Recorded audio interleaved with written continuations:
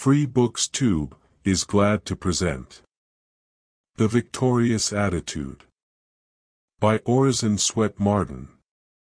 Chapter 1 The Victorious Attitude Go boldly, go serenely, go augustly, who can withstand thee then? Browning What a grasp the mind would have if we could always hold the victorious attitude toward everything. Sweeping past obstacles and reaching out into the energy of the universe it would gather to itself material for building a life in its own image.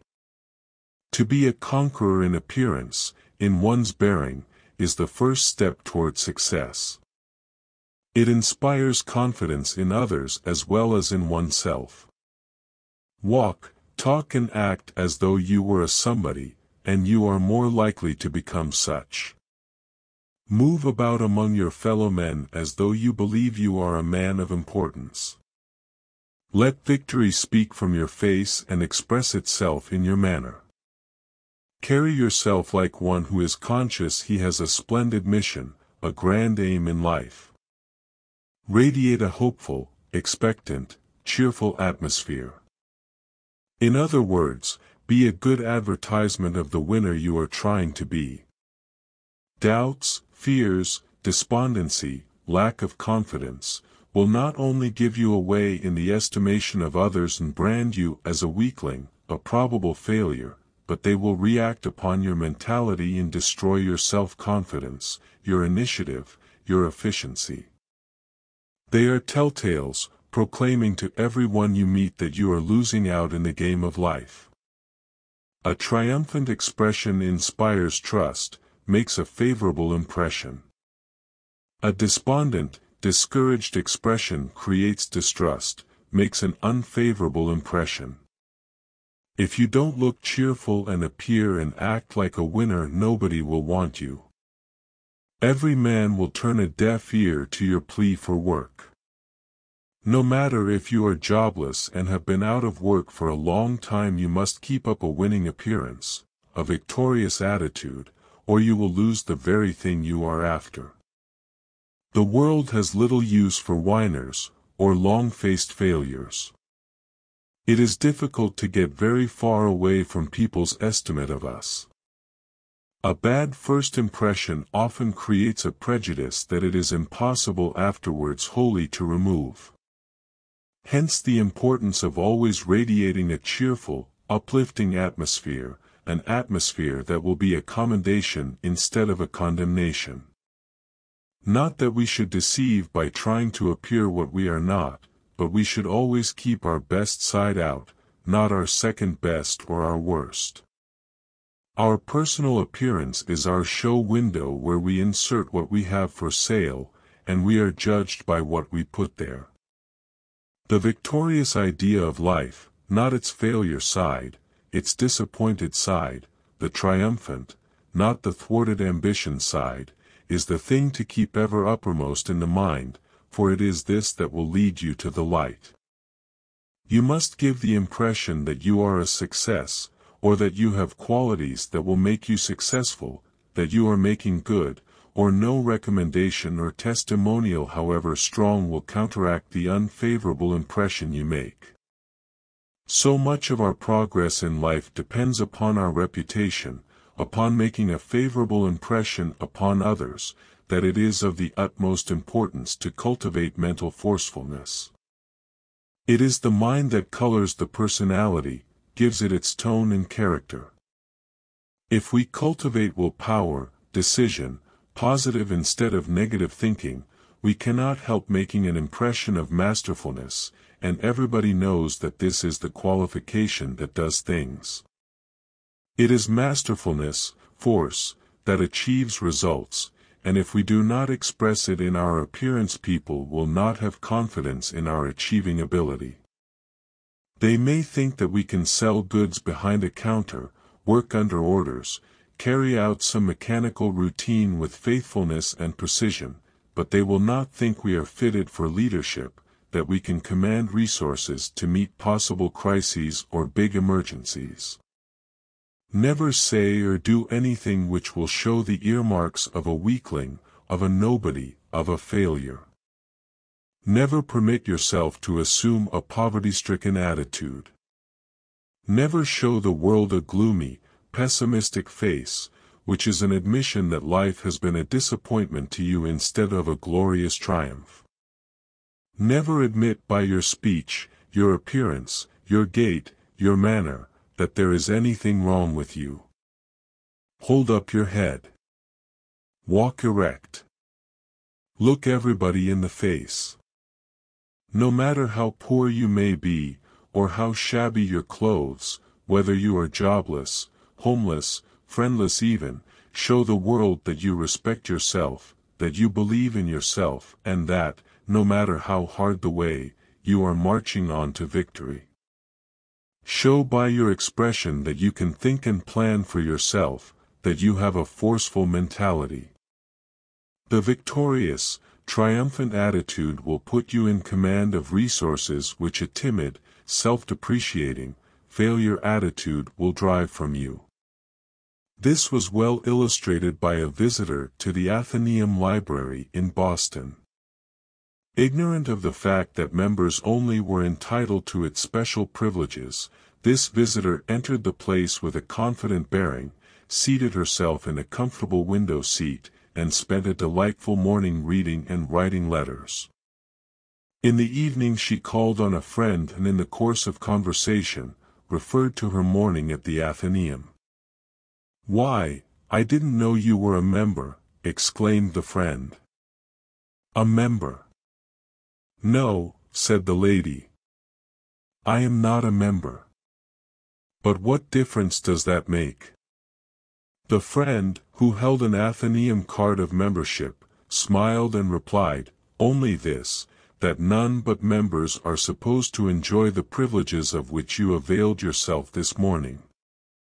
Our manner and our appearance are determined by our mental outlook. If we see only failure ahead we will act and look like failures. We have already failed.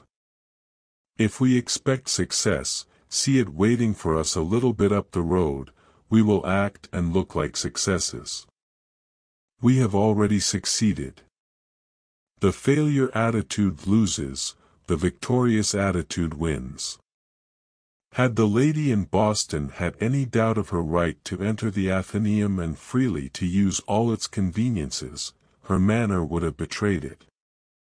The library attendants would have noticed it at once, and have asked her to show her card of membership. But her assured air gave the impression that she was a member. Her victorious attitude dominated the situation, and put her in command of resources which otherwise she could not have controlled. The spirit in which you face your work, in which you grapple with a difficulty, the spirit in which you meet your problem, whether you approach it like a conqueror, with courage, a vigorous resolution, with firmness, or with timidity, doubt, fear, will determine whether your career will be one grand victory or a complete failure. It is a great thing so to carry yourself wherever you go that when people see you coming they will say to themselves, here comes a winner. Here is a man who dominates everything he touches. Thinking of yourself as habitually lucky will tend to make you so, just as thinking of yourself as habitually unlucky and always talking about your failures and your cruel fate will tend to make you unlucky. The attitude of mind which your thoughts and convictions produce is a real force which builds or tears down. The habit of always seeing yourself as a fortunate individual, the feeling grateful just for being alive, for being allowed to live on this beautiful earth and to have a chance to make good will put your mind in a creative, producing attitude. We should all go through life as though we were sent here with a sublime mission to lift, to help, to boost, and not to depress and discourage, and so discredit the plan of the Creator. Our conduct should show that we are on this earth to play a magnificent part in life's drama, to make a splendid contribution to humanity. The majority of people seem to take it for granted that life is a great gambling game in which the odds are heavily against them. This conviction colors their whole attitude, and is responsible for innumerable failures. In the betting machines used by horse racing gamblers the bettors make the odds. If, for example, 500 persons bet on a certain horse, and a hundred bet on another, then the first horse automatically becomes a 5 to 1 choice, and the odds in favor of his winning are 5 to 1. In the game of life most of us start out by putting the odds on our failure. In horse race gambling the judgment that forms the basis of belief as to the winning horse has a comparatively secure foundation in a knowledge of the qualifications of the different racers. In life gambling it is merely the unsupported opinion or viewpoint of the individual that puts the odds against himself. The majority of people look on the probability of their winning out in the life game in any distinctive way as highly improbable. When they look around and see how comparatively few of the multitudes of men and women in the world are winning they say to themselves, why should I think that I have a greater percentage of chance in my favor than others about me? These people have as much ability as I have, perhaps more, and if they can do no more than grub along from hand to mouth, of what use is it for me to struggle against fate? When people believe and figure that they cannot, and therefore never will, be successes, and conduct themselves according to their conviction, when they take their places in life not as probable winners, but as probable losers, is it any wonder that the odds are heavily against them? Mad. Insane. Eccentric, we say when some miserable recluse dies in squalor and wretchedness, starved, the coroner's inquest finds, although bank books revealing large deposits or else hoards of gold, are discovered hidden away in nooks and crannies of the wretched miser's quarters.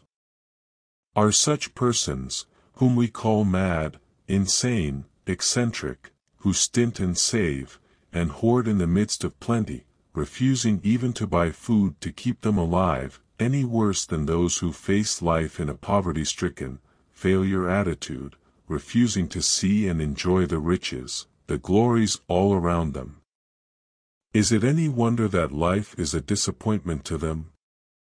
Is it any wonder that they see only what they look for, get only what they expect? What would you think of an actor who was trying to play the part of a great hero, but who insisted on assuming the attitude of a coward, and thinking like one, who wore the expression of a man who did not believe he could do the thing he had undertaken, who felt that he was out of place, that he never was made to play the part he was attempting. Naturally you would say the man never could succeed on the stage, and that if he ever hoped to win success, the first thing he should do would be to try to think himself the character, as well as to look the part, he was trying to portray. That is just what the great actor does. He flings himself with all his might into the role he is playing. He sees himself as, and feels that he is actually, the character he is impersonating. He lives the part he is playing on the stage, whether it be that of a beggar or a hero. If he is playing the part of a hero he acts like a hero, thinks and talks like a hero. His very manner radiates heroism. And vice versa, if the part he takes is that of a beggar, he dresses like one, thinks like one, bows, cringes and whines like a beggar. Now, if you are trying to be successful you must act like a successful person, carry yourself like one, talk, act and think like a winner. You must radiate victory wherever you go. You must maintain your attitude by believing in the thing you are trying to do. If you persist in looking and acting like a failure or a very mediocre or doubtful success, if you keep telling everybody how unlucky you are, and that you do not believe you will win out because success is only for a few, that the great majority of people must be hewers of wood and drawers of water, you will be about as much of a success as the actor who attempts to personate a certain type of character while looking, thinking and acting exactly like its opposite. By a psychological law we attract that which corresponds with our mental attitude, with our faith, our hopes, our expectations, or with our doubts and fears. If this were fully understood, and used as a working principle in life, we would have no poverty, no failures, no criminals, no down and outs. We would not see people everywhere with expressions which indicate that there is very little enjoyment in living, that it is a serious question with them whether life is really worthwhile, whether it really pays to struggle on in a miserable world where rewards are so few and uncertain and pains and penalties so numerous and so certain. Every boy, every girl should be taught to assume the victorious attitude toward life. All through a youth's education the idea should be drilled into him that he is intended to be a winner in life, that he is himself a prince, a god in the making. From his cradle up he should be taught to hold his head high, and to look on himself as a son of the King of Kings, destined for great things. No child is properly reared and educated until he or she knows how to lead a victorious life.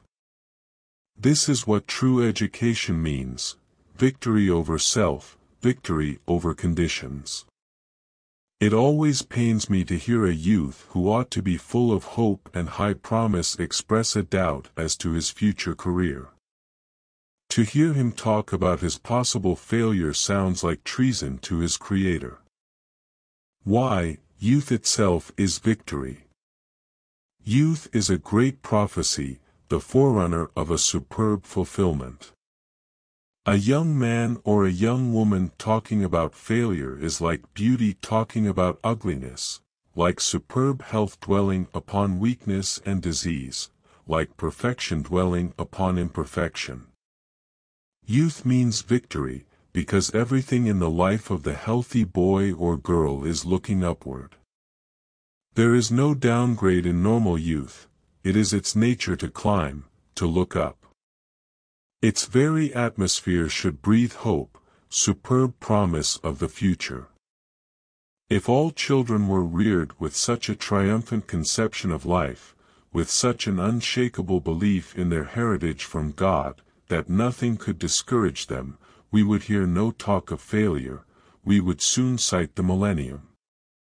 If they were made to understand that there is only one failure to be feared, failure to make good, the failure of character, the failure to keep growing, to ennoble and enrich one's life, this world would be a paradise. Just think what would happen if all of the down and outs today, all of the people who look upon themselves as failures or as dwarfs of what they ought to be, could only get this victorious, this triumphant, idea of life, if they could only once glimpse their own possibilities and assume the triumphant attitude.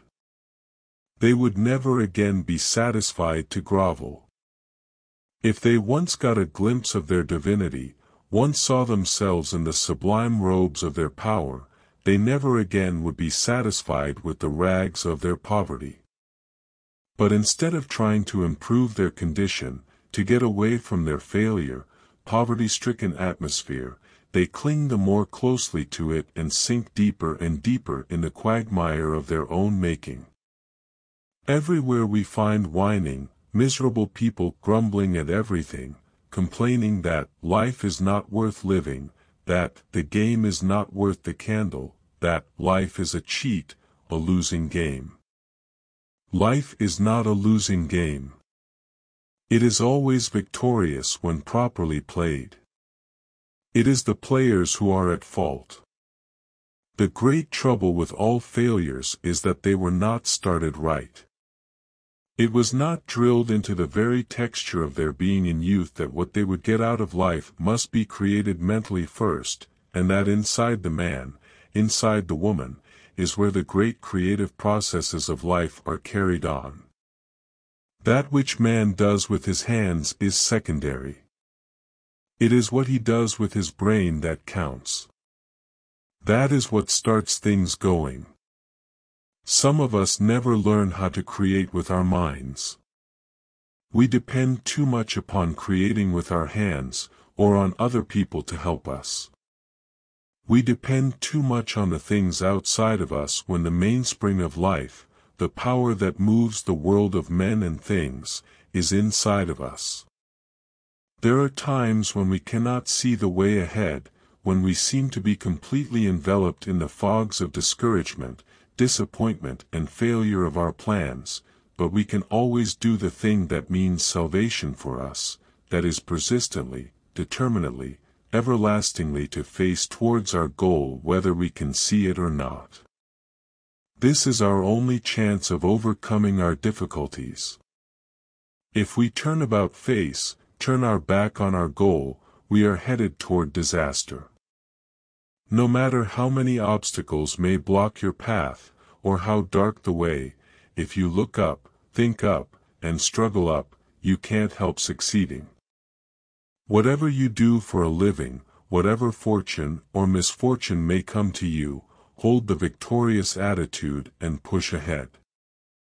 A captain might as well turn about his ship when he strikes a fog bank, because he cannot see the way ahead of him, and still expect to make his distant harbor, as for you to drop your victorious attitude and face the other way just because you have run into a fog bank of disappointment or failure. The only hope of the captain's reaching his destination is in being true to the compass that guides him in the fog and darkness as well as in the light. He may not see the way, but he can follow his compass. That we also can do by holding the victorious attitude towards life, the only attitude that can ensure safety and bring us into port. Chapter 2 According to thy faith. Where there is faith there is love, where there is love there is peace, where there is peace there is God, where there is God there is no need. There is a divine voice within us which only speaks when every other voice is hushed, only gives its message in the silence. I shall study law, said an ambitious youngster, and those who are already in the profession must take their chances. The divine self-confidence of youth, the unshaken faith that believes all things possible, often makes cynics and world-weary people smile.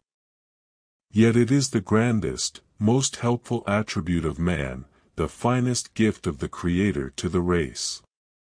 If we could retain through life the faith of ambitious, self-confident, untried youth, its unquestioning belief in its ability to carve out its ideal in the actual, what wonders we should all accomplish.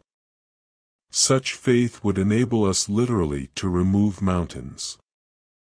All through the scriptures faith is emphasized as a tremendous power. It was by faith that Moses led the children of Israel out of Egypt, through the waters of the Red Sea, and through the wilderness. It was by faith that Elijah, Isaiah, Daniel, and all of the great prophets performed their miracles. Faith was the great characteristic of Christ himself. The word was constantly on his lips, according to thy faith be it unto thee. He often referred to it as the measure of what we receive in life, also as the great healer, the great restorer. Whenever he healed he laid the entire emphasis upon the faith of the healer and the one healed. Thy faith hath made thee whole, believe only and she shall be made whole, thy faith hath saved thee. Or he reproved his disciples for the lack of faith which prevented them from healing, as when he addresses them, O faithless and perverse generation, how long shall I be with you and suffer you? Faith believes, doubt fears. Faith creates, doubt destroys. Faith opens the door to all things desirable in life, doubt closes them. Faith is an arouser, an awakener of our creative forces.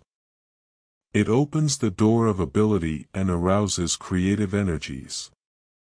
Faith is the link in the great within which connects man with his Maker. It is the divine messenger sent to guide men, blinded by doubt and sin. Our faith puts us in touch with infinite power, opens the way to unbounded possibilities, limitless resources. No one can rise higher than his faith. No one can do a greater thing than he believes he can. The fact that a person believes implicitly that he can do what may seem impossible to others, shows there is something within him that has gotten a glimpse of power sufficient to accomplish his purpose.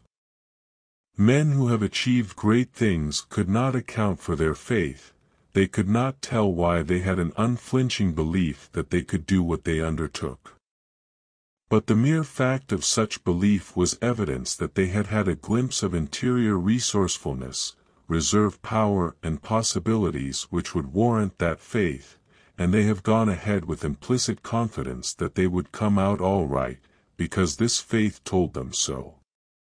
It told them so because it had been in communication with something that was divine, that which had passed the bounds of the limited and had veered into the limitless. Men and women who have left their mark on the world have been implicit followers of their faith when they could see no light, but their unseen guide has led them through the wilderness of doubt and hardship into the promised land.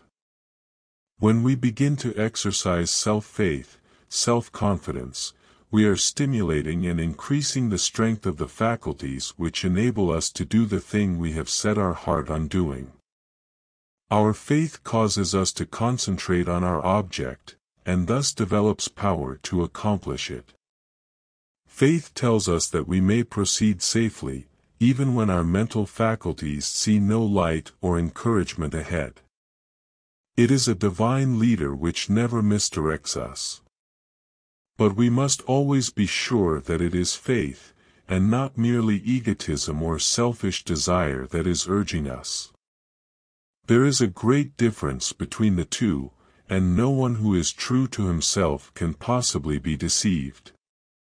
When we are doing right, when we are on the right track, our faith in the divine order of things never wavers. It sustains in situations which drive the self-centered egoist to despair. The man who does not see the designer behind the design everywhere, who does not see the mighty intelligence back of every created thing, cannot have that sublime faith which buoys up the great achievers and civilization builders.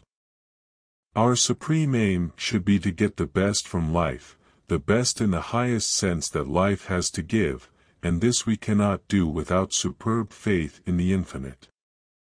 What we accomplish will be large or small according to the measure of this faith.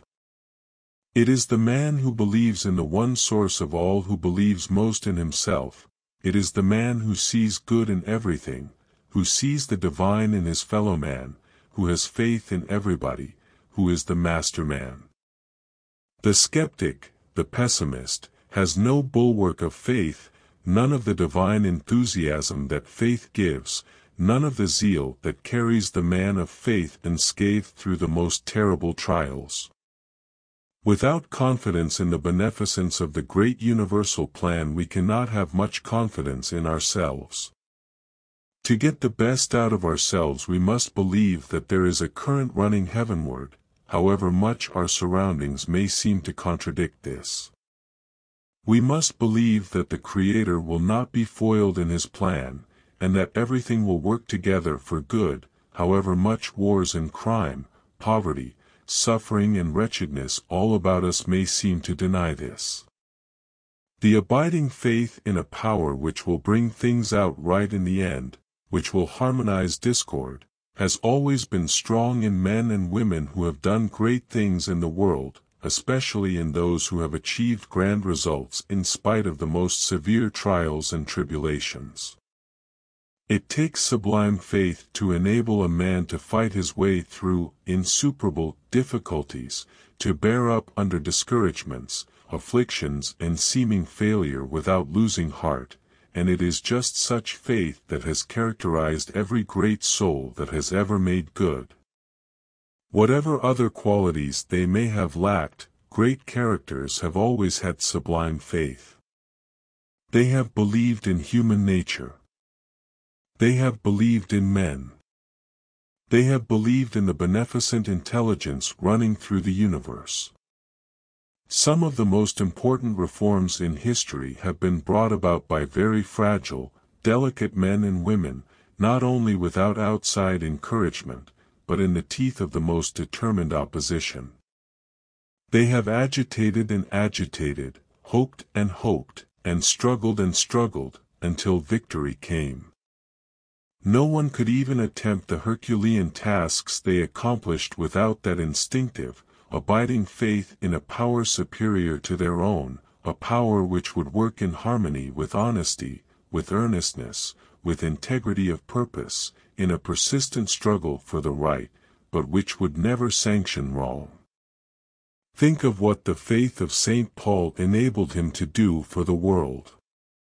Think of what Christ's little band of chosen disciples succeeded in accomplishing in spite of the might of the Roman Empire pitted against them. The power of the greatest benefactors of the race came largely from the inspiration of faith in their mission, their belief that they were born to deliver a certain message to the world, that they were to make an important contribution to civilization. Think of what the faith of the inventor has done. It has kept him at his task, kept him nerved and encouraged in the face of starvation, kept him at his work when his family had gone back on him, when his neighbors had denounced him, and called him insane. Think of what the faith of Columbus, of Luther, of the Wesleys, has accomplished for mankind. It has ever been men with indomitable faith that have moved the world. They have been the great pioneers of progress. An instinctive faith in the divine force which permeates the universe, which is friendly to the right and antagonistic to the wrong, has ever been the unseen helper that supported, encouraged, and stimulated men and women to accomplish the impossible, or that which to lower natures seems beyond human capacity. It is this which sustains brave souls in adversity and enables them to bear up, to believe and hope and struggle on when everything seems to go against them. It is the same principle which supported the martyr at the stake and enabled him to smile when the flames were licking the flesh from his bones. Faith has ever been the greatest power in civilization. It has built our railroads, has revealed the secrets of nature to science, has led the way to all our inventions and discoveries, and has brought success out of the most inhospitable conditions and iron environments. In fact, we owe everything that has been accomplished to faith, and yet when we come to its practical application in our everyday affairs how few of us avail ourselves of this tremendous force. The vast majority are looking for some power outside to help, when we ourselves hold the key which has ever unlocked, and ever will unlock, all barred doors to aspiring souls.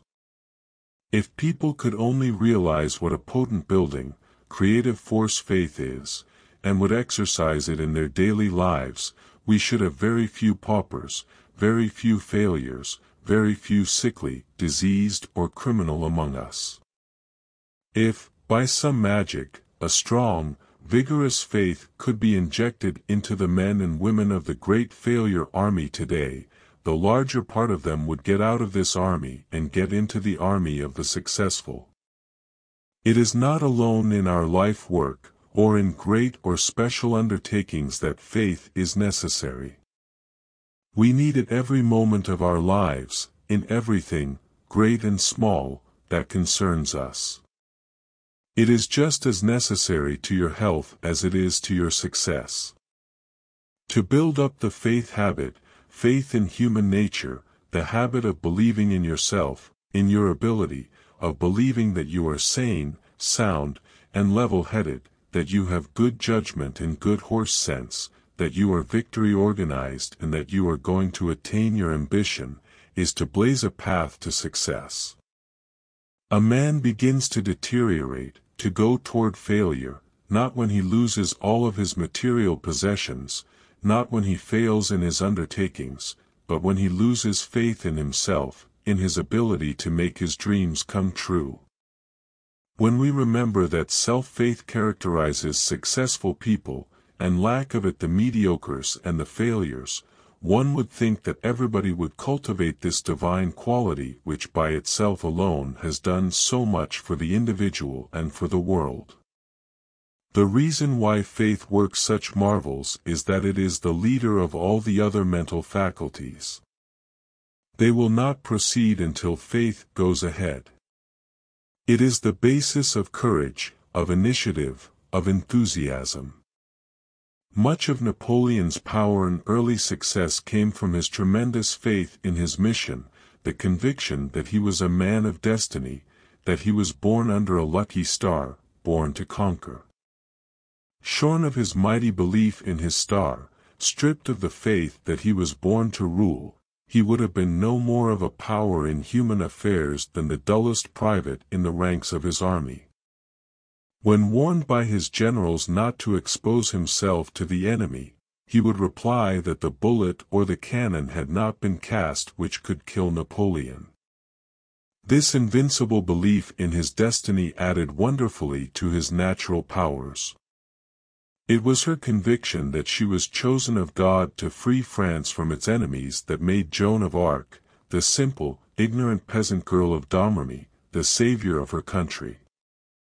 Her mighty faith in her divine mission gave her a dignity and a miraculous force of character, a positive genius, that made all the commanders of the French army obey her as private soldiers obey their superior officers. Faith in herself and in her mission transformed the peasant maiden into the greatest military leader of her time. There is no doubt that every human being comes to this earth with a mission. We are not accidental puppets thrown off to be buffeted by luck or chance or cruel fate. We are a part of the great universal plan. We were made to fit into this plan, to play a definite part in it. We come here with a message for humanity which no one else but ourselves can deliver, and faith in our mission, the belief that we are important factors in the great creative plan, that we are, in fact, co-creators with God, will add wonderfully to the dignity and effectiveness of our lives, will enable us to perform the impossible. If every child were brought up in the firm belief that he was made for health, happiness, and success, if it were impressed on him that he should never entertain a doubt of his power to attain them, as a man he would be infinitely stronger in his powers of self-assertion and in his self-confidence and these qualities strengthen the ability, unify the faculties, clarify the vision, and make the attainment of what the heart yearns for a hundred percent more probable than if he had not been thus reared. A child's faith is instinctive, and if not tampered with, destroyed by wrong training, would continue through life. We see this sort of instinctive faith illustrated by the lower animals. Take the birds, or the domestic hen, for example. See how patiently she sits on the eggs week after week until the chickens are hatched. She cannot see the chickens when she begins to sit, but her belief that they will come if she does her part induces her to give up her liberty for weeks, and to go sometimes for days without food, that she may keep the eggs at the right temperature in order to produce the chickens. The trouble with most of us is that we do not have sufficient faith in the creative power of the vigorous determination to do a thing, in the persistent endeavor backed by self, faith to accomplish what we desire. We give up too easily under discouragement. We haven't sufficient stamina and grit to push on under disheartening conditions. We want to see clear through from the beginning to the end of whatever we undertake. We refuse to have faith.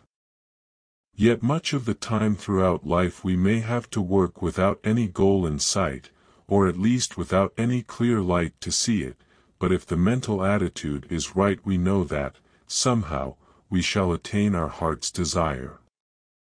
We have merely been shown a program which we are capable of carrying out, a table of contents of our capabilities, the signs of the corresponding realities, for faith is not an idle dream, an elusive picture of the imagination. We have not been mocked by ideals and aspirations, soul yearnings and heart longings for the things which have no possible realities. Faith is not a cheat. There is ability to match the faith. There is something about devotion to one's inward vision, the intense desire and concentrated effort to fulfill what we believe to be our mission here, that has a solidifying influence upon the character, gives poise and peace of mind and also helps us to realize our vision. The probabilities are that the iceberg which sent the Titanic, with 1600 souls, to the bottom of the ocean did not even feel a tremor at the shock. More than seven-eighths of its huge bulk was below the water, deep down in the eternal calm of the sea, beyond the reach of storm or tempest. Like the giant iceberg, Faith reaches down into the serene within of us, into the eternal calm of the soul. It is not disturbed by the surface commotions. A life poised in faith rides steadily, triumphantly, through the tempests and the hurricanes of existence. You will constantly be confronted with things which tend to destroy faith in God and faith in yourself. There are many times in life when about all we can do is to hold on to the hand of the divine guide until we have run through the storm zone. We have to learn to turn away from the heartbreaks of life and to face toward the light. We have to disregard the criticisms and the discouragement of others, as well as the assaults of fear and doubt, and press on to our goal. If you go in business for yourself, if you are struggling to get an education, if you are making desperate efforts to realize your ambition, whatever it is, you will find plenty of pessimists who will predict your failure. They will tell you that you never can build up a business without a lot of capital and outside help in these times of terrific competition, that you cannot work your way through college, that you can never be whatever you are dreaming of and longing to be. You will meet plenty of obstacles and much opposition, and it will take a very stiff backbone, a lot of sand and grit to keep pushing on towards your goal against great odds, but faith is more than a match for all these. Nothing else will enable you to win out. Remember it is not other people's faith in you but your faith in yourself that counts most. It is a good thing to have other people's good opinion, to have their confidence in us, their faith in the success of our efforts, but it is not imperative. Our own is. No man ever gets anywhere or does anything great in this world without faith in himself, without a superb belief that he is on the right track, that he is doing the thing he was made to do, that he is going to stick to it through thick and thin to the end. It takes faith to look beyond obstacles, to see the way over difficulties, to brave opposition and to allow nothing to swerve us from our course. You cannot keep anyone from succeeding who has an unshakable faith in his mission. You cannot crush the faith that wrestles with difficulties, that never weakens under trials or afflictions, that pushes on when everybody else turns back, that gets up with greater determination every time it is knocked down. In the sacred Confucian scriptures we are told that a very devoted disciple of Confucius, on a pilgrimage to his master, was stopped on his journey by a broad river. As he could not swim and could not procure a boat, the zealous disciple resolved that he would walk on the water. Believing that the necessity of seeing his master was most urgent, and being filled with zeal in the performance of his mission, he boldly made the attempt, and succeeded. The record of this miracle is supposed by followers of Confucius to be just as authentic as the Bible account of the walking of Christ on the water. If, like this zealot, you have faith in your power to overcome difficulties, nothing can keep you from your goal. If, like Joan of Arc, you believe you are appointed by God to perform a certain work, it will help you wonderfully to make good. It will dignify your life and your efforts, and thus save you from a thousand temptations to waste your time in frivolous pursuits. It will put a higher value upon your importance to the world. To feel that you have a divine mission that no one else can perform, that you came here with a sacred message for mankind, and that it is up to you to deliver it will add a wonderful motive for effectiveness in your life work. The consciousness that you are keeping faith with your Creator and with yourself, that you are keeping faith with your fellow men and earning their respect and love, that you are keeping faith with a splendid life purpose, with your holiest vision, gives a satisfaction which nothing else can afford.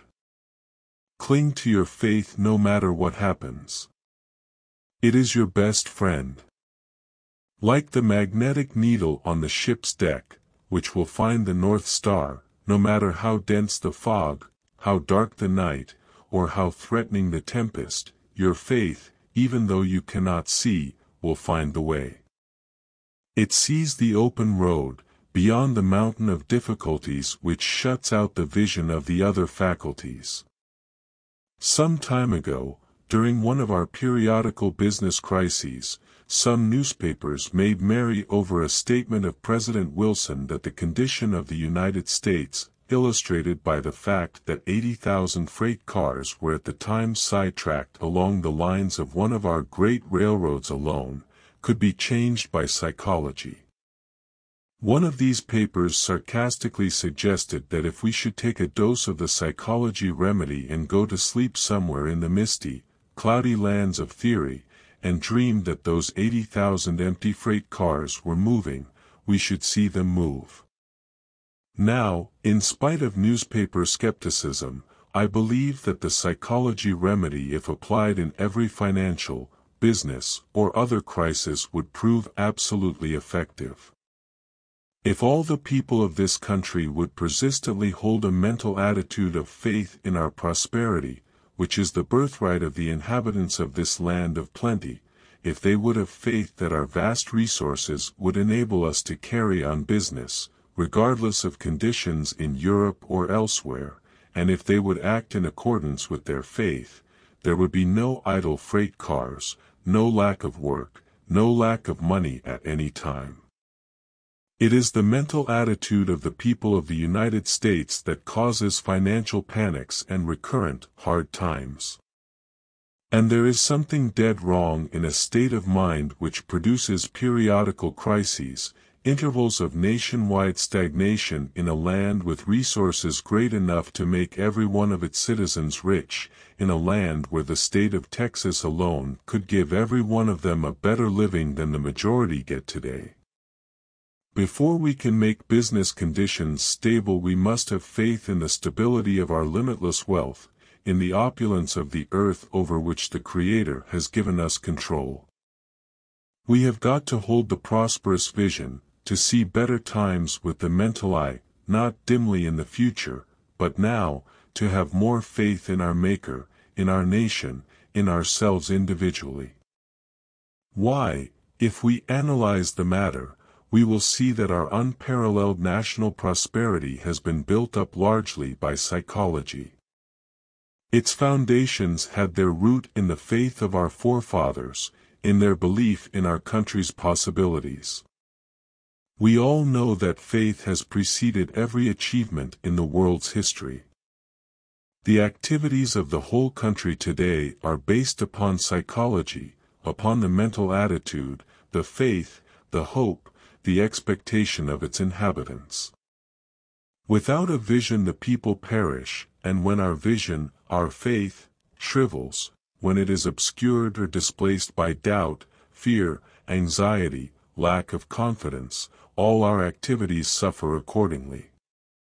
With abundant crops, with a lowering death rate and increasing longevity of our people, with constantly growing educational facilities, America ought to register every day of every year a high water point of prosperity. But when a large portion of the people lack faith in the future, when, from time to time, uncertainty is in the air, when everybody is doubting and fearing, waiting to see what is coming next, of course business will stagnate. It will follow the prevailing mental attitude, hesitate, waver, doubt, stand still like the idle freight cars. We are just beginning to see that faith is as much a real force as is electricity. It is faith that removes mountains, mountains of difficulty, of opposition, of doubt, of distrust. It clears the track of all obstructions. It makes stepping stones of stumbling blocks. Faith is the most powerful, the most sublime of human attributes. Without it the bottom would drop out of civilization. It is the fundamental principle of life. Faith is the basis of health, of success, of happiness, of love itself. It believes in, hopes, trusts, clings to the loved one in spite of all faults and sins. It is faith that heals, that achieves, that hopes. The very feeling of harmony between ourselves and our God, that which gives assurance, a sense of protection and of safety which nothing else can give, is born of our faith in Him, in whom we live and move and have our being. We must realize and appreciate more and more our divinity, the fact that we are made in the image of our Creator and that we must partake consciously of His qualities. Then we will have more faith in our powers. When we are conscious of having qualities like His we can rise above apparent limitations, above hereditary weakness. It is all preeminently a question of holding the right thought, the thought that builds, the thought that creates, that produces, the thought that we have within us unlimited possibilities, which can be realized. A sublime self-faith is absolutely indispensable to all great achievement.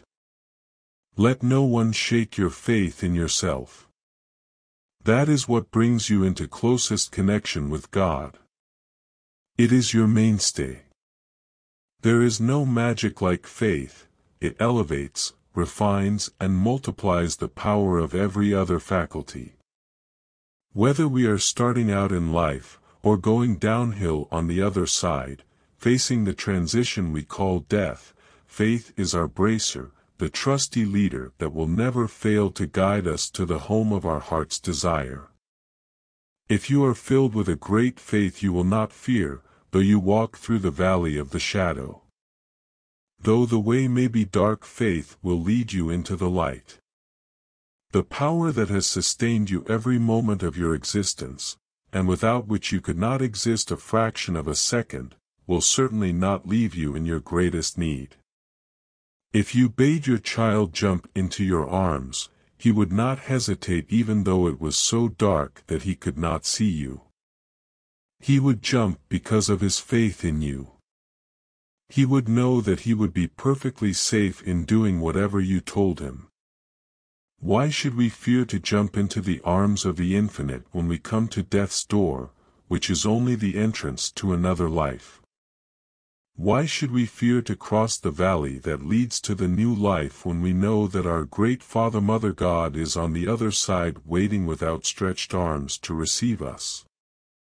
I will not doubt, well anchored in the faith, like some stanch ship, my soul braves every gale, so strong its courage that it will not fail to breast the mighty unknown sea of death.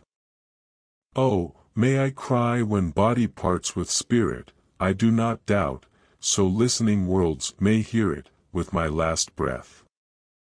Chapter 3 Doubt the Traitor Faith is the torch that leads the way when the other faculties cannot see. It is doubting and facing the wrong way, facing toward the black, depressing, hopeless outlook that kills effort and paralyzes ambition. There is a divine current within us which would always flow Godward, always lead to our ultimate advantage, did we not obstruct it, or turn it aside by our doubts and fears. He who has conquered doubt and fear has conquered failure. James Allen When David Hume, the agnostic, was twit with his inconsistency in going to hear the Orthodox Scotch minister, John Brown, preach, he replied, I don't believe all that he says, but he does, and once a week I like to hear a man who believes what he says.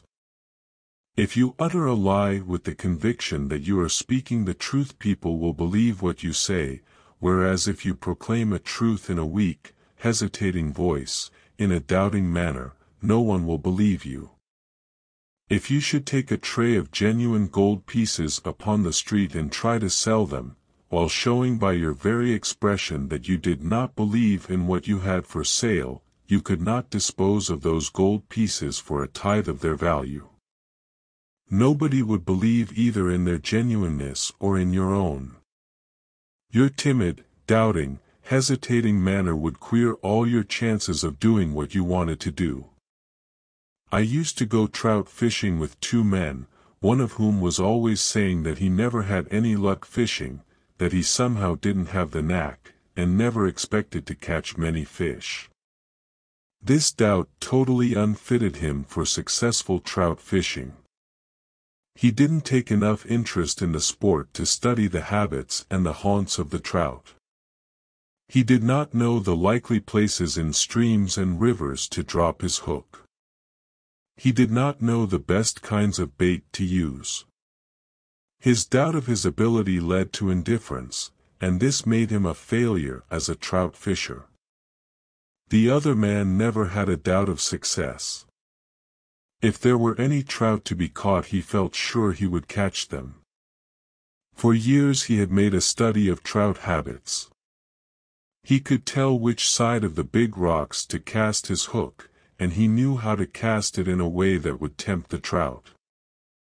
Fishing in the same stream alongside the doubtful, indifferent fishermen he would catch ten times as many fish. If there is a great big doubt in your self-faith, if you have left a bridge standing for your retreat in case of defeat, if you lack clean-cut, firm decision, if there is any interrogation point in your confidence in yourself, there will be a limp in your success gait, and you will not be able to rise out of mediocrity. Our worst enemies are not outside but inside of us.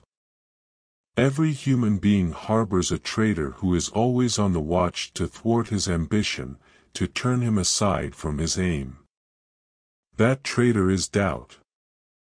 You must make up your mind at the very outset of your career that you will always be followed about by certain mental enemies, mental traitors, which will try to dissuade you from doing the highest or biggest thing possible to you. Doubt is one of the most insistent of these, and will dog your steps to your grave. The man or woman who is not strong enough to resist its insidious attacks will never do what he or she is capable of doing, and was sent into the world by the Creator to do. The person who is always fearful of consequences, who is in doubt as to the outcome of his acts, or whether he is really capable of doing what he undertakes, will always be a weakling. No one who is not bigger than his doubts can ever accomplish anything great or worthwhile, because this subtle enemy kills initiative and self-confidence, and without these dominant qualities no human being can measure up to his possibilities. But for doubt, which strangles the very beginning of things, initiative instead of being so rare would be a common virtue among all classes. Nine out of ten average individuals are held back from testing their powers by the suggestions of doubt. If it were possible to drive from the human mind this spectre which stands at the door of our hopes, of our resolution, which throws its baleful shadow across our vision, civilization would forge ahead by leaps and bounds. This miserable traitor, under the guise of a friend, is holding down millions of men and women below the level of their powers, keeping them from beginning things which they are capable of doing, but which doubt warns them at their peril not to attempt. Doubt is responsible for more suicides, more misery, more bankrupt lives, more failures, than any other one thing.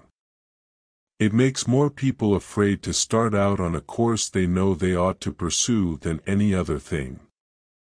Standing right at the gateway of our choice, at the parting of the ways, when we have fully resolved to take the path that is best for us, a hard and forbidding one compared with the easy way along the line of least resistance, doubt calls a halt. It bids us pause and think once more, asks us to look again at the rugged path we have chosen and consider whether we really want to pay the price of our choice, to take that turning when the other looks so much brighter and pleasanter and is so very much easier. This is the point of cleavage which marks the beginning of failure for the timid soul who is not bigger than his doubt. The suggestions pushed into his mind by his enemy make him hesitate. He is moved to stop, look, and listen. He begins to reconsider, to look again at the obstacles ahead, and the longer he looks the bigger they grow. He becomes frightened, fears he cannot do the thing that at first seemed possible, and finally turns aside to the easier path of mediocrity and commonness. Doubt has killed more splendid projects, shattered more ambitious schemes, strangled more effective genius, neutralized more superb effort, blasted more fine intellects, thwarted more splendid ambitions than any other enemy of the race. Talk about drug victims and slaves of drink. Doubt has more victims than even these terrible enemies of the race. We see them everywhere in menial and lowly positions, perpetual clerks, discontented drudges, hewers of wood and drawers of water, paralyzed at the very gateway of their career by that fatal trait which they have never learned how to strangle, to neutralize with its opposites, faith, hope, confidence, assurance. How many thousands of employees plodding along in mediocrity today could have been in business for themselves but for this great enemy inside of them? How many splendid young men have been kept out of the pulpit, how many superb lawyers, in possibility, have been strangled by this traitor?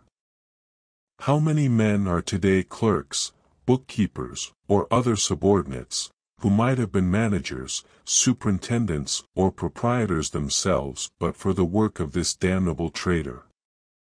When opportunity presented itself these doubters were afraid.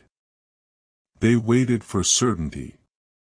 They dared not take chances. They did not realize that opportunity is a maiden who admires the bold, courageous, self-confident suitor. They did not wake up in time to the fact that she will not trust herself to the timid, the hesitant, the overcautious suitor. When too late they realize that while the doubter is wavering and hesitating, wondering if he dare try to win, the daring, intrepid wooer steps in and wins. The great prizes of life are for the courageous, the dauntless, the self-confident. The timid, hesitating, vacillating man who listens to his doubts and fears stops to make up his mind, and, the opportunity has passed beyond his reach. Doubt, uncertainty, or fear as to results, is the great discourager of the human race. It is the dire enemy of all achievement. It tells the poor boy and girl who long for an education that it is foolish for them to think of going through school and college without money or without somebody to help them. It tells them that there are many more poor boys and girls in every school and college who are trying to pay their way than will ever find opportunities to make their education available. It is always whispering to them that there is a big waiting list of men and women who were graduated years ago everywhere looking and waiting, trying in vain to get something to do to earn back the amount they spent on their education. No matter what you attempt to do, what new enterprise you may undertake, what progressive plans you may make, the traitor doubt will bob up and call a halt, will try to dissuade you from your purpose. It will suggest to you how many others have undertaken similar things and have gone to the wall, have failed to accomplish what they expected. It will tell you that you had better go slow, that it is foolish to go into business in times like these, that you should wait until you are better prepared, until you have more capital, in short, that there are stumbling blocks in the way, and that you must consider the step very carefully before you venture to decide. It does not matter what we plan to do, doubt is always there ready to knock our resolutions, and, if possible, to discourage us even from attempting to put our plans in execution. Who could ever estimate how many superb inventions and discoveries, which would have helped emancipate the race from drudgery in hard conditions, have been sidetracked by this traitor? Doubt kills activity, discourages ambition and destroys or neutralizes the biggest brain power. It would make a pygmy of a Webster. By filling his mind full of doubt of his own creative power, a hypnotist could make a Shakespeare believe he was a fool. He could inject a doubt into the mind of a Napoleon that would cut his genius down to the mediocrity of a common soldier. This arch-traitor of mankind is so closely related to fear that it is almost impossible to draw a dividing line between the two. They are twins. Wherever doubt can get a foothold it introduces its brother fear, and fear brings with it all of its relatives, worry, anxiety, discouragement, the whole failure family. A single day of doubts, of fears, of unbeliefs, of the crime of self-depreciation, will drive away from a man all that he has attracted to himself in many months. There are multitudes of people today suffering from the fatal disease of self-depreciation, the seeds of which were implanted in them by doubt.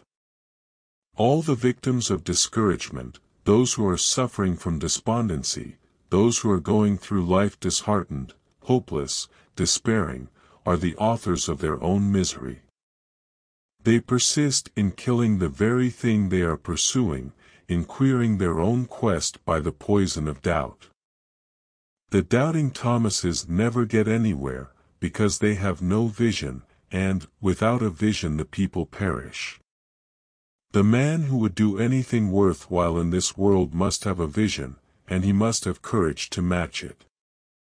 Courage is the great leader in the mental realm. Whatever paralyzes it strangles the initiative, kills the ability to do things. Doubt is its greatest enemy.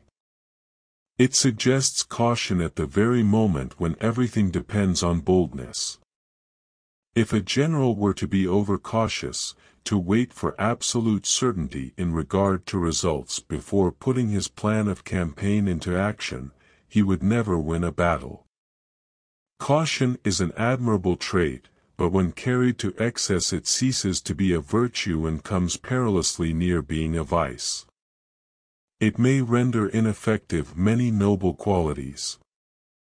There are a great many people who seem to be courageous enough, but an excessive development of caution holds everything in abeyance to wait for certainty. I know men who wait and wait, never daring to undertake anything where there is risk, even though their judgment tells them they ought to go ahead. We are creatures of habit, and the constant raising of doubts in our minds as to our ability to do what we want to do in time becomes a habit of thinking we can't, and when we think we can't, we can't. When a man begins to listen to his doubts he is beginning to weaken. Why delay beginning the thing that you know perfectly well you ought to do? What are you afraid of? Failure, even, in an honorable attempt, is preferable to forever postponing the thing that you ought to do. Is it the additional responsibility you shrink from, the extra work? Do you have a horror of possible failure? Do you shrink from the possible humiliation of losing out in your venture? What is it that enlarges your doubt and holds you back? Some handicap, some invisible thread. Are you carrying a great excess of baggage, clinging to unnecessary things which handicap you. I have heard of a sailor who lost his life in that way. He was one of the crew of a ship that was carrying a large quantity of gold nuggets to a distant port. The ship ran upon a rock, and, when all hope of saving her or her precious cargo was gone, the captain ordered everybody to leave the sinking ship. The last boat was ready to push off, but this sailor refused to get into it until he had loaded himself with gold nuggets. He said he had been a poor man all his life, and now he was going to be rich at last. He would take away with him just as much of the sinking wealth as he could carry. Heedless of the warning of the captain and his companions that they would not wait for him, he loaded himself with gold. Then, the boats having pushed away, he jumped overboard and tried to save himself by clinging to pieces of the wreck. But, owing to the weight he carried, he could neither float nor swim, and so the wealth he felt he could not leave behind carried him down to death. Your doubt of your success is probably your biggest handicap. But it would be a thousand times better to make mistakes by forging ahead too rapidly, by undertaking more than we can carry out, than to be forever hovering upon the edge of doubt, delaying, postponing, waiting for certainty, until we become slaves of a habit which we cannot break. And remember that the habit of putting off, of waiting to see how things are going to turn out, to see if something more certain, something with less of risk, will not turn up, is fatal to initiative, fatal to leadership, fatal to efficiency. I know a man who has been resolving for a quarter of a century to start something in which he thoroughly believes. Every year during that long period he has told me that this was the year for him to start. He was really going to begin his great life work, but doubt has engendered the putting off habit, and this has such a grip upon him that he shrinks from undertaking anything new. He seems to have a great fear of getting out of his old rut, to try something different, a fear that things may not work out right, that it is not the psychological moment to strike. He has gray hairs now, the enthusiasm of youth is gone, and he never will begin to do the thing which everybody who knows him believes he is perfectly capable of doing. All history shows that while experience increases wisdom, it does not always increase faith. The inexperienced youth will often undertake things which stagger the older and more experienced. Confidence is characteristic of youth, but after a few setbacks and disappointments, many begin to wonder whether, after all, their first confidence was based upon good judgment, whether their enthusiasm and faith were not the result of lack of experience, and then they begin to doubt and to fear that this voice of ambition which is ever beckoning them on and upward is not reliable. They say to themselves, what if this should be merely a mirage to lure me on the rocks, and before they realize it they are weaving doubts and fears and overcaution into a habit that has ruined multitudes of careers, a habit that is responsible for a larger percentage of unused ability, of locked-up powers than any other one thing. Have you done the biggest thing you are capable of doing? Is it not possible that there is something within you, some unworked mental territory which, if cultivated, would lead you out into that wider field you dreamed of when a youth? Why do you go on year after year in the same old rut, expressing nothing, doing the same old thing in the same old way because doubt whispers it would be rash to try new ways, new ideas. How long have you been just an ordinary employee? Do you realize that habit is getting a tremendous grip upon you, and that before you realize it you may be a perpetual clerk? The longer you remain in one position, doing the same thing without promotion, the stronger the inertia habit will grip you, the bigger will grow your doubt as to the wisdom of making a change. It is a dangerous thing to get into a rut. Bestir yourself before it is too late and begin to put into operation that plan which has so long haunted you, but which doubt has been telling you is not feasible, is not practicable. If every human being today were doing what he has at least some time thoroughly believed he could do our whole civilization would be revolutionized. What has been accomplished is but a tithe of what might have been accomplished if every one had been true to his vision, had not allowed it to be blotted out by doubt. If I believed in a real devil I think it would be that unseen monitor, that mysterious something within us which whispers doubt, which tells us to hold on, to be careful, to go slow, which pulls us back when we are attempting to reach out, trying to do the thing we long to do. Are you not tired of having your plans thwarted, your efforts blighted by the traitor, doubt? Has it not dwarfed your life long enough, has it not kept you out of your own long enough by forcing you to live on the husks when you might have had the kernel? Are you not about tired of being defrauded by this thief of the blessings and the good things which the Creator intended we all should have? Why not turn it out of your mental house? Neutralize it with a great splendid faith in yourself, in your mission, faith in your possible contribution to the world. Doubt has very little influence with the St. Paul type of man, with the masterful type. It is only the weakling that doubt strangles, paralyzes. Be a man and not a weakling, a mere apology of a man. You know that the devil which has followed you through life, which has blocked your progress, put out the lights in your path, tortured you and undermined your confidence in yourself, has been the devil of doubt. It has been the whispering fiend which told you that you could not do this and you could not do that, which stepped in and killed your initiative when you were about to begin to do that which your ambition had hoped to accomplish. Don't let this enemy thwart and baffle you any longer. Have a good heart-to-heart -heart talk with yourself and break the habit chain of unbelief in self with which it has bound you. Say to yourself, I will not listen any longer to the voice of this fiend. I will not allow it to spoil God's plan for me. There is something inside of me which insists that I was planned for victory, not for defeat, for happiness, not for misery, for peace of mind, not for a life of worry, anxiety, and fear. I do not believe that I was placed here to be a mere puppet of circumstances. Faith, hope and confidence are my helpers. Doubt is a child of fear, and fear has the great majority of human beings hypnotized, so that they do not dare to forge ahead, do not dare to undertake the things they are perfectly capable of accomplishing. From henceforth it has no power over me. I will not listen to its treacherous voice.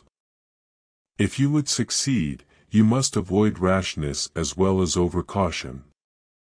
But when you have fully considered in all its bearings whatever project you are about to undertake, and have decided on your course, don't let any fears or doubts enter your mind. Commit yourself to your undertaking, and don't look back to see if you could have done something else, or started in some other way. Push on, and don't be afraid. After we have launched out in an enterprise, have committed ourselves before the world, Pride steps into the situation pushes us on through hardships which would have discouraged and turned us aside before we had fully committed ourselves. But when we have taken the plunge, made the venture, we have practically said to the world, now, watch me make good. I have made up my mind to put this thing through, and I am not going to turn back. Our confidence grows as we advance and then it is comparatively easy, even under difficulties, to keep forging ahead.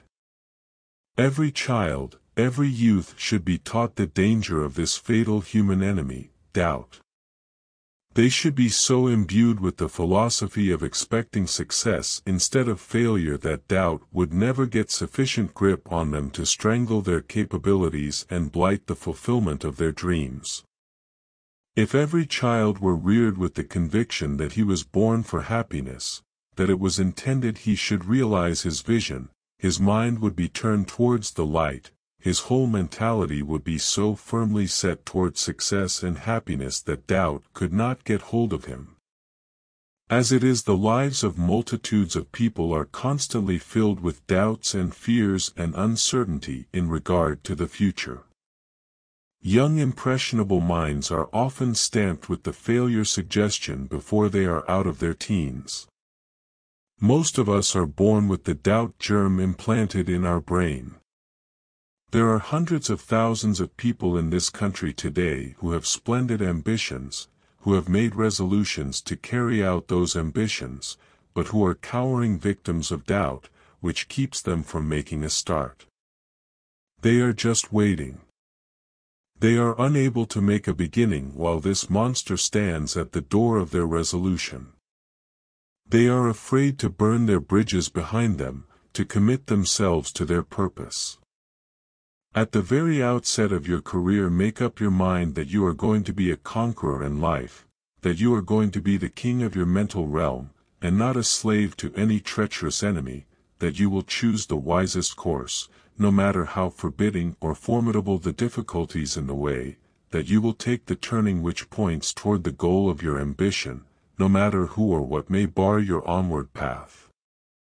Don't let doubt balk your efforts. Don't let it paralyze your beginning and make you a pygmy so that you will not half try to make good when you have a waiting giant in you.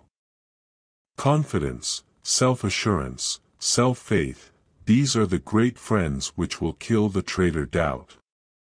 Chapter 4 Making Dreams Come True Every great soul of man has had its vision and pondered it, until the passion to make the dream come true has dominated his life.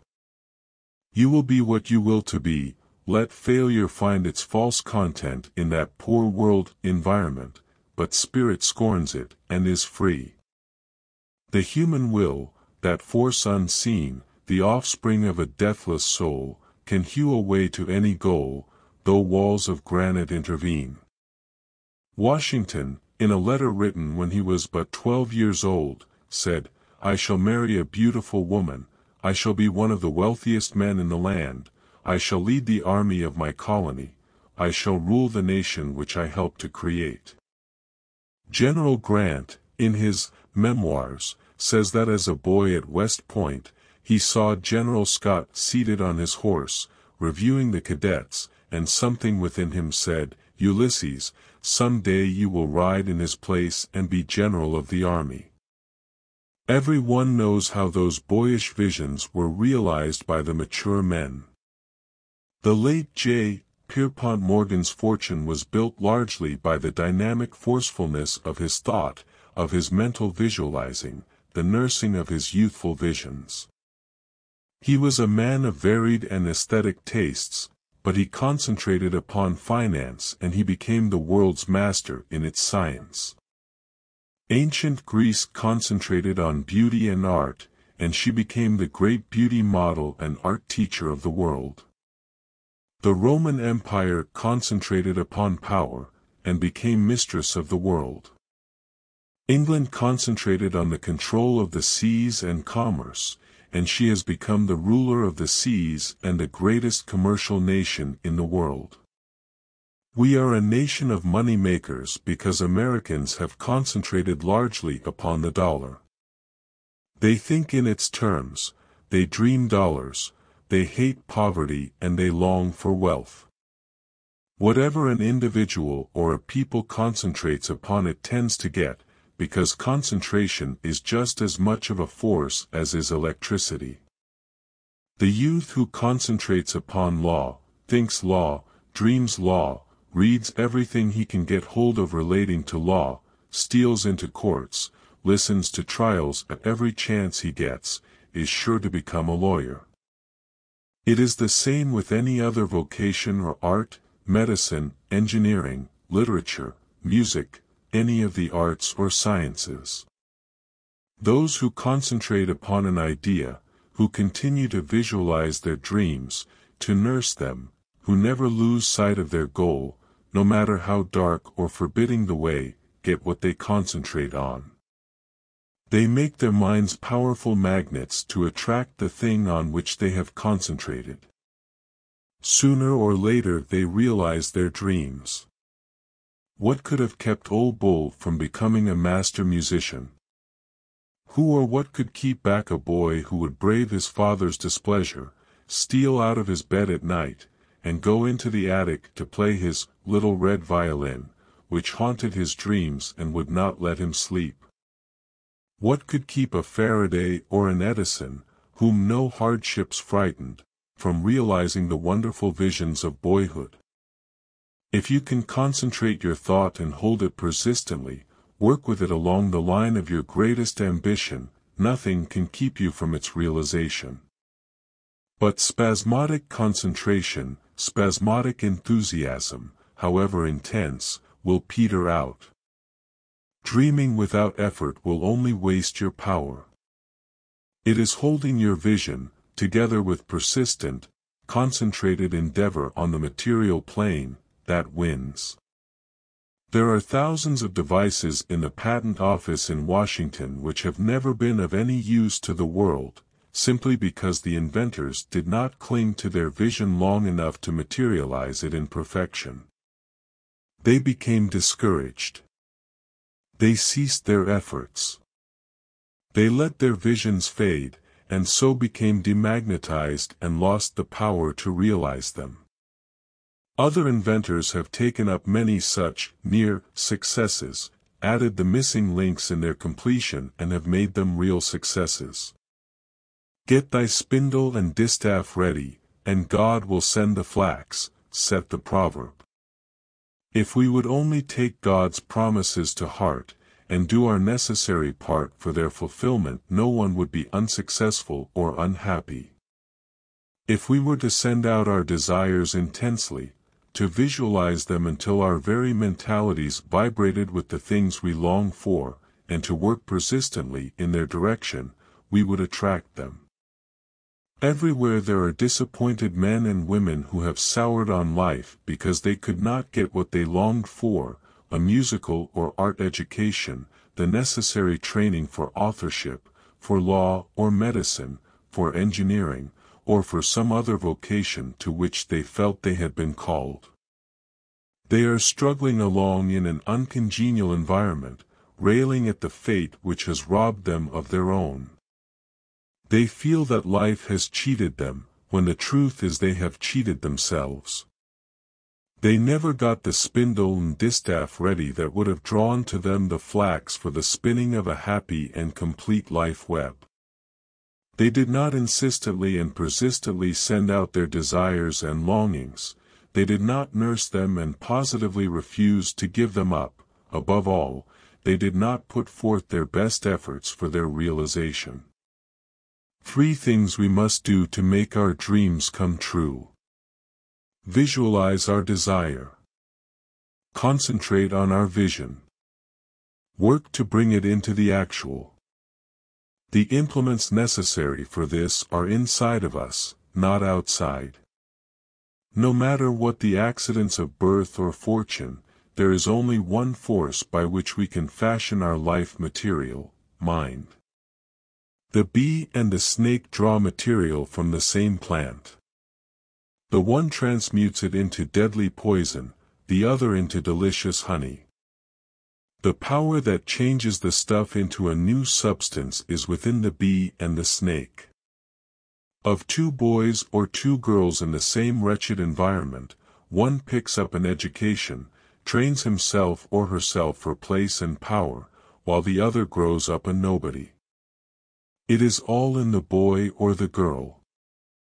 Each has similar material to work in. One transmutes it into gold, the other into lead. Two sailors force the same breeze to send their boats in opposite directions. It is not the wind, but the set of the sail that determines the port. The power that makes our desire, our vision, a reality is not in our environment or in any condition outside of us, it is within us. There is some unseen, unknown, magnetic force developed by a long-continued concentration of the mind upon a cherished desire that draws to itself the reality which matches the desire. We cannot tell just what this force is that brings the thing we long for out of the cosmic ether and objectifies it, shapes it to correspond with our longing. We only know that it exists. The cosmic ether everywhere surrounding us is full of undreamed of potencies and the strong, concentrated mind reaches out into this ether, this sea of intelligence, attracts to it its own, and objectifies the desire. All human achievements have been pulled out of the unseen by the brain, through the mind reaching out and fashioning the wealth of material at its disposal into the shapes which match the wishes, the desires, of the achievers. All the great discoveries, great inventions, great deeds that have lifted man up from his animal existence have been wrought out of the actual by the perpetual thinking of and visualizing these things by their authors. These grand characters clung to their vision, nursed it until they became mighty magnets that attracted out of the universal intelligence the realization of their dreams. Most revolutionary inventions have evolved from a flash of thought.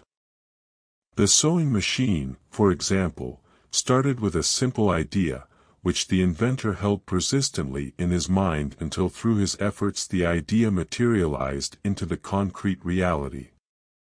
Elias Howe used to watch his wife making garments, sewing, sewing far into the night, and it set him thinking, questioning whether such drudgery was really necessary. As he watched her busy needle fly back and forth, he began to wonder if this same work which it took his wife so long to do could not be done with less labor and in half the time by some sort of mechanical contrivance. He kept nursing his idea, thinking what a splendid thing it would be if someone could relieve millions of women from this toil, which frequently had to be done at night after a day of hard work. He began to experiment with crude devices, clinging to his vision through poverty and the denunciation of friends, who thought the man must be crazy to spend his time on such a fool idea. But at last his vision materialized into a marvelous reality, a perfected machine which has emancipated the women of the world from infinite drudgery. The idea of the telephone was flashed into the mind of Professor Alexander Bell by the drawing of a string through a hole in the bottom of a tin can, by means of which he found that the voice could be transmitted. The idea took such complete possession of the inventor that it robbed him of sleep and, for a time, made him poor. But nothing could rob him of his vision or prevent him from struggling to work it out of the visionary stage into the actual. I lived near Professor Bell, in the next room, indeed, while he worked on his invention. I saw much of his struggle with poverty, heard the criticisms and denunciations of his friends, as he persisted in his visionary work until the telephone became a reality, a reality without which modern business could not be conducted. All of Edison's inventions, those of every inventor, have been wrought out on the same principle that gave us the sewing machine and the telephone. They all started in simple ideas, in dream visions which were nursed and worked into actualities. According to Darwin, the desire to ascend into the heavens preceded the appearance and development of the eagle's wings. It is said our different organs and functions have been developed from a sense of need of them, just as the wings of the eagle develop from a desire to fly. The brain cells grow in response to desire. Where there is no desire there is no growth. The brain develops most in the direction of the leading ambition, where the mental activities are the most pronounced. The desire for a musical career, for instance, develops the musical brain cells. Business ambition develops that part of the brain which has to do with business, the cells which are brought into action in executive management, in administering affairs, in money making. Wherever we make our demand upon the brain by desire that part responds in growth. For years a poor country boy builds air castles of his future. He visualizes the great mercantile establishment over which he is to preside. The ridicule of his family and of young companions cannot daunt him or blur the bright vision he sees away in the distance. He continues to nurse his vision, and behold, out of the unknown, unexpected resources come, and soon he finds himself an office boy in a great mercantile house in the city of his dreams. He watches everything with an eagle eye, he absorbs information and ideas, he is alert, active, energetic, resourceful, and in a few months he is promoted, and then again promoted. He attracts the attention of the head of the establishment, who calls him into his private office, tells him that he has had his eye on him for many months and that he believes he is the youth he has been looking for to manage the business. He gives him a little stock, the business prospers still further under his management, and in a few years the new manager is made a full partner in the house which he entered as an office boy. This is the flowering out of his dream, the objectifying of his vision, the matching with reality his youthful longings. His brain has been continually developing along the line of his vision, drawing to him the material to make it real. A poor girl, the daughter of humble people in Maine who thought that to become a public singer was an unforgivable sin, could not in the beginning see any possible way to realize the dreams she held in secret, but she kept visualizing her dream, nursing her desire and doing the only thing for its realization her parents would allow, singing in a little church choir.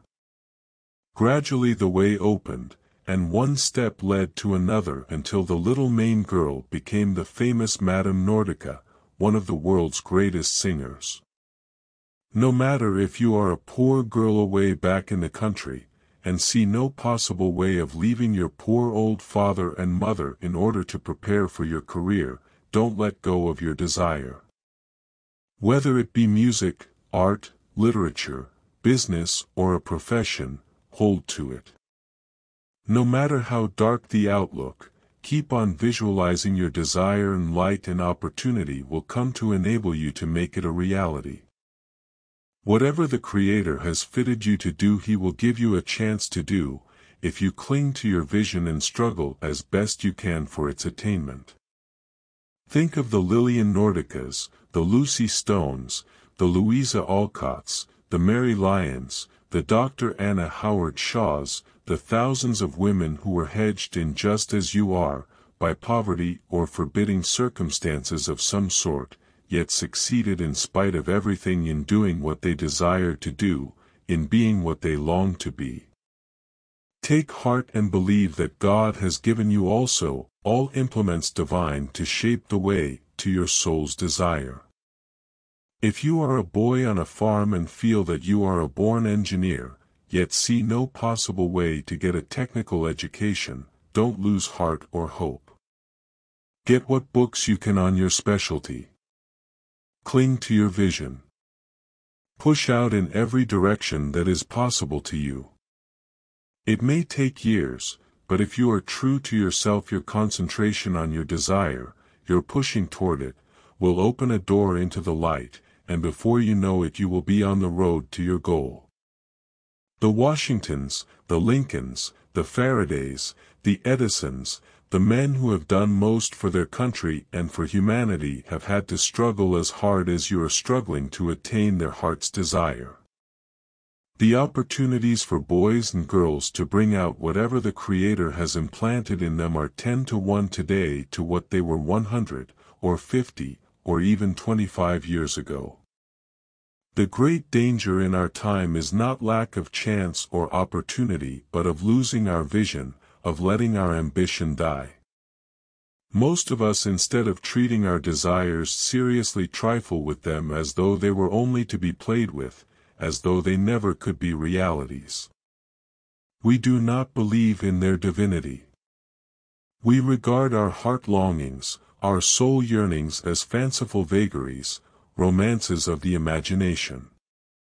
Yet we know that every invention, every discovery, or achievement that has blessed the world began in a desire, in a longing to produce or to do a certain thing, and that the persistent longing was accompanied by a struggle to make the mental picture a reality. It is difficult for us to grasp the fact that ambition, accompanied by effort, is actually a creative power which tends to realize itself. Our minds are like that of the doubting disciple, who would not believe that his Lord had risen until he had actually thrust his finger into the side which had been pierced by a cruel spear. Only the things that we see seem real to us when, as a matter of fact, the most real things in the world are the unseen. We never doubt the existence of the force that brings the bud out of the seed, the foliage and the flower out of the bud, the fruits, the vegetables from the flower. It is invisible. We cannot sense it, but we know that it is mightier than anything we see. No one can see or hear or feel gravitation, or the forces which balance the earth and whirl it with lightning speed through space, bringing it round its orbit without a variation of the tenth of a second in a century, yet who can doubt their reality? Does anyone question the mighty power of electricity because it cannot be seen or heard or smelled? The potency of our desires, of our soul longings, when backed by the effort to make them realities, is just as real as is that of any of the unseen forces in nature's great laboratory. The great cosmic ether is packed with invisible potentialities. Whatever comes out of it to you comes in response to your call. Everything you have accomplished in life has been a result of a psychic law which, consciously or unconsciously, you have obeyed. Do not make the mistake of thinking that the way will not open because you cannot now see any possible means of achieving that for which you long. The very intensity of your longing for a certain career, to do a certain thing, is the best evidence that you have the ability to match it, and that this ability was given you for a purpose, even to play a divine, a magnificent part in the great universal plan. The longing is merely the forerunner of achievement. It is the seed that will germinate if nurtured by effort. If, however, you stop at sowing the seed you will get just about as much harvest as a farmer would get if he should sow his seeds without preparing the soil, without fertilizing or cultivating it or keeping down the weeds. It is the blending of the practical with the ideal that brings the harvest from the seed thought. You must keep on struggling toward your ideal. No matter how black and forbidding the way ahead of you, just imagine you are carrying a lantern which will advance with you and give light enough for the next step. It is not necessary to see to the end of the road. All the light you need is for the next step. Faith in your vision and persistent endeavor will do the rest. There is no doubt that if we do our part, the divinity that has created us, given us an appointed place and a work in the plan of the universe, will bring things out better than we can plan or even imagine. Send out your wishes, cherish your desires, force out your yearnings, your heart longings with all the intensity and persistency you can muster, and you will be surprised to see how soon they will begin to attract their affinities, how they will grow and take tangible shape, and ultimately become actual things. Fling out your desires into the cosmic ether boldly, with the utmost confidence. Therein you will gather the material which shall build into reality the castle of your dreams. The trouble with us is that we are afraid to do this. We fear that fate will mock us, cast back to us our mental visions empty of fruition. We do not understand the laws governing our thought forces any more than we understand the laws governing the universe. If we had faith in their power, our earnest thoughts and efforts would germinate and bud and flower just as does the tiny seed we put into the earth. Think how the seed must be tended and nurtured before it will give forth the new life. See how the delicate bud has to be coaxed by the sun and air for many months before it pushes its head up through the tough sod to the light. Suppose it were afraid to make the attempt and should say, It is impossible for me to get out of this dark earth. There is no light here. I am so tender the slightest pressure will break me and stop my growth forever. The only way out of my prison is to push up through this tough sod, and it would take a tremendous force to do that. I would be crushed, strangled, before I got halfway through. But the sun beckons, coaxes, encourages. The bud is moved into attempting the impossible, and behold, in a few days it rears its tender head above what it considered the great enemy of its progress. The dark sod, the very thing which it thought was going to make its future impossible, becomes its support and strength. The very struggle to get up through the soil has strengthened its fiber and fitted it to cope with the elements above, with the storms it must meet. Just like this tender plant, you may be hemmed in by seemingly insurmountable obstacles, you may not see a ray of light through the sod of hard, forbidding circumstances, but hold your vision and keep pushing. In your struggle you will develop strength, you will find sunshine and air, growth and life. You may be shut in by an uncongenial occupation and tempted to lose heart and give up your dreams because you can see no way to better yourself. This is just the time to cling to them, and to insist that they shall come true. Without knowing it you may be just in the middle of the sod, and if you keep pushing where you are, in season and out of season, you will come to the sunlight and the air, to freedom. There is no human being who doesn't have some sort of a chance. If your present position cramps you, if it does not give you room to express yourself, you can make room by filling it to overflowing, by doing your work as well as it can be done, by keeping your mind steadfastly fixed on the ladder of your ascent. In your mind you make the stairs by which you ascend or descend. Nobody else can do it for you. The master key which will unlock that cruel door that keeps you back is not in the hand of fate. You are fashioning it by your thoughts. Your next step is right where you are, in the thing you are doing today. The door to something better is always in the duty of the moment. The spirit in which you do your work, the energy which you throw into it, the determination with which you back up your ambition, these, no matter what opposes, are the forces that unlock the door to something better. If you hold to your vision and are honest, earnest and true, there is nothing that can stand in the way of its realization. I have never known a person who was dead in earnest in his efforts to gain his heart's desire who has not finally reached his goal. No great, insistent, persistent, honest longing backed by downright hard, conscientious work ever comes back empty-handed. Desire is at the bottom of every achievement. We are the product of our desires.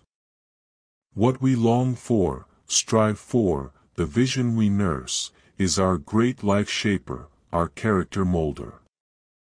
Very few can realize the close coordination which exists between their visions, their mind pictures, and the actual accomplishments of their career.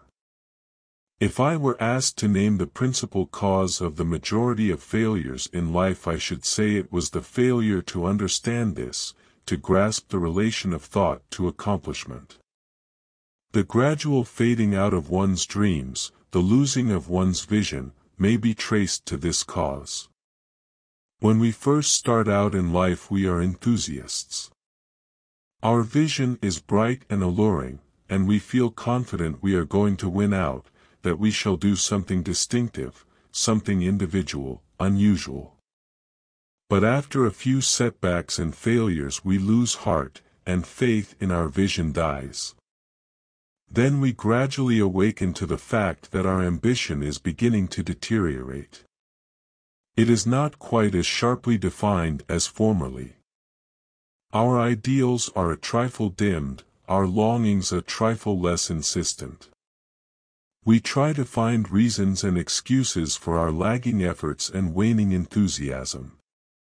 We think it may be due to overwork, because we are tired and need a rest, or because our health is not quite up to standard, and that by and by our former intense desire to realize our dreams will return. But the whole process is so insidious that before we realize it our fires, for lack of fuel, are quite burned out. Our grip on our vision was not strong enough. We did not half understand its mighty power, when firmly and persistently kept in mind, to help us to our goal. What we get out of life depends very largely on fidelity to our visions. If we believe in them we will not let them die for lack of nursing. If we really have ability to match them, and are not self-deceived by egotism, petty vanity and conceit, no misfortunes, no failure of plans, no discouragements, no obstacles, nothing in the world can separate us from them. We will cling to them to our dying day. The man who believes in his life vision, who is not a mere egotist or idle dreamer, who sees in his desire a prophecy of something which he is perfectly able to make come true, he is the man who has ever made the world move. He flings his life into his effort to match his vision with its reality. The world stands aside for such a one, for one who believes in his vision, who consecrates himself without reserve to its fulfillment. People know there is something back of the dreamer who has such faith in his life dream that he will sacrifice everything to make it come true. How much of a grip has your vision on you? Does it clutch you with a force that nothing but death can relax, or does it hold you so lightly that you are easily separated from it, discouraged from trying to make it real? Constant discouragements are a great temptation to abandon one's life dreams, to drop one's standards.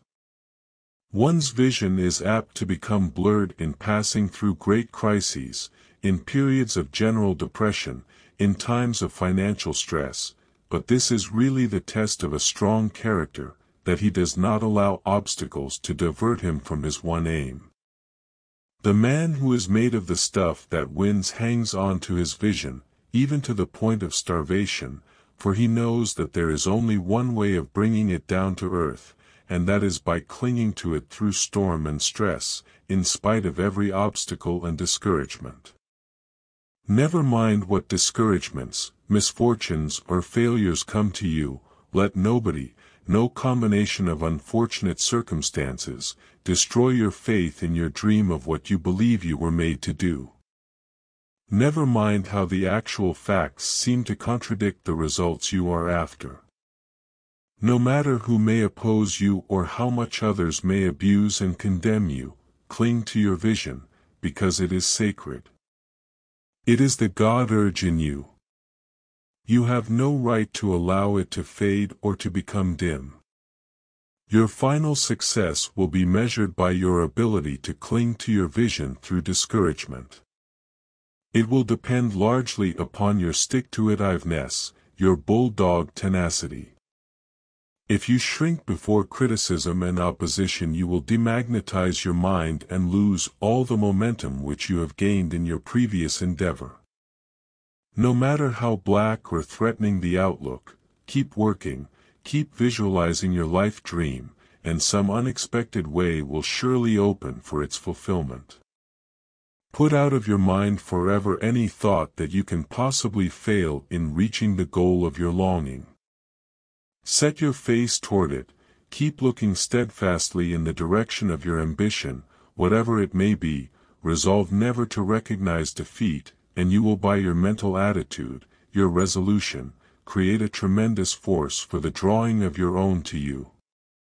If you have the grit and stamina to stick, to persevere to the end, if you persistently maintain the victorious attitude toward your vision victory will crown your efforts. Chapter 5 A New Rosary There is a great significance in that passage in St. Mark, all the things whatsoever ye pray and ask for believe ye have received them and ye have. We are bidden to believe that what we wish has already been fulfilled, that if we take this attitude we shall obtain our desire. The benefit we derive from prayer is the harmonizing poising, balancing of our own mind, putting ourselves into closer communion into a more vital connection with the divine mind, through which we receive a larger supply of our Father's blessings. Prayer is the opening up of the pinched supply pipes of the mind which shut out the divine inflow, it is the letting into our lives greater abundance from the unlimited supply which continually flows from the source of all sources. Mary, said a young girl to a Catholic friend, why do you carry that rosary everywhere, and what possible good does it do you to count those beads over and over? Oh, answered Mary, I never could make you understand what a comfort this rosary is to me. When I am tired out, or blue or discouraged about anything, or when I long very much for something that it seems impossible I should ever get, I take my rosary and begin to pray. Before I have gone over half of its beads, everything is changed. The tired, discouraged feeling is gone, or if I have been asking for something I long to have, it doesn't seem nearly so far away as before, and I know that if I don't get just what I ask for, I'll get something better. Those who are too narrow-minded or too prejudiced to see anything good in a creed which is not their own, often sneer at the Catholic custom of saying the rosary. To them it is only superstition, nonsense, to repeat the same prayer over and over. These people do not understand the philosophy as well as the religion underlying this beautiful old custom. They do not know the power that inheres in the repetition of the spoken word, and in the influence of the thought expressed. Anyone can prove this for himself or herself. It isn't necessary to get a rosary made of beads. You can make your own, an intangible but very real rosary, and if you say it over, not once, or twice a day, but over and over many times, and especially before retiring at night, you will be surprised at the wonderful results. Is it a fault you wish to correct? Is it a talent or gift you desire to develop and improve? Is it money, or friends, an education, success in any enterprise? Is it contentment, peace of mind, happiness, power to serve, power in your work, whatever it is you desire, make it a bead in your rosary, pray for its accomplishment, think of it, work for its fulfillment and your desire will materialize. There are many ways of praying. All our prayers are not vocalized petitions to the Almighty. They are also our inspirations, the aspirations of the soul to be and to do. Desire is prayer. The sincerest prayer may be the longing of the heart to cultivate a talent or talents, or the intense desire to get an education so that one may be of greater service in the world. That which we dream of and struggle to attain, our efforts to make good, these are genuine prayers. When Jane Addams, as a little girl, longed for the power to lift up other little girls and make them happy, when she dreamed of a time when she should be grown up and doing a great work in the service of humanity, she was praying. She was even then laying the foundations of Hull House, and the Hull House of today is an answered prayer. Her whole life from childhood up was a prayer, because it was a preparation for a great and noble work. When the child, Frances Willard, longed and dreamed in her remote Wisconsin home, she was praying and building as surely as in her later years when she was the moving power of the great organization she had brought into being. I always wanted to react on the world about me to my utmost ounce of power, she said in telling of her early life and aspirations. Lying on the prairie grass and lifting my hand toward the sky, I used to say in my inmost spirit, What is it? What is the aim to be, O God? Such noble heart yearnings are, in the truest sense, prayers. The uttered prayer clothed in beautiful language, that which is delivered in the pulpit to be heard of men, may not be a real prayer at all. The collective prayer of the congregation may be a mockery. I have often been in churches where people were repeating prayers automatically, while looking all about the auditorium watching other people, mentally occupied, while their lips moved in a so-called prayer, in noticing what they wore and how they looked. There is no real praying in such a performance as this. It is not soul expression, not heart talking. It is mere parrot talking. All mechanical mumbling of prayers in our church services is an insult to the Creator, who does not hear prayers which do not come from the heart. Prayer is the heart's sincere desire. What we long for and hope for we pray for by our very longing and hope. The real prayer may be struggling in the heart without words, it may be a noble desire, a heart longing which no language can express. It may be voiceless or it may not, but the true prayer always comes from the heart, and it is always answered. A remarkable illustration of this is afforded in a story told by John Wesley. He was once riding through a dark wood, carrying with him a large sum of money entrusted to his safe keeping. All at once a sense of fear came over him, and dismounting from his horse, he offered up a prayer for protection. Years afterward Wesley was called to see a dying man. This man told the preacher that at the time he had passed through the wood, so many years before, he, the robber, had been lying in wait to rob him of the money he carried. He told Wesley that he had noticed him dismounting and how, on his remounting and resuming his journey, the appearance of an armed attendant riding beside him had so filled him with awe and a great fear that he had abandoned his purpose. Balzac said truly, when we are enabled to pray without weariness, with love, with certainty, with intelligence, we will find ourselves in instant accord with power, and like a mighty roaring wind, like a thunderbolt, our will will cut its way through all things and share the power of God. Everybody prays, because everybody hopes and desires, has longings and yearnings which he hopes will be realized. In a sense the atheist, the agnostic, the unbeliever, although they may not know it, pray just as much as do believers, for every longing of the heart, every noble aspiration, is a prayer. We pray as naturally as we breathe, for the desire for a better, nobler life, for grander and higher attainment, is an unconscious prayer. Prayer is really our heart hunger for oneness with the divine, with the eternal. It is the union of the soul with its maker. It is literally what Phillips Brooks described it to be, the sluice gate between God and the soul. Many people mistake the very nature of prayer, and complain that it is no use to pray, because their prayers are never answered. The reason is clear, and is admirably expressed in Irving Bacheller's pithy verses on faith. Now, don't expect too much O God, it wouldn't be quite fair if fair anything ye wanted ye could only swap a prayer, I'd pray fair yours, and you fair mine, and Deacon Henry Hosper he wouldn't hev a thing t do but lay abed and prosper. If all things come so easy, Bill, they'd hev but little worth, and someone with a gift o' prayer you'd meb on the earth. It's the toil ye give t get a thing, the sweat and blood and care, that makes the kind o argument that ought to back your prayer.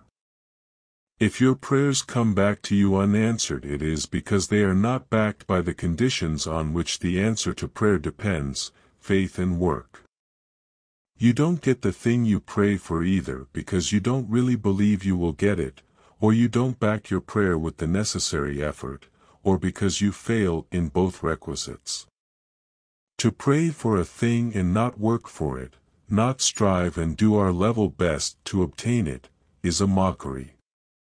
To ask God to give us that which we long for, but are too lazy to help get ourselves, is begging.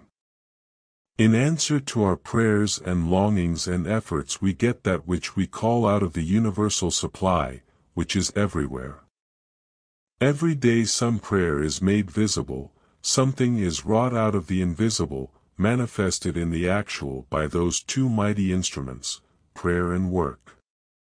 But if you think your stumbling block will be removed, or your desire realized without raising a finger to help yourself, you may pray until doomsday without ever getting an answer. Prayer without faith is of no avail. And faith without work is a barren virtue. In the second stanza of a little poem entitled God's Answer, Ella Wheeler Wilcox gives us the answer to the plaint of the discouraged, unsuccessful soul, who cries that his prayers are not heard, and that no hand is stretched out to lead him to the heights he would attain. Then answered God, Three things I gave to thee, clear brain, brave will and strength of mind and heart, all implements divine to shape the way, why shift the burden of the toil on me? Till to the utmost he has done his part with all his might, let no man dare to pray. The answer to your prayers is right inside of yourself. They are answered by your obeying the natural as well as the spiritual law of all supply.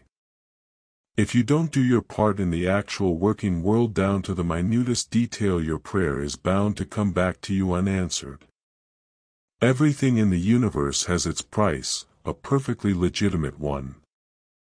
You can realize what you desire if you are willing to pay the price, and that is honest, earnest, persistent effort to make it yours.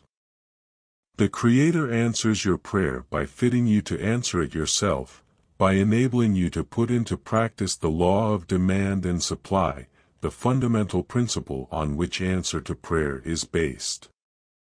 You must put yourself in absolute harmony with the thing you pray for. It cannot be forced. You must attract it. Answer to prayer comes only to a receptive mind in a positive condition, that is, in a condition to create, to achieve. The law of affirmation and the law of prayer are one and the same. Affirm that which you wish, work for it, and it will be manifest in your life. Affirm it confidently, with the utmost faith, without any doubt of what you affirm. Say to yourself, I am that which I think I am, and I can be nothing else. But if you affirm, I am health, I am prosperity, I am this or that, and do not believe it, you will not be helped by affirmation. You must believe what you affirm, you must constantly strive to be what you assert you are, or your affirmations are but idle breath. Make yourself a new thought rosary, not of set formal prayers, but an original one whose beads shall be your heart's aspirations, your desires to evolve the strong, radiant, successful happy man or woman the Creator has involved in you. If you are unhappy, crushed by repeated failures and disappointment, suffering the pangs of thwarted ambition, put this bead in your rosary and say it over to yourself frequently, the being God made was never intended for this sort of life. Mary, or John, addressing yourself by name, God made you for success, not failure. He never made anyone to be a failure. You are perverting the great object of your existence by giving way to discouragement, going about among your fellows with a long, sad, dejected face, as though you were a misfit, as though there were no place for you in this great glad world of abundance. You were made to express gladness, to go through life with a victorious attitude, like a conqueror. The image of God is in you, you must bring it out and exhibit it to the world. Don't disgrace your Maker by violating his image, by being anything but the magnificent man or woman he intended you to be. Back up every bead or prayer you put in your rosary by action during the day, otherwise you might as well save yourself the trouble of stringing your beads, for it's the toil ye give t get a thing, the sweat and blood and care, that makes the kind o argument that ought to back your prayer. Don't be afraid of thinking too highly of yourself, not in the egotistical sense, but because, the Creator having made you in His image, you must have inherited divine qualities, omnipotent possibilities. It is an insult to God to depreciate what He has made and has pronounced good. If you are a victim of timidity and self-depreciation, afraid to say your soul is your own, if you creep about the world as though you thought you were taking up room which belonged to somebody else, if you shrink from responsibility, from everything which draws attention to yourself, if you are bashful, timid, confused, tongue-tied, when you ought to assert yourself, turn to your rosary and add another bead. Say to yourself, I am a child of the King of Kings. I will no longer suffer this cowardly timidity to rule me, a prince of heaven. I am made by the same Creator who has made all other human beings. They are my brothers and sisters. There is no more reason why I should be afraid to express what I feel or think before them than if they were in my own family. I have just as much right on this earth as any potentate, as much right to hold up my head and assert myself as any monarch. I am my father's heir, and have all the rights of a prince. I have inherited the wealth of the universe. The earth and the stars and the sun are mine. I will quit this everlasting self-depreciation, this self-effacement, this cringing habit of forever appearing to apologize for being alive. It is a crime against my Maker and myself. Henceforth I shall carry myself like a prince. I will act like one, and will walk the earth as a conqueror. I will let no opportunity pass today for assuming any responsibility which will enlarge me, for expressing my opinion, for asserting myself whenever and wherever necessary. This spectre, this shadow of self-depreciation which has held me back so long, which has darkened my path in life must go, for I shall walk henceforth with my face toward the sun so that the shadows of life will fall behind me, and not across my path as before. I am going to face life with a self-respecting, victorious attitude, with a hopeful outlook, for I know that I am victory organized. Hereafter I am going to think more of myself. I am not going to put myself on the bargain counter any longer by going around as though I had a skim milk opinion of myself. No more of the poorhouse attitude of inferiority for me. I know that I was born for victory, born to conquer. I am going to win out in this great inspiring game of life. If you feel that you lack initiative, if you are not a self-starter, boldly assert the opposite and add the assertion to your rosary. Stoutly affirm your ability to begin things, to do them as well as they can be done, and to push them through to a complete finish. Learn to trust the God in you. This trust is a divine force which will carry you through. Never again allow yourself to harbor thoughts of your inferiority or deficiency. Say to yourself, I am going to assert my manhood or womanhood and stand for something. I am going to be a force in the world and not a weakling. I was made to make my life a masterpiece and not a botch, I was created for a great end, and I am going to realize that end. There are forces inside of me which if aroused and put into action would revolutionize my life, and I am going to get control of them, to use them. I am going to find myself and use a hundred percent instead of a miserable little fraction of my ability. If you are obsessed with the idea that you are not as bright, that you have not as much ability as most other people, if you have been called dull, dense, stupid by your parents and teachers, until you have lost confidence in yourself, if you have been dwarfed by the suggestion of inferiority, either through what others have said of you, or the thought you have held of yourself, you must change all this.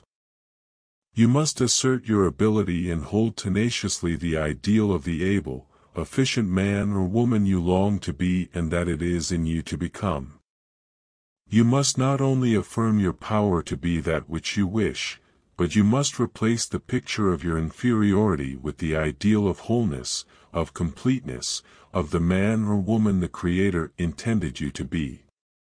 Cling to this ideal of yourself, assert your superiority, and you will soon drive out the dwarfed, inferior, defective image which others, or your own false thoughts, have established in your subconsciousness. Holding the truth, the perfect ideal, in mind will give you confidence, assurance to do the thing you are capable of doing. Thousands of students have failed to pass examinations not because of inability to answer test questions, but because of fear, loss of self-confidence engendered by the blighting suggestion of inferiority. This is especially true of high-strung, sensitive natures.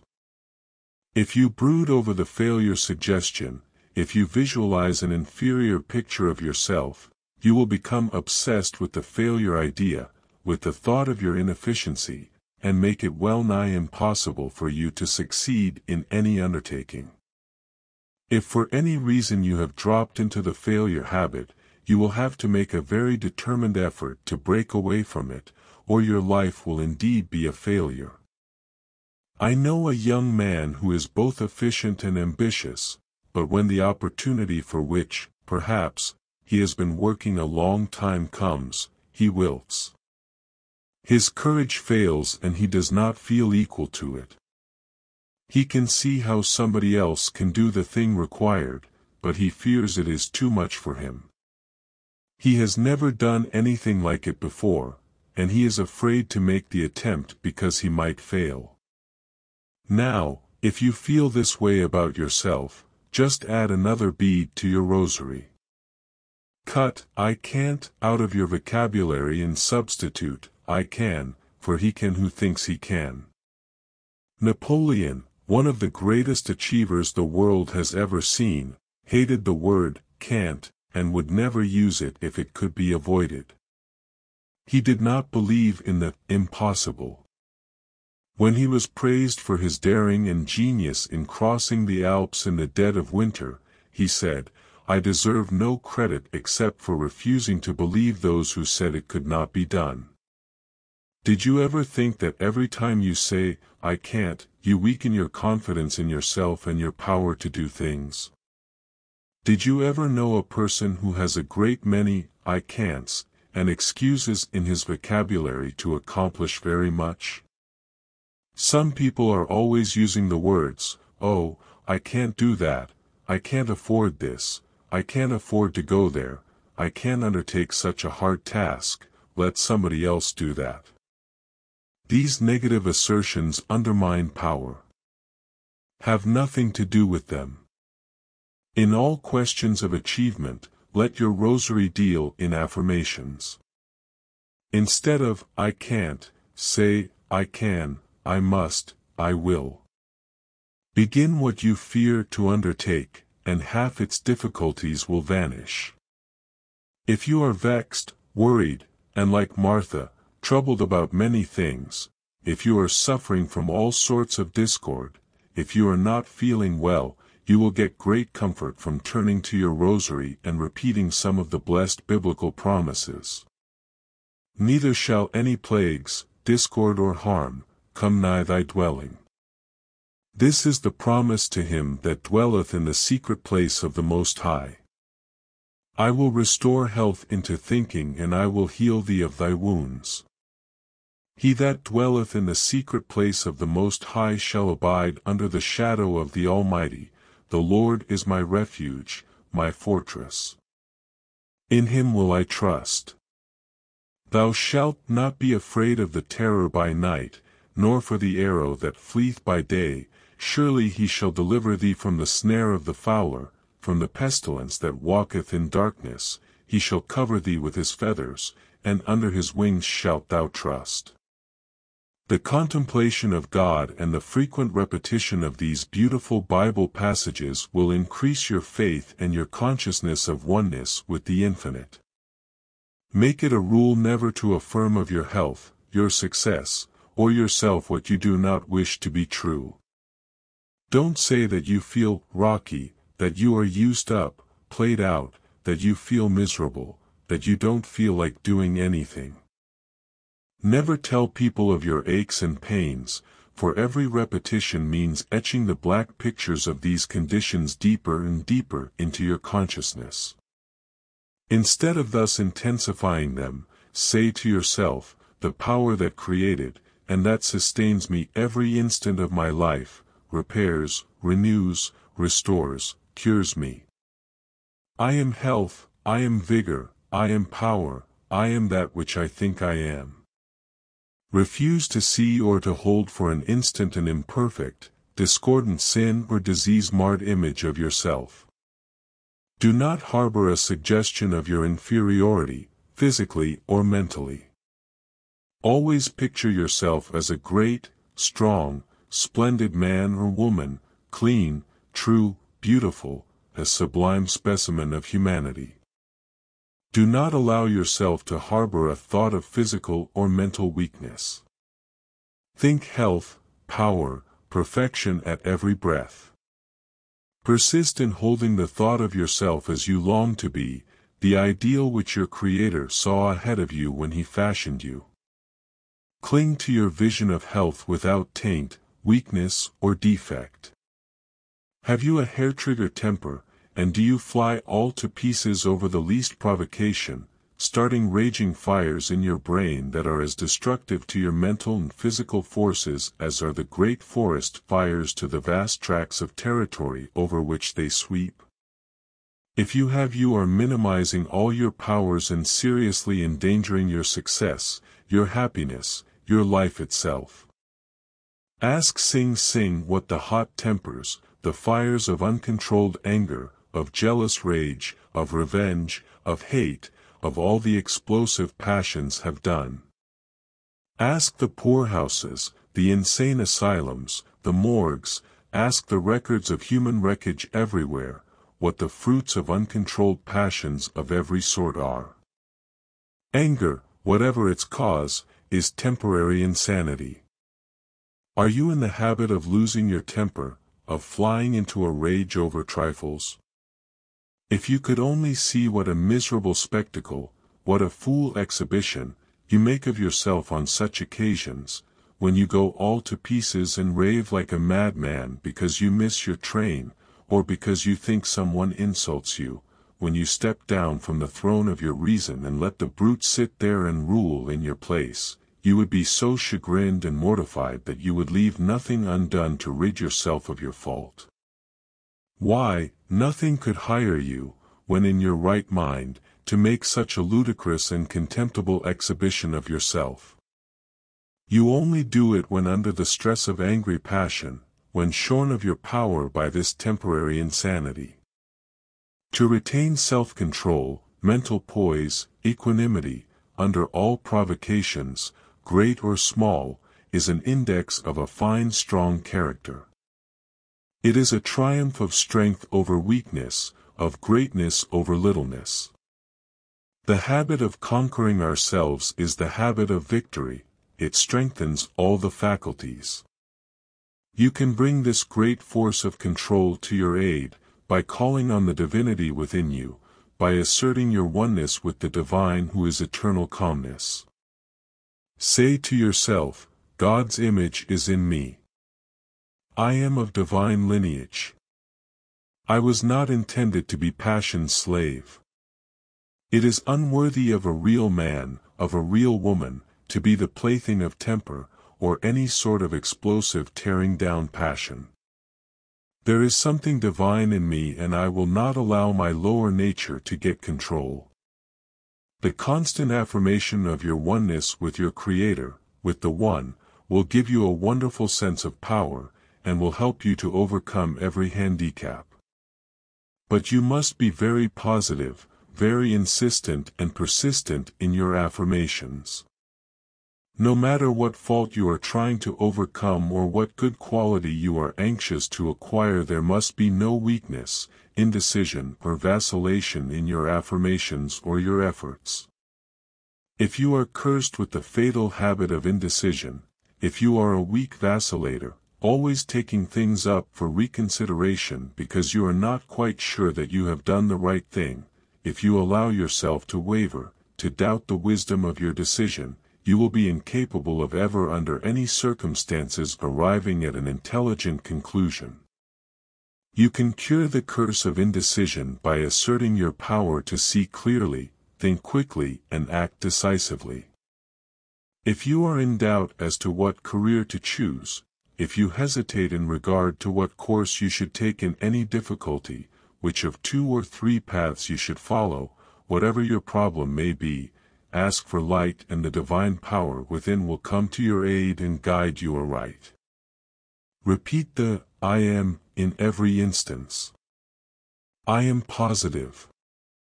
I can decide vigorously, firmly, finally.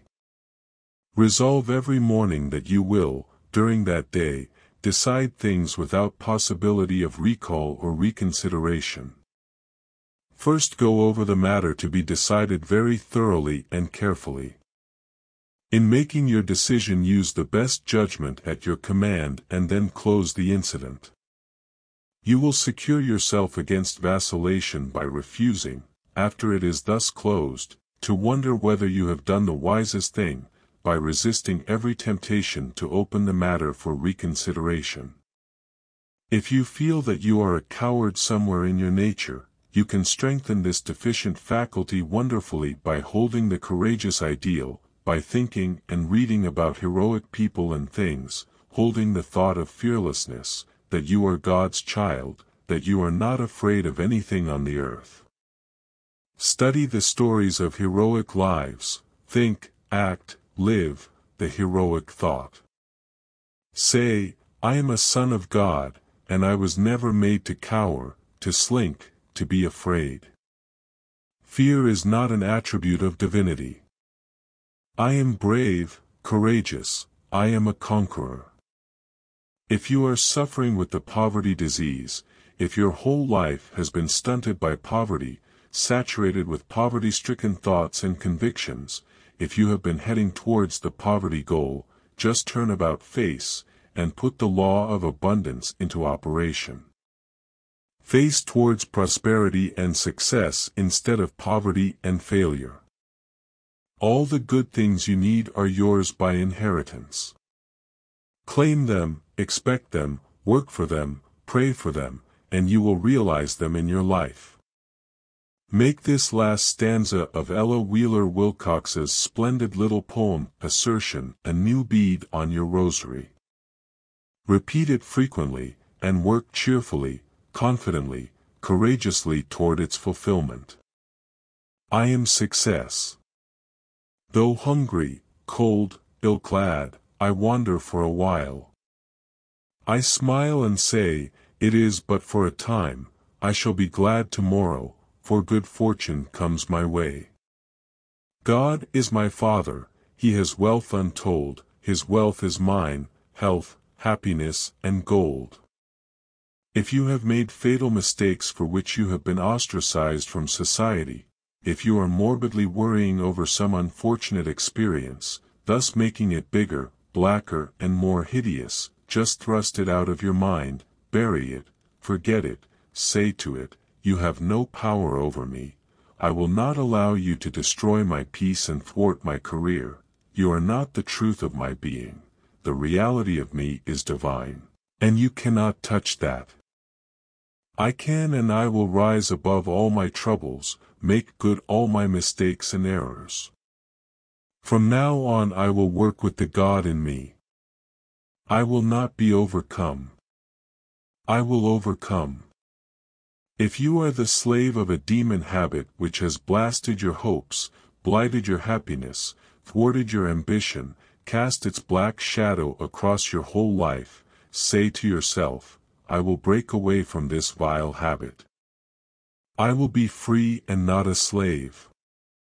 If it is impurity, say, I was not made to be dominated by such a monstrous vice. God's image in me was not intended to wallow in this filth. I have suffered long enough from this damnable habit, which is undermining my health, killing my chances of success in life, and lowering me below the level of the beast. I am a child of the infinite, sent here to make a worthy contribution to humanity, to make good. I am going to make good. I am going to free myself from this base habit and recover my self-respect, my manhood, at any cost. I am going to be a man, not a thing, a son of God, not of the devil. Continually flood your mind with purity thoughts and affirmations which will neutralize your sensual desires. Repeat again and again your determination not to allow your life to be spoiled by unrestrained passion. Make such an emphatic and vigorous call upon your better self, make the demand so appealing that your higher nature will be aroused and will dominate your acts. Say, the Creator has bidden me look up, not down. He made me to climb, not to descend and wallow in the mire of animalism. If it is drink, opium, excessive smoking, or any other vicious habit that is robbing you of manhood and holding you back in life, string this bead on your rosary, I was not made to be dominated by you, a mere weed, an extract of grain, a habit which I forged. I am done with you once and forever. The appetite for you is destroyed. There is something divine within me which makes me perfectly able to overcome you. You are a vile thing, and have disgraced me for the last time.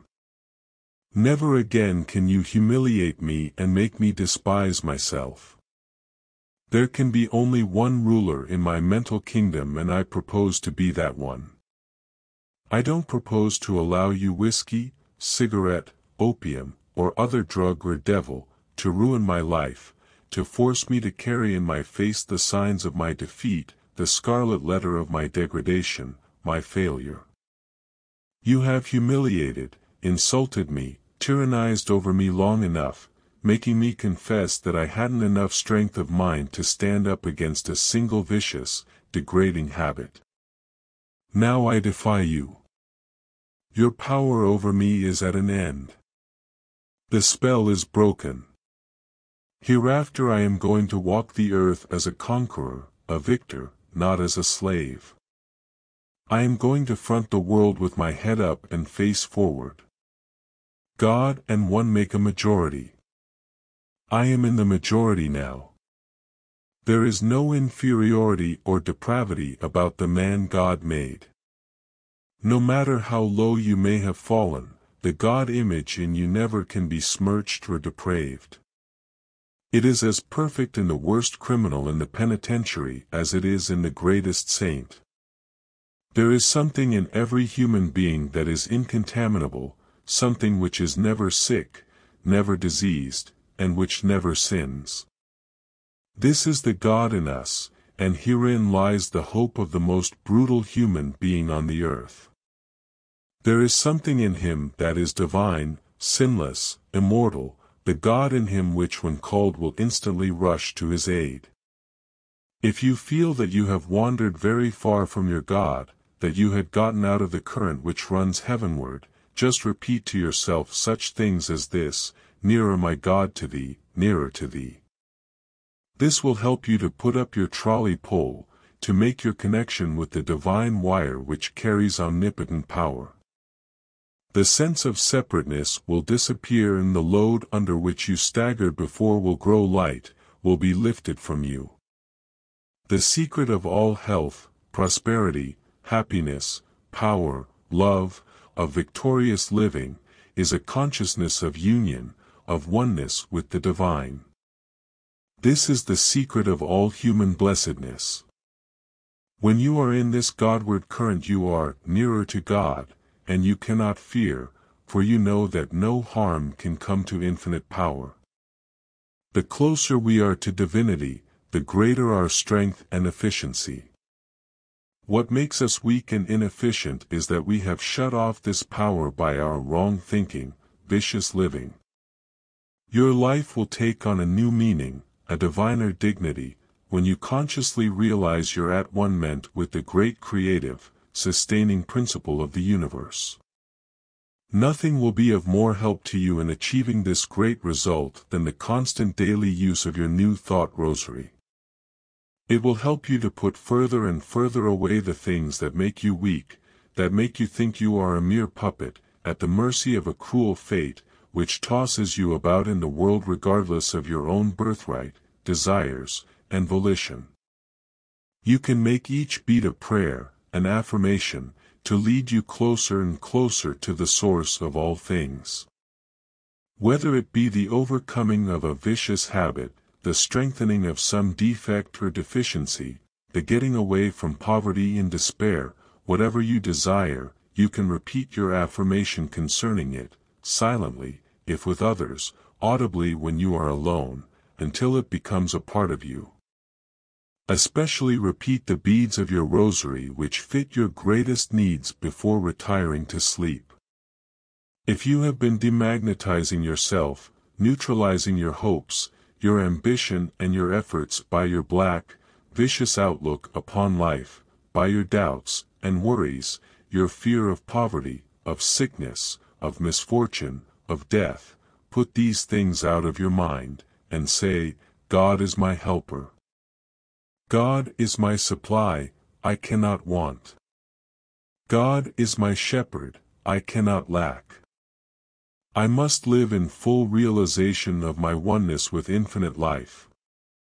Each one of us is a part of the living God and we are powerful, victorious, and happy just in proportion as we realize our oneness with Him, and weak, abject and miserable just in the degree we separate ourselves from Him, the All-Source, the All-Supply. Chapter 6 Attracting the Poorhouse As long as you hold the poorhouse thought you are heading toward the poorhouse. A pinched, stingy thought means a pinched, stingy reply. No matter how hard one may work, if he constantly holds the poverty ideal, the poorhouse thought in his mind, he is driving away the very thing he is pursuing. The man who sows failure thoughts, poverty thoughts, can no more reap success, prosperity harvests, than a farmer can get a wheat crop from sowing thistles. Poverty is a mental disease. Someone has said that no one ever went to the poorhouse who did not attract the poorhouse by his poorhouse mental attitude. Observation and long study of the question have convinced me that, as a rule, people who make miserable failures of their lives expected to do so. They had such a horror of the poorhouse, they lived in such terror of coming to want, that they shut off the very source of their supply. They had so warped their minds that they could see nothing ahead but poverty. They wasted the precious energy which might have been utilized in happiness and prosperity building, in expecting, dreading, preparing for the dire things that might come upon them, and, according to the law, they got what they dreaded and feared. Thinking war, talking war, anticipating it, getting ready for it, in other words, preparedness for war, the perpetual war suggestion, was largely responsible for the outbreak of the greatest war in history. If all the nations involved had talked peace, thought peace, expected it, prepared for it, there would have been peace, not war. So long as people talk poverty, think poverty, expect it, get ready for it, they will have poverty. Preparedness for poverty, expecting it, attracts it, confirms poverty conditions. We are constantly drawing to ourselves that which we expect. If you are sending out a perpetual poverty thought current, a doubt current, a discouragement current, no matter how hard you may be working in the opposite direction, you will never get away from the current you set in motion. The sort of thought current you generate will flow back to you. Everywhere we see people trying hard to get on, struggling early and late to better their condition, and yet never expecting, or even hoping to be prosperous. They do not believe they are going to get what they are working for, and they do not.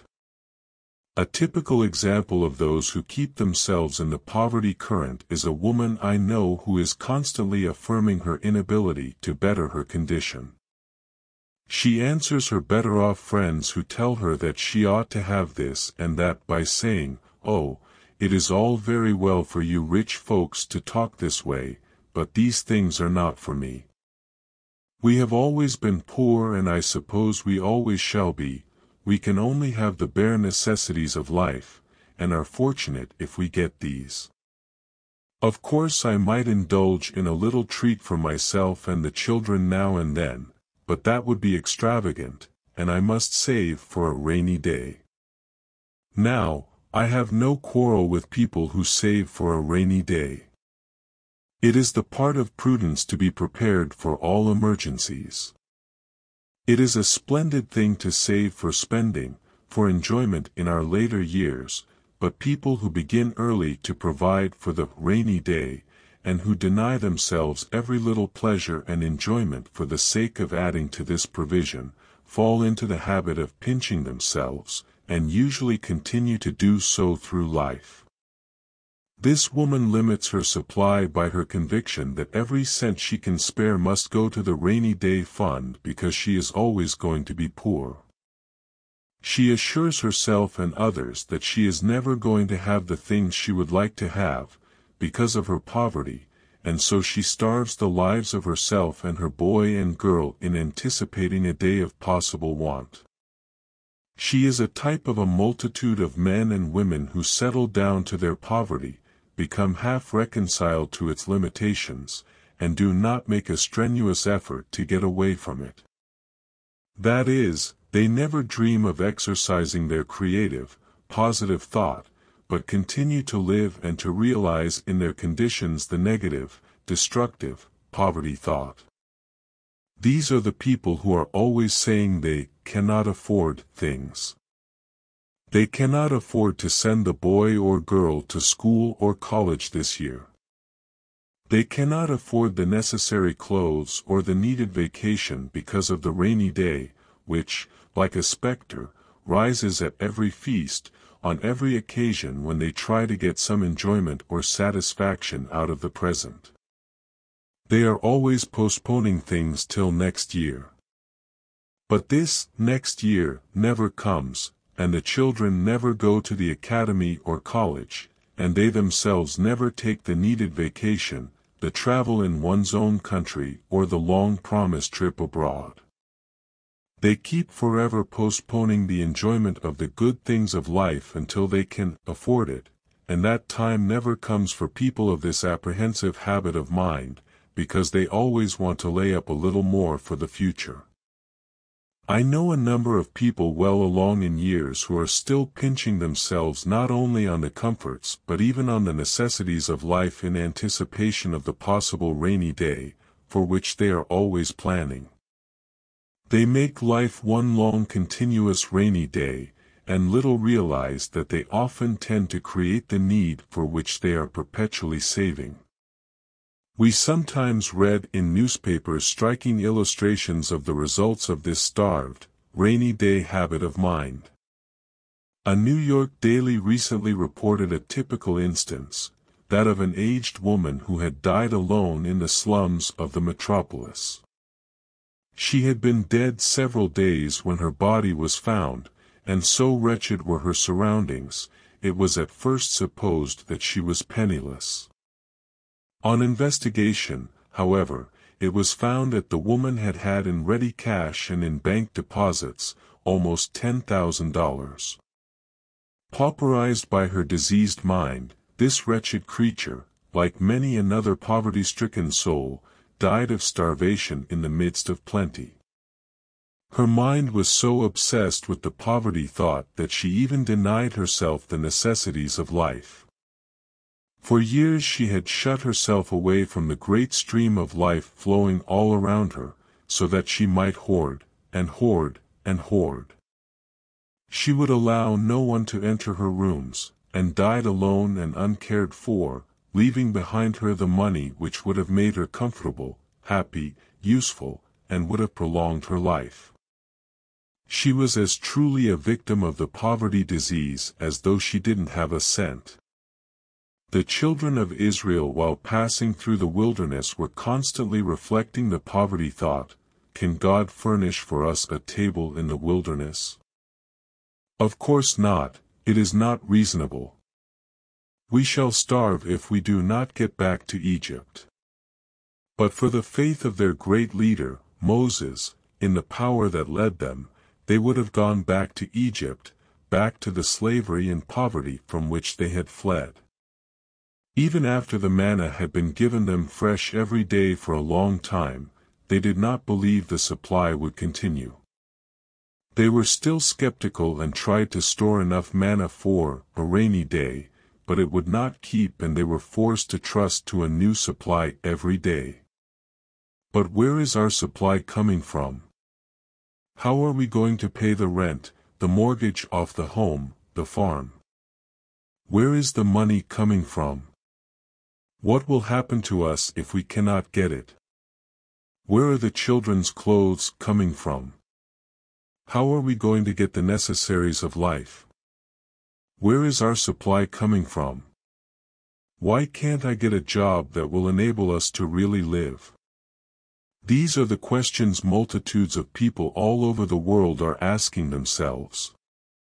They express the acuteness of the suffering from the poverty disease, so apparent in every civilized country. Nothing else gives human beings so much anxiety, Nothing else is such a perpetual irritant as this fear of what is coming in the future, this dread of poverty, of not being able to provide for the necessities and the comforts of those dear to us, the fear of not being able to maintain ourselves and to rear our children in comfort and respectability. It demagnetizes us, drives away the things we want and draws to us those we dread. Job said, the thing I greatly feared has come upon me, that which I was afraid of has come to me. People who have an abnormal fear of poverty attract the very condition they dread and are trying to get away from, because the mind relates with whatever it dwells on. Our doubts and hatreds and fears, the thing we relate with, we attract. Whatever you allow your mind to dwell on, you are unconsciously creating. If you think continually of misfortunes, of poverty, if you fear you are going to fail in your work, that you may come to want, if you are always thinking about the possibility of your business declining, if you fear you are losing your grip on your trade or profession, you are aggravating your trouble and making it worse and worse. There are multitudes of people who never expect even to be comfortable, to say nothing of having luxuries. They expect poverty, hard times, and do not understand that this very expectancy increases their magnetic power to attract what they do not want. Not long ago a young man who was greatly depressed because he could not get on in the world, asked me what I thought the trouble was. He said he had always worked hard, but did not seem to make any headway. About all he could do was to earn a bare living.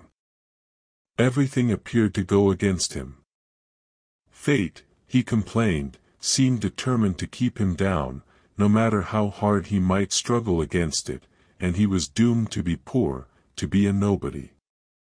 He believed that hard luck, poverty and failure were family traits, for his father and grandfather, he said, were hard workers too, but they could never get on, never get away from poverty, and he didn't expect he ever would either. Another, an older man, who sought my advice in a similar difficulty, lamented the fearful inequality of human conditions, and railed against his luck and the injustice of fate.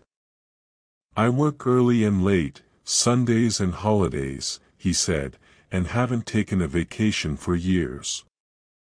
I have been struggling and striving and pushing to make my way in the world since I was a boy, and here I am past fifty and have never succeeded in anything yet. Now there is something wrong somewhere in society when such persistence and such constant efforts do not enable one to get anywhere, or to rise to any position worthwhile. I asked him about his early training and education. He acknowledged that he had not made much of a preparation for his life work, because, he said, his father also had been a tremendous worker, had always tried hard to better his condition but like himself had never succeeded, and so he had come to the conclusion that success was not in the family, and that it was no use to spend years in preparing for a career, for there was no chance that very much would come to him anyway. These two are types of people who are constantly heading toward poverty and failure in their minds, and then complaining when they have got what they invited. By the law of mental attraction they could not get anything but poverty and failure. Each had desired success and prosperity but had always expected the opposite. He had slaved and toiled in an aimless sort of way, belittling himself and his talents, with the inner belief that it was all he was good for anyway, and that if success by any chance ever came his way it would be a stroke of luck, and not because it was his due by inherent right. No man can become prosperous as long as he holds in his mind the picture of limitation, of lack and want.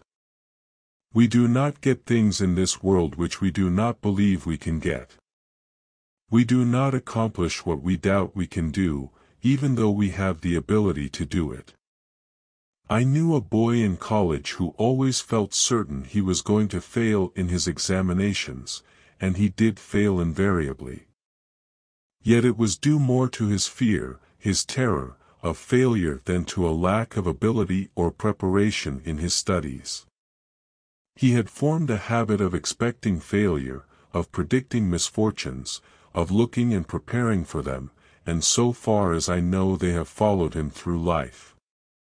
In every community, in every occupation and profession, there are able, conscientious men and women who try very hard, so far as their actual labor is concerned, to get on in the world, but who don't expect to get on. It is pitiful to see them toiling day after day, but always facing in the wrong direction. They are working for success in their vocations, working for a competence for themselves and their families, but all the time expecting failure, anticipating poverty, living in an atmosphere of mental penury. There is no law of philosophy by which you can possibly produce just the opposite of what you are holding in your mind, what you are concentrating on.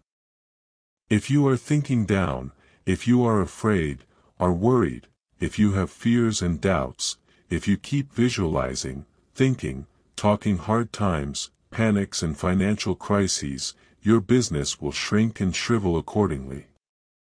If, on the other hand, you have confidence, expectation of better things, if you are convinced that conditions are going to improve, you set in motion a thought current that will back your efforts with an irresistible force. But a thought current saturated with the fear of failure, with doubts and discouragement will neutralize your most strenuous efforts. Instead of starting on their active careers with the victorious attitude, with the idea that their careers are to be a triumphal march, many, if not the majority of youths, begin with the impression that they are not victory organized. This is because they have lived in a failure atmosphere, and have absorbed the poverty idea. They have been reared with the fear of failure in their minds, a dread of poverty, a terror of coming to want. Write it in your heart that a beneficent Creator, who planned a universe full of good things for our use and enjoyment, never meant that we should starve or be miserable. If we are unsuccessful, unhappy, it is because of our attitude toward God and life. Most of us assume the position of beggars instead of that of children of an all-powerful Father, and we remain beggars to the end. One of the worst things about being very poor is the danger of becoming reconciled to penury, expecting it, holding the conviction that we shall always be poor, that there is no help for it. The habit of thinking we must remain poor because we are so is a paralyzing habit. Whatever we have accustomed ourselves to for any length of time tends to become a fixed mode of life. Multitudes of people have become so accustomed to their poverty environment, so used to taking it for granted that they are going to remain poor, that they do not take the necessary steps to get away from poverty and they do not even know that the first step must be a mental one. Instead of this they are all the time affirming their poverty, getting more and more deeply embedded in the poverty condition by their poverty thoughts and convictions. The early years of multitudes of children are saturated with the poverty suggestion. They breathe a poverty atmosphere. They hear poverty talk perpetually. They acquire a poverty vocabulary. Their fathers and mothers are always talking poverty, bemoaning their hard conditions, complaining that they were born poor, and must die poor. Children reared in such a mental environment get a sort of poverty habit from which it is very difficult to get away. The facing toward poverty and despair, heading toward hopelessness and failure, is the worst thing about poverty. The fixity of their conviction that they cannot get away from poverty, their resignation to it, their firm belief that they can never rise into prosperity, these are the most distressing things about the very poor.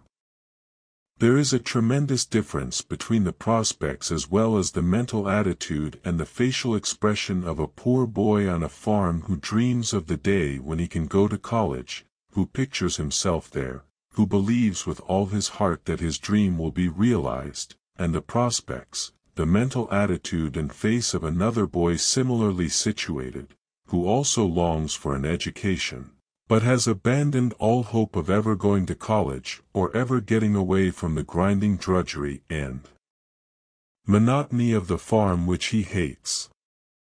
We must change our thought before we can change our conditions. The thought always leads in any achievement. It would be as impossible for the great mass of poor people to improve their position materially while holding their present mental attitude, the persistent belief that they are always going to be poor, and that they never can do what others have done to get out of their rut, as it would be for the boy who longs to go to college, but who has made up his mind that it is impossible, to get a higher education. While they think that all others are lucky and they are unlucky, while they continue talking about their hard fate and thinking that the rich are getting all the good things of the world and that they are getting only the dregs and never will get anything else, why, of course they will never get anything else. Most poor people have about the same attitude toward poverty that those who are constantly ailing have toward health. Habitual invalids never expect to be really well. They are always anticipating the development of some disease, looking for the symptoms, imagining that they are going to have this or that physical disability or disease.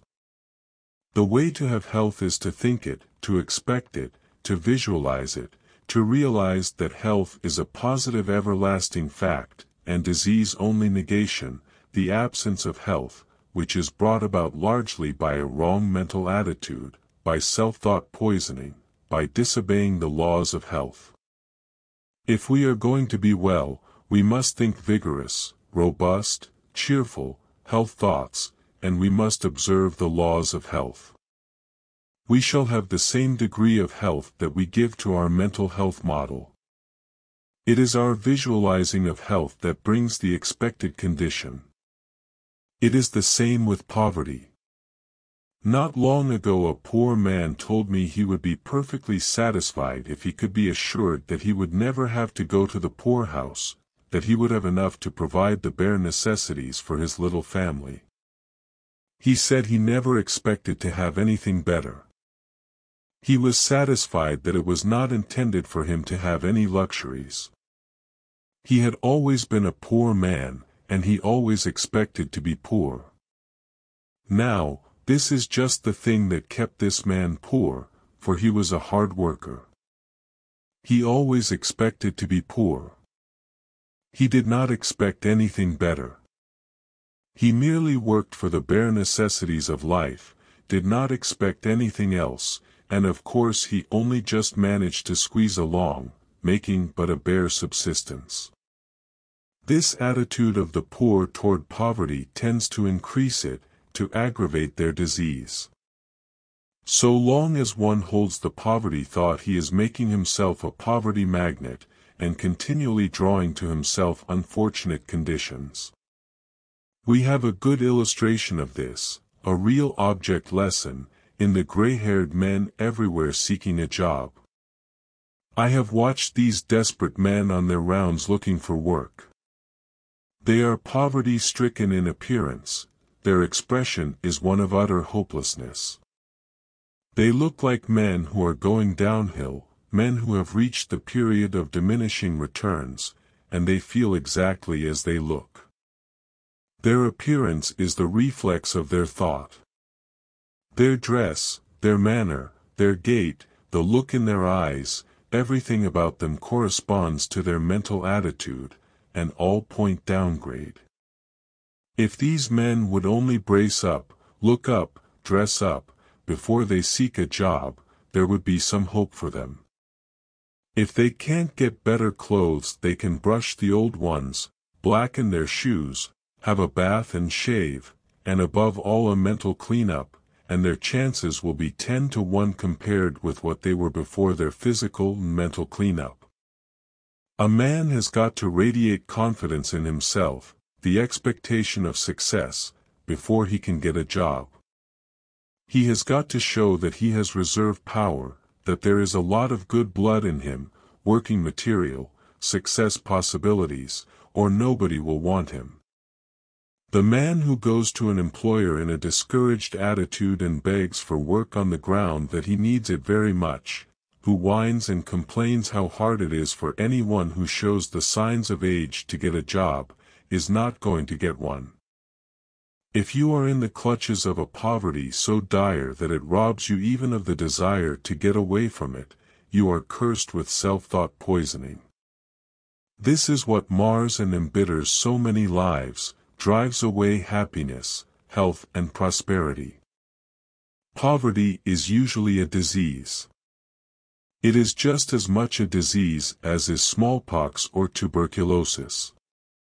It is just as abnormal to the human being as any disease of the flesh. So is failure. Fear, worry, anxiety, these are all mental diseases, from which few human beings seem to escape.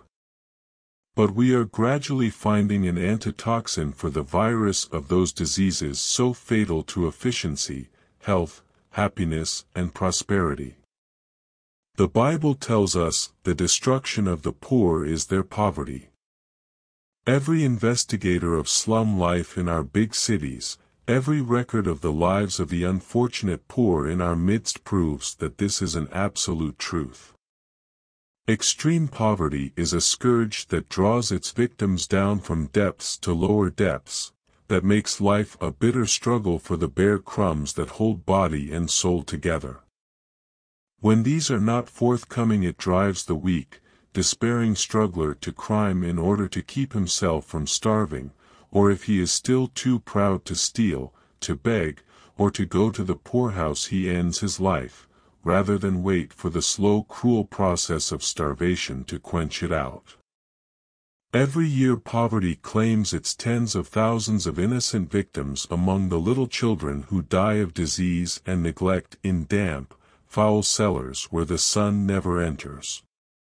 It sweeps them into mills and factories where, robbed of the rights of childhood, they become warped and twisted men and women, full of bitterness, discontent, unrest and unsatisfied ambitions and longings.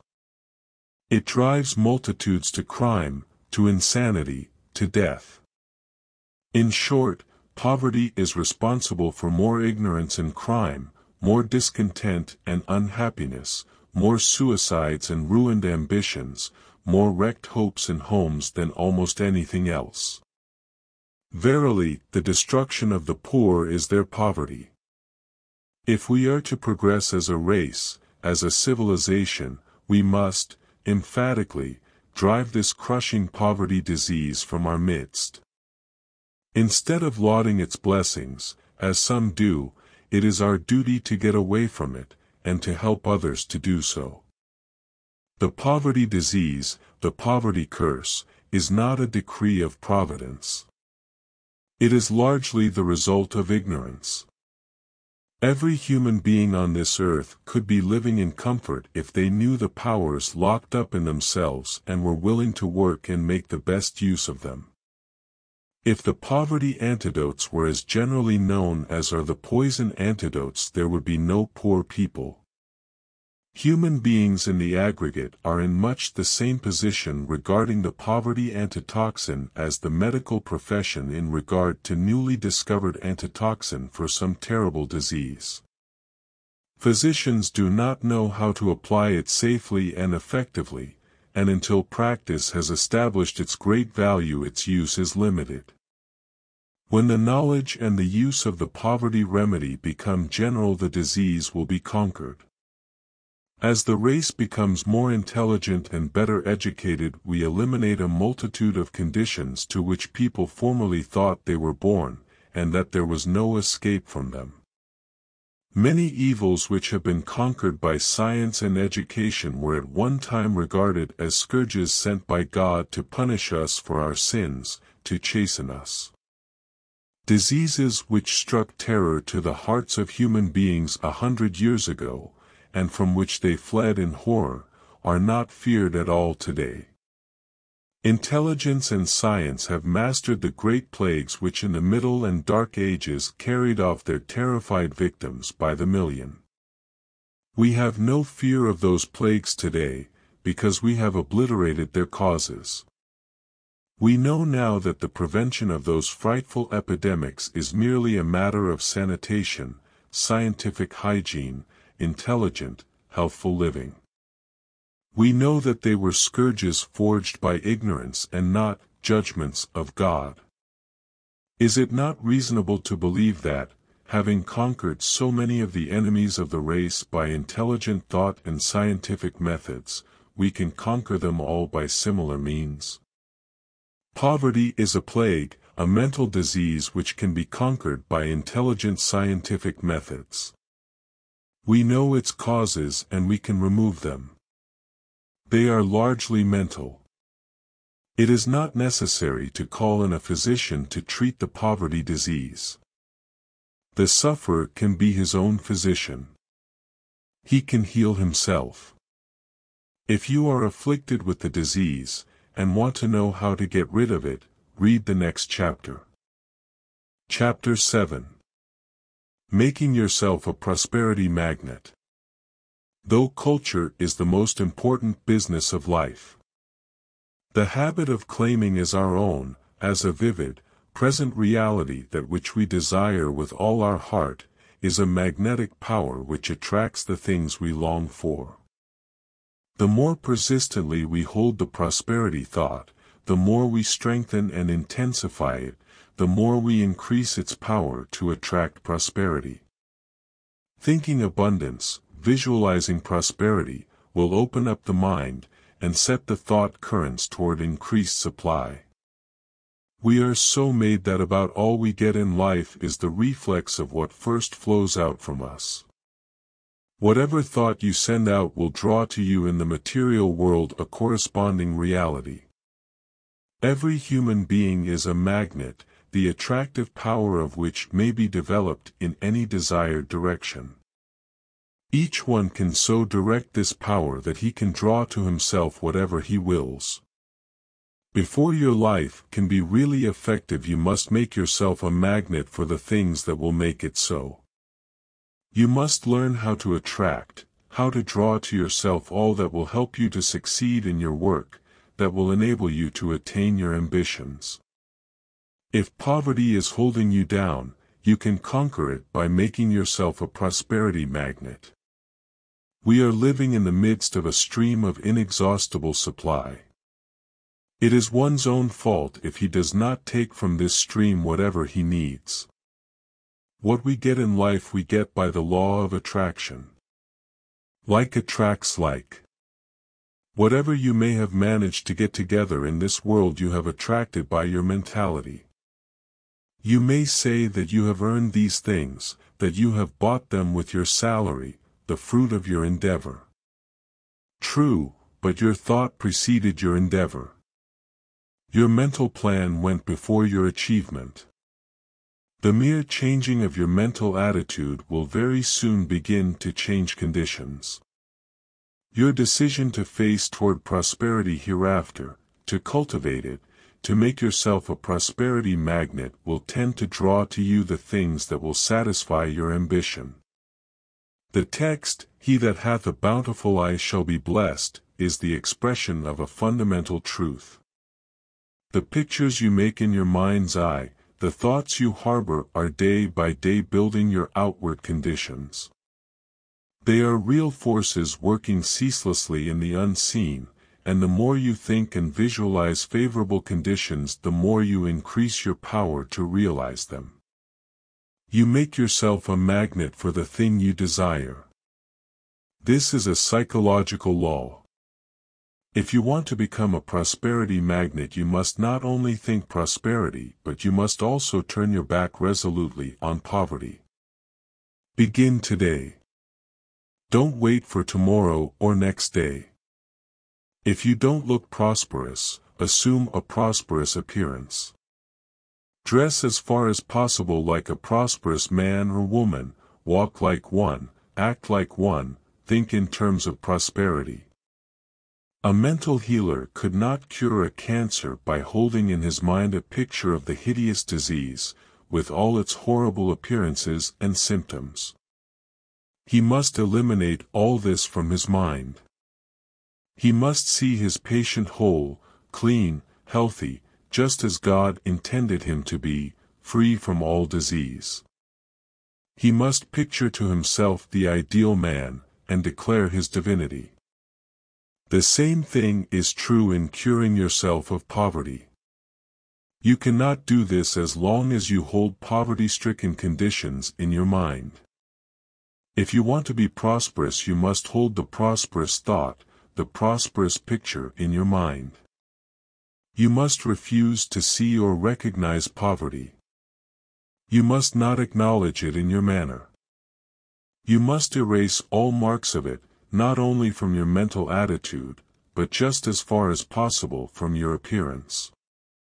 Even if you are not able to wear fine clothes at first, or to live in a fine house, you can radiate the hope and expectancy of the glorious inheritance which is your birthright, and everything about you will reflect this light.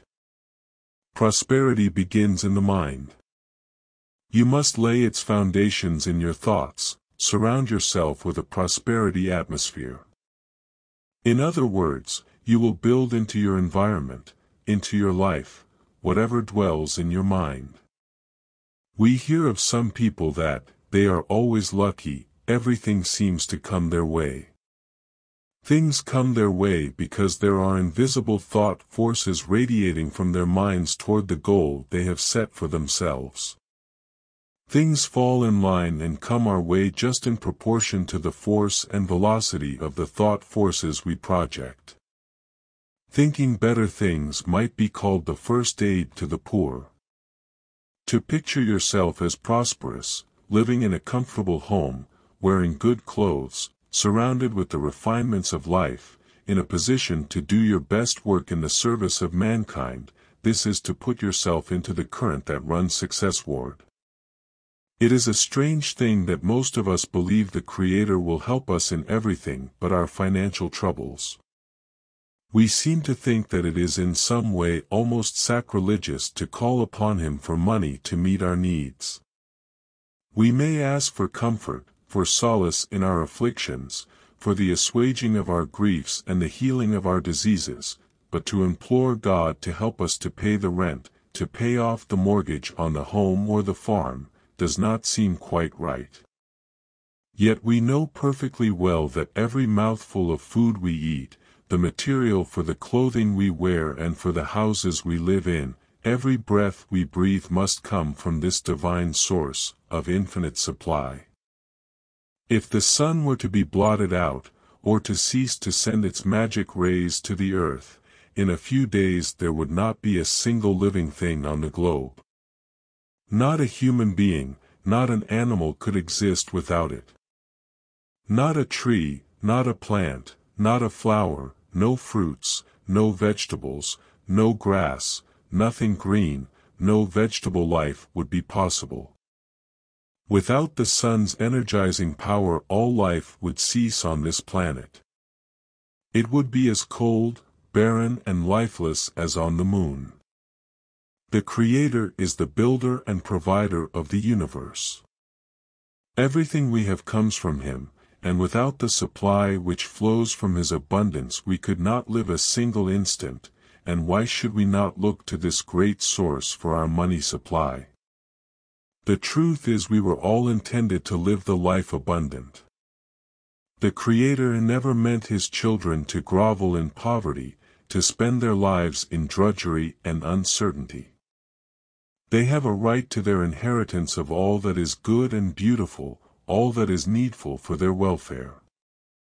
We were not intended to live the pinched, starved, stunted lives of paupers.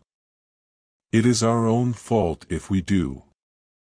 The door to opulence is open to every human being born into this world, and no one but himself can close that door.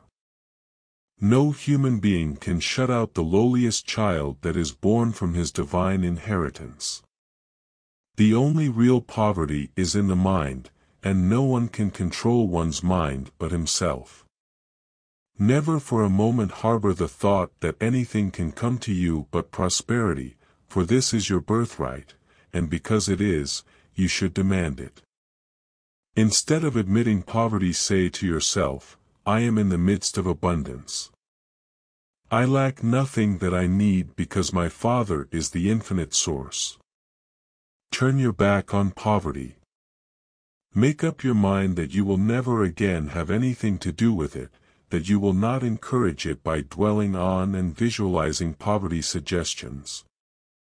Face toward prosperity. Think of, and plan for prosperous conditions, struggle toward prosperity with all your might and you will draw it to you. Suppose you are poor and live in a humble home, just have a talk with your wife and children, and make up your minds that you will all focus on your objective, improve conditions, that you will face the other way, toward prosperity instead of poverty. Say to yourself, it is a shame for God's children to exhibit such a pauperized appearance. It is a reflection on my Father Mother God to go about among my fellows looking as though everything had gone wrong with me, as though I were disappointed with life. This is ungrateful. I can at least show gratitude for health, for the privilege of living in God's pure air and sunlight by holding up my head and walking erectly, joyously, as his child should. I am really insulting the Creator, to whom I pray, by reflecting such despair and degrading poverty in my mental attitude, thus erasing the divine image from my face. No matter how little I have, I can at least appear respectable. I can show that I respect myself by doing away as far as possible with the depressing appearance and influence of poverty. Tidy up your little home and make it as neat and cheerful as possible. Do the same with your dress and general appearance. Keep yourself better groomed, look up, brace up, brush up, struggle up. Surround yourself with an atmosphere of hopefulness and show everybody by the new light in your eyes, the light of hope and expectancy of better things, that there is a change in you. Your neighbors will notice it. They will see a change in your home, in your wife, in your children. The change in the mental attitude of yourself and family, through facing toward the light instead of darkness, toward hope instead of despair, will make a tremendous change in your whole outlook on life. In this way you are making yourself a prosperity magnet, you are radiating thought waves of hope, of ambition, of determination.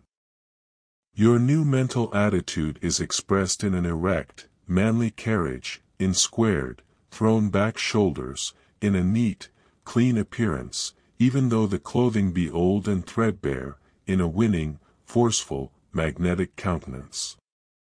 You are thus establishing the conditions of success. The positive prosperity thought flows out like a wireless current and connects itself with similar thought currents. Hold the prosperity conviction, work steadily toward your object, see opportunity and success in your vista, determine to be somebody, hold firmly to the resolve, and your mentality will direct the invisible magnet of your personality to lift you higher and higher, to attract toward you others who will help you in the direction in which you are moving. If you want a better position, more salary, money to pay off debts, or to get what you need, whatever it may be, cling with all the power of your mind to the thing you are trying to get, and never for a moment doubt you will get it. You do not inherit poverty, squalor. Lack and want have nothing whatever to do with God's children. Your inheritance is divine, grand, sublime. Poverty is a mental disease, and you carry the antidote to its poison in your mind. You owe it to the one who has given you life, health, who has given you brains to make something of yourself, to improve your situation. As long as you keep yourself saturated with the poverty conviction you cannot rise out of poverty. You must think yourself out of it. The Lord is my shepherd, and I cannot want. Hold that thought firmly and steadfastly in your mind. Believe it. Live up to it. Abundance will never flow through pinched, doubting, poverty thoughts any more than clear, crystal water can flow freely through foul, grease-clogged pipes. A right viewpoint must be your mental plumber to keep the connection open and free. Things of a kind attract one another. The poverty thought attracts more poverty, the fear thought more fear, the worry thought more worry, the anxiety thought more anxiety. On the other hand, the faith thought, trust thought, and the confidence thought attract things like themselves. Poverty is a disease that can only be cured by prosperity remedies. The prosperity thought is the natural antidote for the poverty germ. It kills it.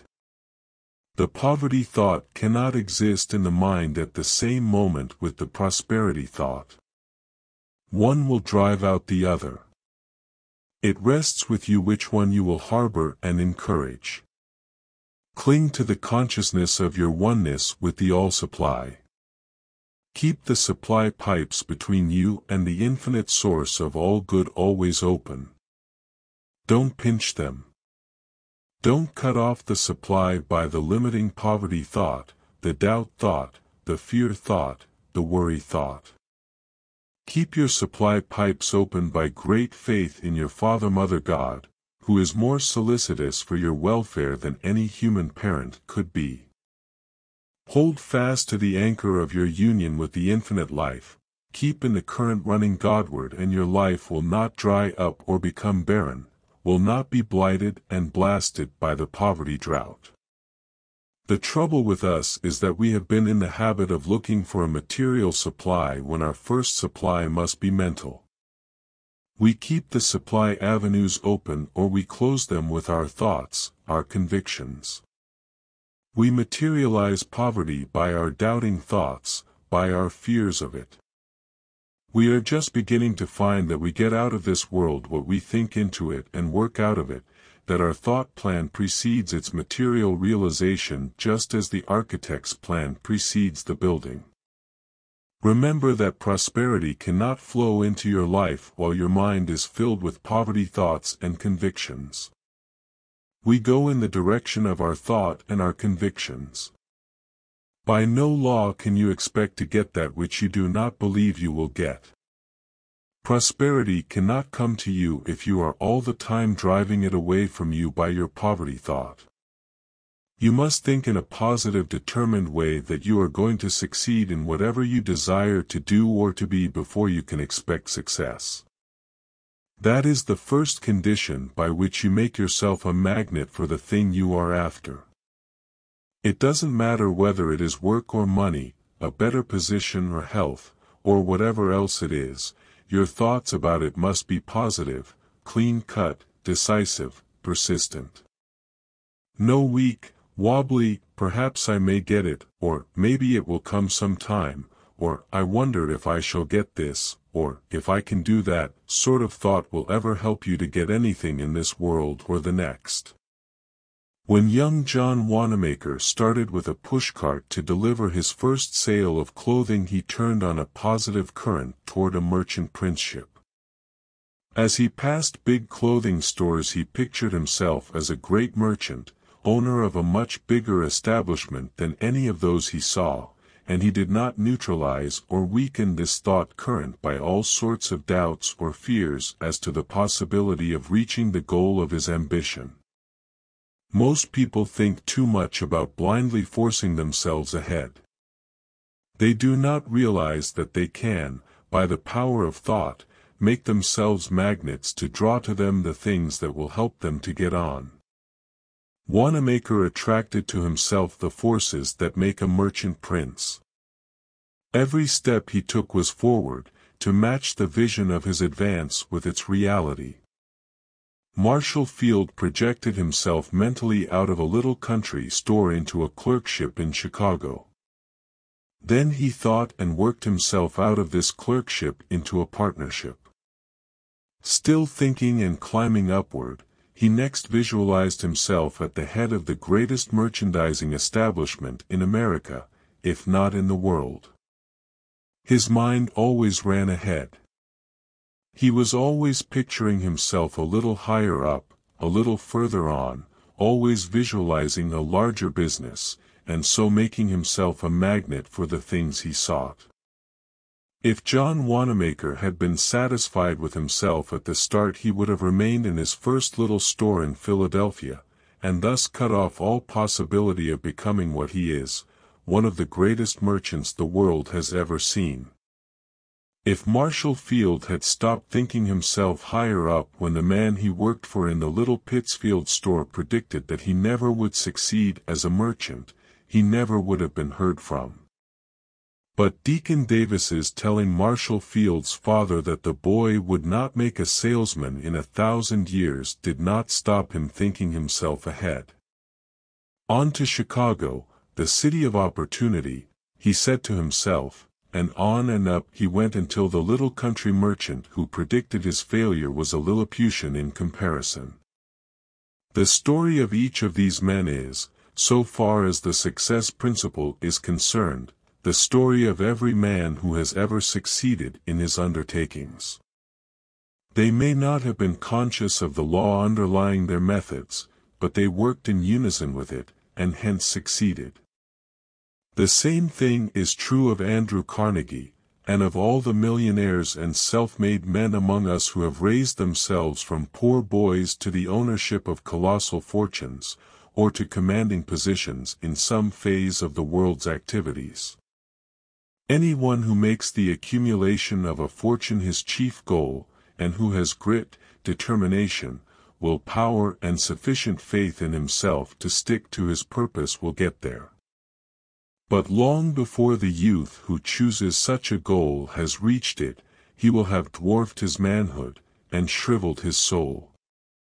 To get away from poverty is one thing, to set one's heart on money as the ultimate good is another, and quite a different, thing. There is a whole world of difference between so saturating one's mind with the thought of money and its acquisition that there is no room for any other aspiration, and the constant dwelling on the black and hopeless poverty thought, the incessant picturing yourself as a pauper until you are so convinced of poverty's hold on you that you destroy the very ability which should help you to get away from it. People who are down and out financially are down and out mentally. They are suffering from a mental disease of discouragement and loss of hope. There ought to be institutions conducted by government experts for the treatment of these poverty sufferers, for they are just as much in need of it as are the inmates of our hospitals. They need advice from mental experts. They have lost their way on the life path, and need to be shown the way back. They need to be turned about mentally, so that they will face the light instead of the darkness. They should be shown that they are stopping up their prosperity pipes, cutting off their source of supply by their pinching, poverty-stricken, limiting thought. Their whole mental attitude points toward failure, toward poverty, and by a natural law their outward conditions conform with the pictures they hold in mind. This poverty disease could be cured in the case of the majority of down and outs, the failures, by proper mental treatments. If the people in the great failure army today could be shown that as long as they hold the poverty thought and go about with a sad, dejected expression on their faces, as though there were no hope in life for them, they will continue to be poor, but that if they will only turn about and face the sun, so that their shadows will fall behind them, their conditions will begin to improve, they would quickly take a new lease of life and courage. These mental prosperity treatments would generate in them a new hope that would cause them to brace up all along the line. What a revelation would come to the poor people of the world if they would only eliminate from their minds for a single year the poverty thought, if they would erase from their minds poverty pictures and all the suggestions of grinding want that sadden and discourage, if, instead of expecting poverty, and all that the idea implies, they could go through one year expecting just the opposite, prosperity, visualizing, talking prosperity, thinking prosperity, acting as though they expected to be. As though they were, prosperous. Just this radical change of thought, this transposition of mental attitude, the persistent holding of the prosperous viewpoint for a year would not only change their whole outlook on life, but would revolutionize their material conditions. They would brush up and clean up the things they have, their ambition would grow, their new way of looking at life would give an upward tendency to their surroundings. No matter how poor, their squalid aspect would go. Everything would take on a different appearance. There would be a new light in the people's faces. There would be hope there instead of despair, expectancy of better things would give a glow of cheerfulness to their countenances. There would be a light in their eyes which never was there before. Working in the spirit of hope and expectancy of better things instead of that of discouragement and the fears of even greater poverty, they would forge ahead in a way that would astonish themselves. The time is not far away when we shall have prosperity practitioners who will make a specialty of teaching people how to free their minds from thoughts that produce poverty by replacing them with their opposites, thus constantly enlarging the mental power of attraction until the mind becomes a powerful magnet, ever attracting prosperity.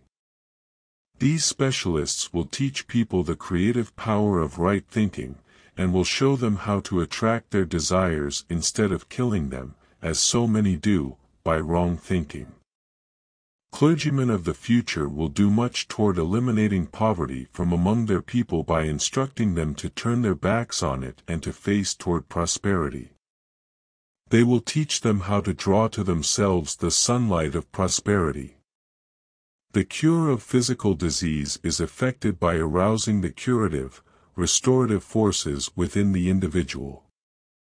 These are brought into operation largely through faith in the physician, in the remedy, in the healer. The healthful mental attitude thus created overcomes the disease. The cure of poverty, poverty is usually a mental disease, is effected in a similar way. The sufferer must first of all have faith in the great physician of the universe. When that is fully and firmly established there will be no difficulty in flooding his mind with the prosperity thought, the thought that our Father Mother God is the author of abundance, the author of all the wealth of the earth, and that he is infinitely kinder more solicitous for our welfare than the fondest mother could be for her child. We have not yet tapped the possibilities of any part of the world's resources. Every inhabitant of the earth today is treading on secrets which would emancipate man from drudgery and allow him to live happily instead of merely to eke out a wretched subsistence as he has done up to the present. Hitherto, in the great majority of cases, we have barely been existing on the husks of things. Now we are beginning to taste the kernel, because we are coming into a knowledge of the powers locked up within ourselves, and also of the illimitable supply of God's abundance. Here and there, people are mastering the law of opulence. They are demonstrating that they can conquer poverty by making themselves prosperity magnets, that is, by thinking and working in conformity with the law of opulence, of abundance. It is monstrous that so many of God's children are starving right on the shores past which the stream of inexhaustible plenty flows, a stream laden with all the rich things of the universe. There is no excuse for the horrible misery and suffering that exist in our midst. There is no reason why the children of the King of Kings should be harassed and tortured, driven into premature graves by poverty, for the Creator has produced enough to make every one of his children rich, to give them an abundance of all they need. There is no necessity for those who have inherited all the good things of the earth to remain poor. The very structure of the human machine indicates that it was intended for the best, that it was planned for comforts, for luxuries, and not for poverty-stricken conditions. If we could only realize the far-reaching influence of always expecting the best to come to us, always expecting opulence, success, we would never allow ourselves to be dominated by the black pictures of poverty and failure.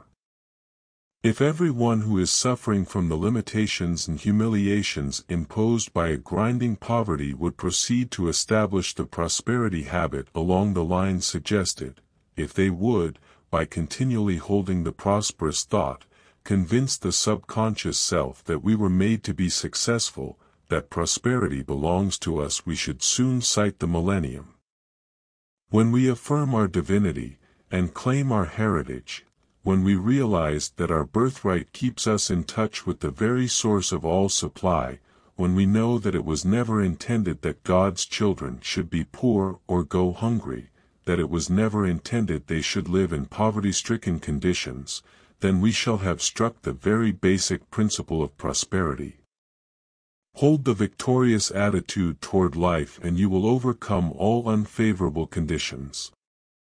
Chapter 8 The Suggestion of Inferiority As the initials which boys cut in the bark of a sapling become great, ugly scars on the grown tree, so the suggestions of inferiority etched upon the young mind become great ugly scars in the life of the adult.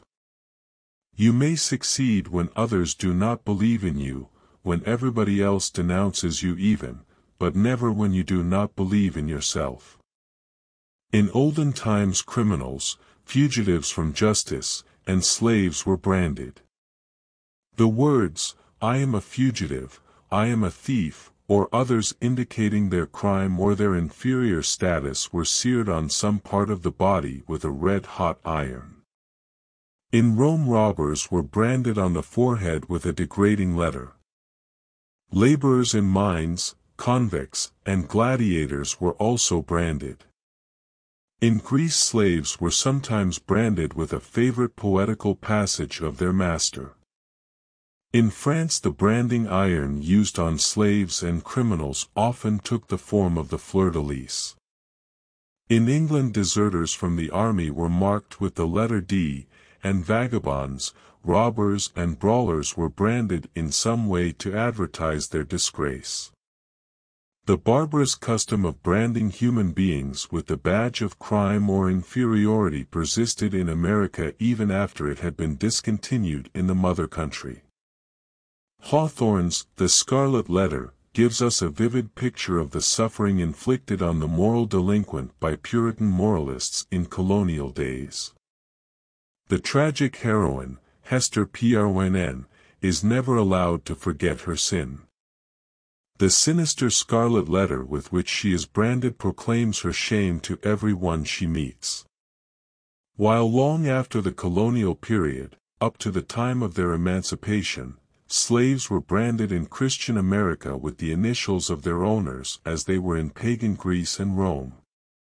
The mere idea of this stamping human beings with an indelible badge of disgrace, of inferiority, shocks us moderns. Yet we do not hesitate to mark people today with the scarlet letter of outlawry, the brand of ostracism. We put the criminal badge on our prisoners by shaving their heads and clothing them in stripes, thus perpetually keeping before them the suggestion that they are criminals, outlaws, apart from their kind. We even carry our branding into our homes. In order to satisfy our cheap vanity, we force our domestic workers to wear as a mark of inferiority, a distinctive livery to remind them that they are menials, a lower grade of being than ourselves. As a matter of fact, if it were not for these branding distinctions, the maid would, in many instances, be taken for the mistress and the valet for the master whom they far outrank both in appearance and character. There are certain inalienable rights which human beings inherit from their Maker, rights which no fellow being, no human law or authority is justified in taking away. No matter what offense a person may commit against society we have no right to degrade him below the level of a human being, we have no right so to bombard him with the suggestion of degradation, of inferiority, that we are almost certain to make him less a man, to lower his estimate of himself to such a degree that we rob him of the power even to attempt to regain his self-respect and his position in society. We have no right to insist that those who work for us shall wear a badge of inferiority. We have no right to thrust the suggestion of inferiority perpetually into the mind of any human being. One of the greatest injuries we can inflict on anyone is to convince him that he is a nobody, that he has no possibilities, and will never amount to anything. The suggestion of inferiority is responsible for more blighted ambitions, more stunted lives, more failures, more misery and unhappiness than almost any other single cause. Just as the constant dripping of water will wear away stone, so the constant iteration of a statement will cause its acceptance by the average person. Even though the facts may be opposed to it, a constant suggestion presented to the mind impresses us in spite of ourselves and tends to a conviction of its truth.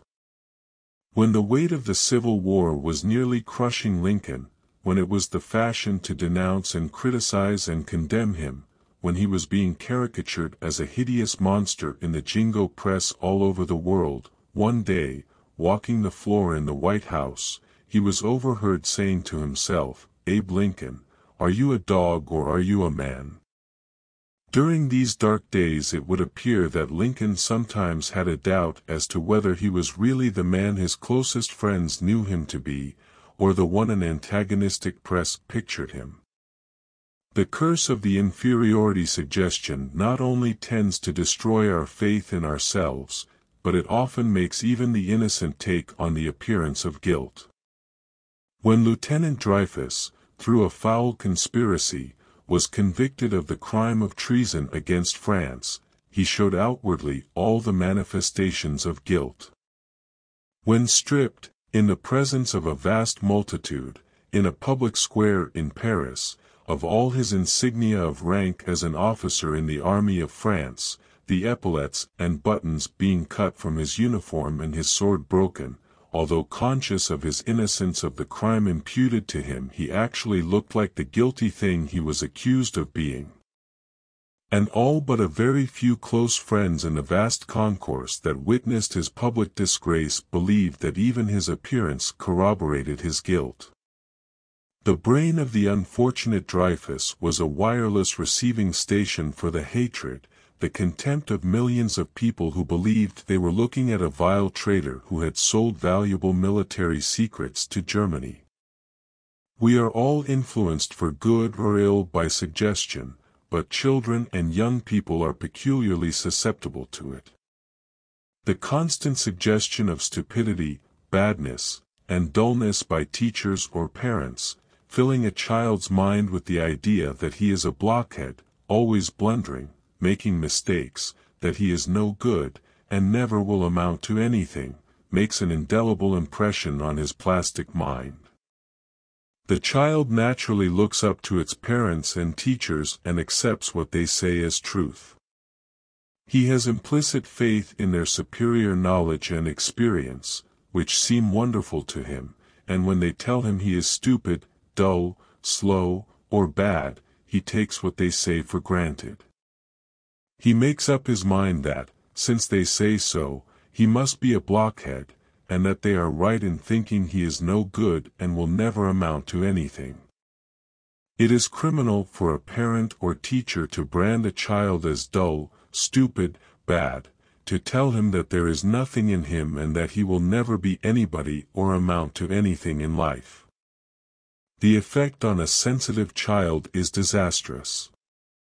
Thousands of boys and girls have been stunted mentally, their careers handicapped, and in some instances completely ruined by such cruel suggestions of inferiority.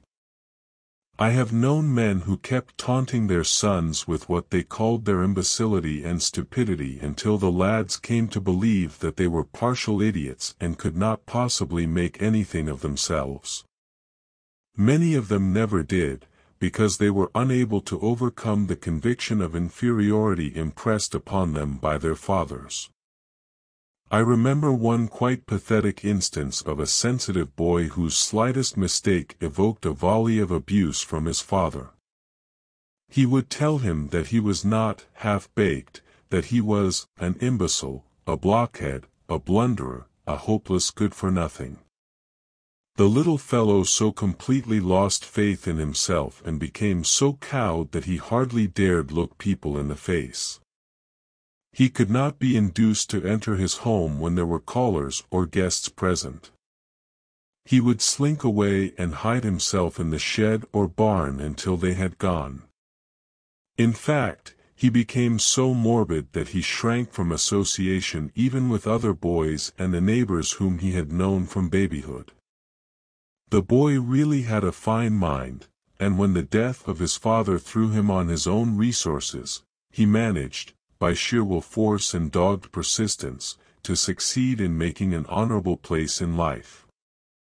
But he has never been able to get away from the early conviction of his inferiority, of his lack of ability compared with others around him. All his later life has been handicapped by those pernicious suggestions. Whenever he is asked to assume any responsibility, to take a place on a committee or a board, to speak in public or make himself prominent in any way, these boyhood mental pictures of his good-for-nothingness rise before him like terrifying ghosts and seriously cripple or paralyze his efforts. He has always felt that there is some grave defect in his nature and that, try as he may, he cannot entirely overcome his handicap. This crippling, cramping defective image of himself impressed on this man in childhood and youth has robbed him of much of the best of life, of all the joy and exhilaration that come from spontaneity, from the free, unshackled expression of oneself, of all one's faculties. Children are affected by praise or blame just as animals are. It is easy to kill the spirit of a dog by abuse and ill-treatment, so that in a short time he will slink about with his tail between his legs, look guilty and self-depreciatory. In short, he will take on all the appearance of a whipped cur.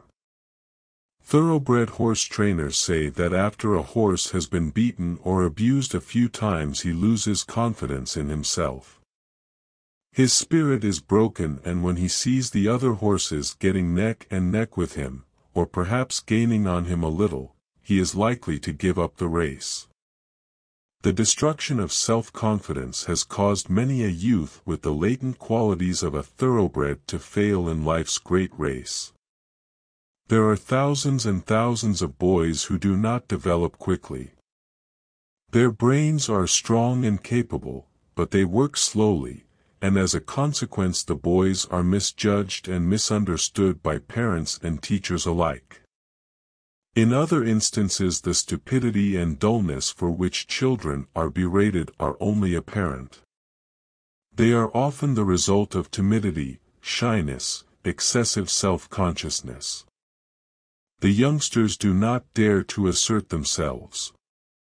Especially is this true in families where the parental rule is stern and repressive.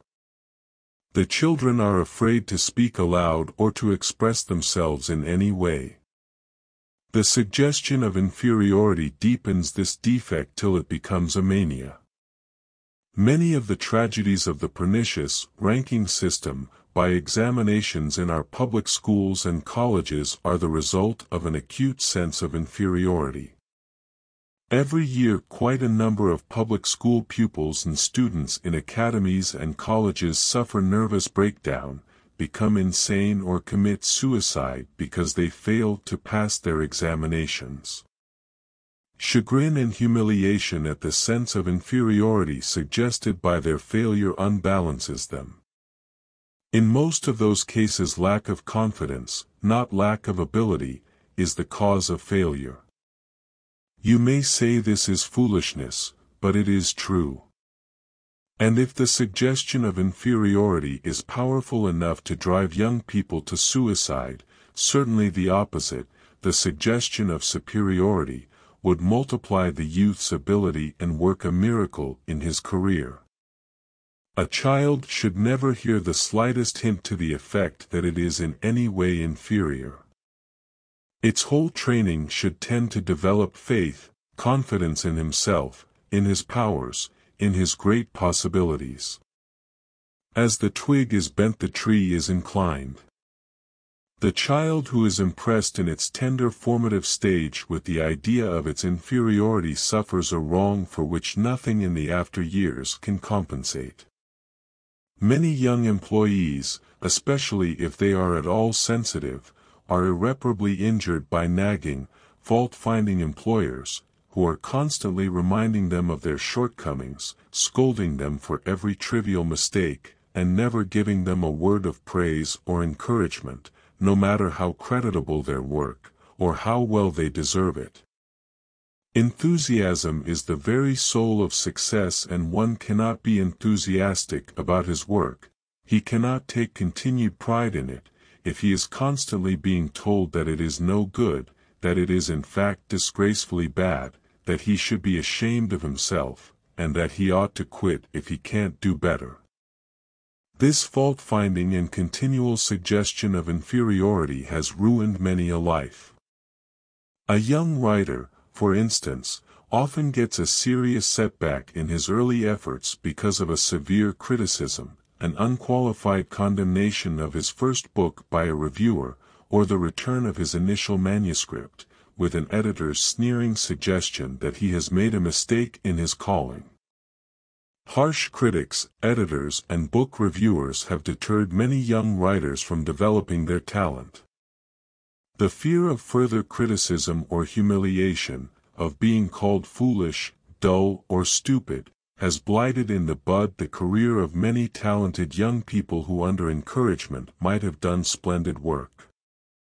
If he is of a sensitive nature even though he really have great ability such rebuffs often so dishearten him that he never has the confidence to try again. In the same way many a possible clergyman or orator has been discouraged by early failure and the humiliation of ridicule. In other words, unless a youth is made of very strong material and has a lot of pluck and indomitable grit, the suggestion of inferiority, perpetual nagging discouragement may seriously mar his career.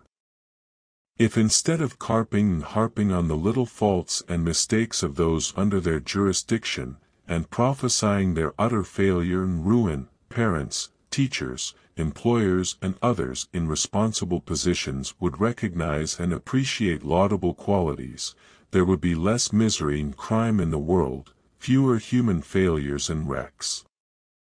The perpetual suggestion of inferiority holds more people back from doing what they are capable of than almost anything else. In the Old World, China, Japan, India, in England and other European countries, for example, who can measure the harm it has done in the form of caste. Think what superb men and women have been held down all their lives, kept in menial positions, because they were reared in the belief that once a servant always a servant, that because their parents were menials they must also be menials. What splendid brains and fine personalities we see serving in hotels, restaurants and private households in Europe, often much superior to the proprietors themselves. Saturated with the idea that the son must follow in the father's footsteps, though they may be infinitely superior in natural ability to those they serve, these men remain waiters, butlers, coachmen, gardeners or humble employees of some sort. No matter what talents they possess they are held in leash by the ingrained conviction of generations that the accident of birth has decided their position in life.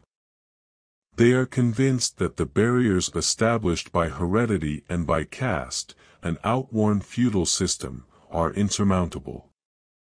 How delightfully the gentle humorist Barrie satirizes this old-world condition in his play, The Admirable Crichton.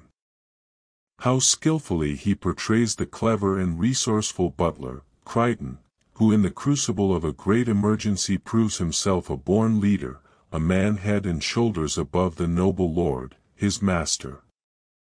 When the yacht carrying the master and his family, Crichton and some other servants, is wrecked, they escape with their lives to a desert island.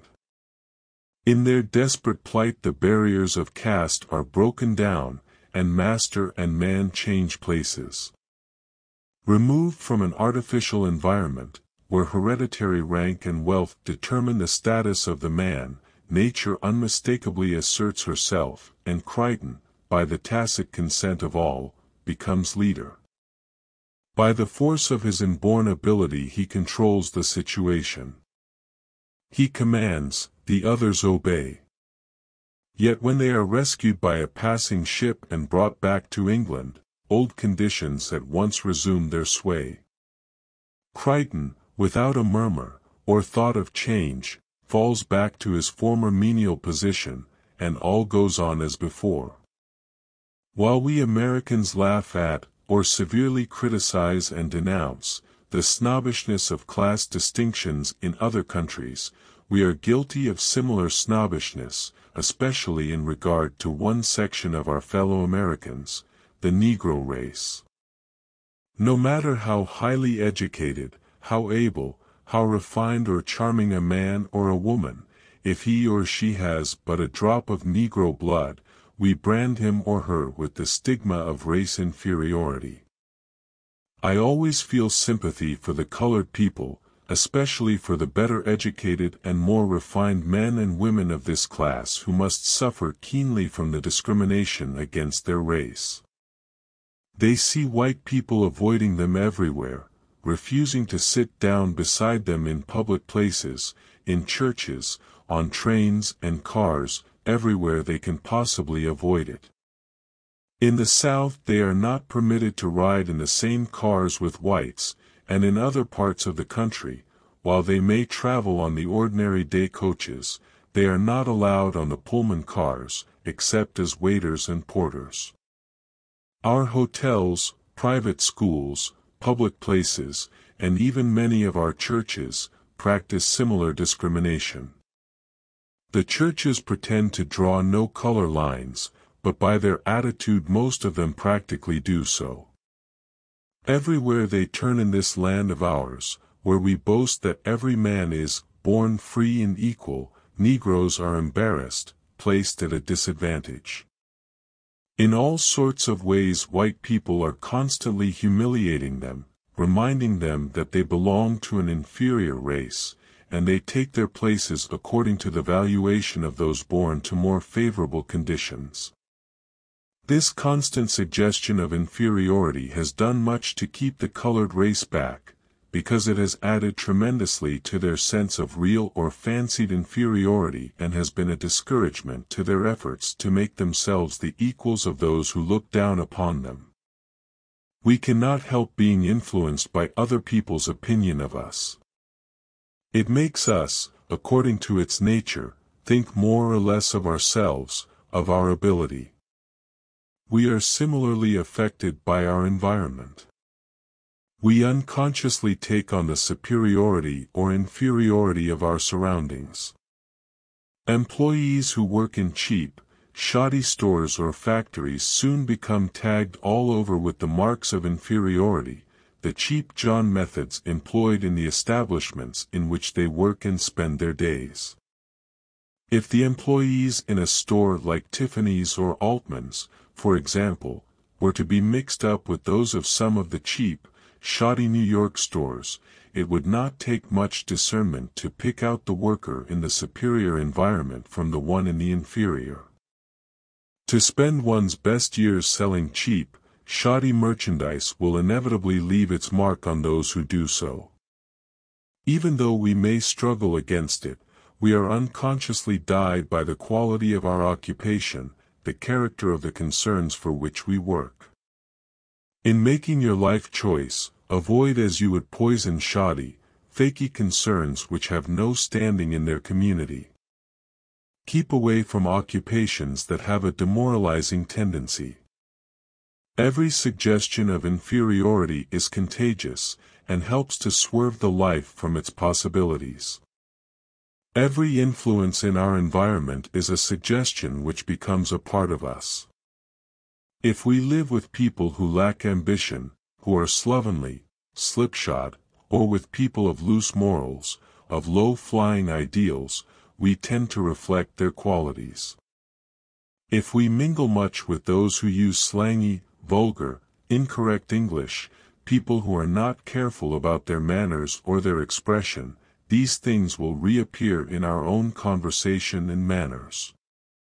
If we read inferior books, or associate with perpetual failures, with people who botch their work and botch their lives our own standards will suffer from the contagion. It does not matter whether inferiority relates to manner, to work, to conversation, to companions, to thought habits, wherever it occurs, its tendency is to pull down all standards and to cut down the average of achievement. We are all living sensitive plates on which the example, the thoughts and suggestions of others, our own thoughts and habits, our associations and surroundings indelibly etch themselves. I wish I could burn it into the consciousness of every person who wants to make a success of life that he cannot do so while he associates himself with inferiority and harbors a low estimate of himself. Get away from both. Have nothing to do with them. If you are a victim of the inferiority suggestion, deny the suggestion, drive it from your mind as the greatest enemy of your welfare. You can only do what you think you can. If you hold in mind a cheap, discreditable picture of yourself, if you doubt your efficiency you are shackled, you are not free to express yourself. You erect a barrier between yourself and the power that achieves. The mere mental acknowledgement or feeling that you are weak, inefficient, is contagious. It is sensed by other people and their thought is added to yours in undermining your self-confidence, which is the bulwark of achievement. No matter what others say or think of you, always hold in mind a lofty ideal of yourself, a picture of your own efficiency. Never allow yourself to doubt your ability to do what you undertake. You cannot be inferior, because you are made in God's image. You can, if you will, make a masterpiece of your life, because it is part of his plan that you should. Chapter 9 Have you tried love's way? Love, like the sun, never sees the dark side of anything. You can purchase a man's labor, you've got to cultivate his goodwill. Sweeter than the perfume of roses is the possession of a kind, charitable, unselfish nature, a ready disposition to do for others any good turn in one's power. A New York man who saw a little girl carrying a crippled boy across a street, offered to assist her, telling her that the boy was too heavy for her to carry. Oh, no, said the child quickly, he's not heavy, he's my brother. Oh, marvelous power of love that lightens all heavy burdens and smooths all rough roads. What would become of humanity were it not for love, which sweetens the hardest labor and makes self-sacrifice a joy? It is the greatest force in the universe. Without its transforming power we should still be primitive barbarians. In spite of the loud cries of pessimists and skeptics to the contrary, its light is still leading men upward. Although the dream of the world's peacemakers has come to naught and Europe is plunged in a merciless war, yet there are multitudes of signs of the reign of love. Its merciful healing power is at work even on the cruel battlefield. We see it animating the great army of Red Cross surgeons and nurses, who, regardless of creed or country, racial or social differences, are treating all the wounded soldiers as brothers, binding up their wounds and nursing them back to health and life. Love is healing the hurts made by hate and discord. We see its influence in the miracle which the leaven of the Golden Rule is performing in the business world, in the passion for social service in the world at large, in the gradual obliteration of class distinctions, in the growing efforts to ameliorate the conditions of the poor, in the great wave of reform that is beating against the walls of all our institutions, our jails, our poorhouses, our reformatories, our insane asylums. The abuses with which these places were filled are gradually being cleared up by love. In many of our prisons, the kindly, brotherhood system of treatment that has been inaugurated is really helping to reform criminals, whereas the old system of penology killed men, broke their spirit, or made them more hardened in crime. It rarely, if ever, reformed. Love's way must in time banish altogether the old cruel prison methods, and ultimately the criminal himself. When the world is run by love, by the Golden Rule plan, crime will die a natural death. Everyone who slips from the right path, no matter what he has done, should be given another chance, a fresh opportunity to make good, to rebuild his character. One who has sinned against society should not be expelled from the sympathies, the goodwill and the kindliness of his fellow men. Criminals should be treated as unfortunate brothers and sisters who have stumbled and lost their way on the life path. Love is the only medium that will help them to rise, to get back into the current that runs Godward. People who understand them, who see a God in the ruins that evil influences have made, would make good men and women out of the great majority of our prisoners. Many of these poor wretches never had an opportunity. They never felt the magic touch of love, never knew the influence of a good home, of honest, loving parents. Most of them did not have a right start in life. They were handicapped at birth by ignorance, by disease, by vicious parentage. They never had a fair chance. Love's way would give them one shutting them into cramped, miserable, sunless cells, with none of the comforts or conveniences of life, where none of the humanities reach them, meting them out treatment we would not dream of inflicting on our domestic animals, is like trying to put out fire with kerosene oil. Such treatment makes them worse, arouses their basest passions of revenge, bitterness and hatred, fills them with a determination to get even with society. Society is beginning to wake up to the futility of such brutal methods. It is beginning to apply love's way to its criminal classes, to all classes. Our free hospitals, our homes for the aged and poor, our public asylums, are all, like our prisons, working upward toward the light. The fallen, the sick, the poor, the old, the maimed, the bruised and suffering, everywhere are receiving more consideration, more humane treatment, more kindness. And we are finding that greater trust in them, greater sympathy and greater interest in our unfortunate brothers and sisters, are working a marvelous change in human conditions. In other words, in spite of many seeming contradictions, many glaring evils in our midst, many setbacks and discouragements, the Spirit of the Christ, of the Golden Rule, is acting like a healing leaven and performing miracles in the great human mass. Love is the great mind opener, the great heart opener and life enricher, the great developer. It is what holds society together, and if children were trained to love humanity, to love all countries and their inhabitants as they are taught to love their own country and countrymen, there would be no wars. War proceeds largely from what is called patriotism.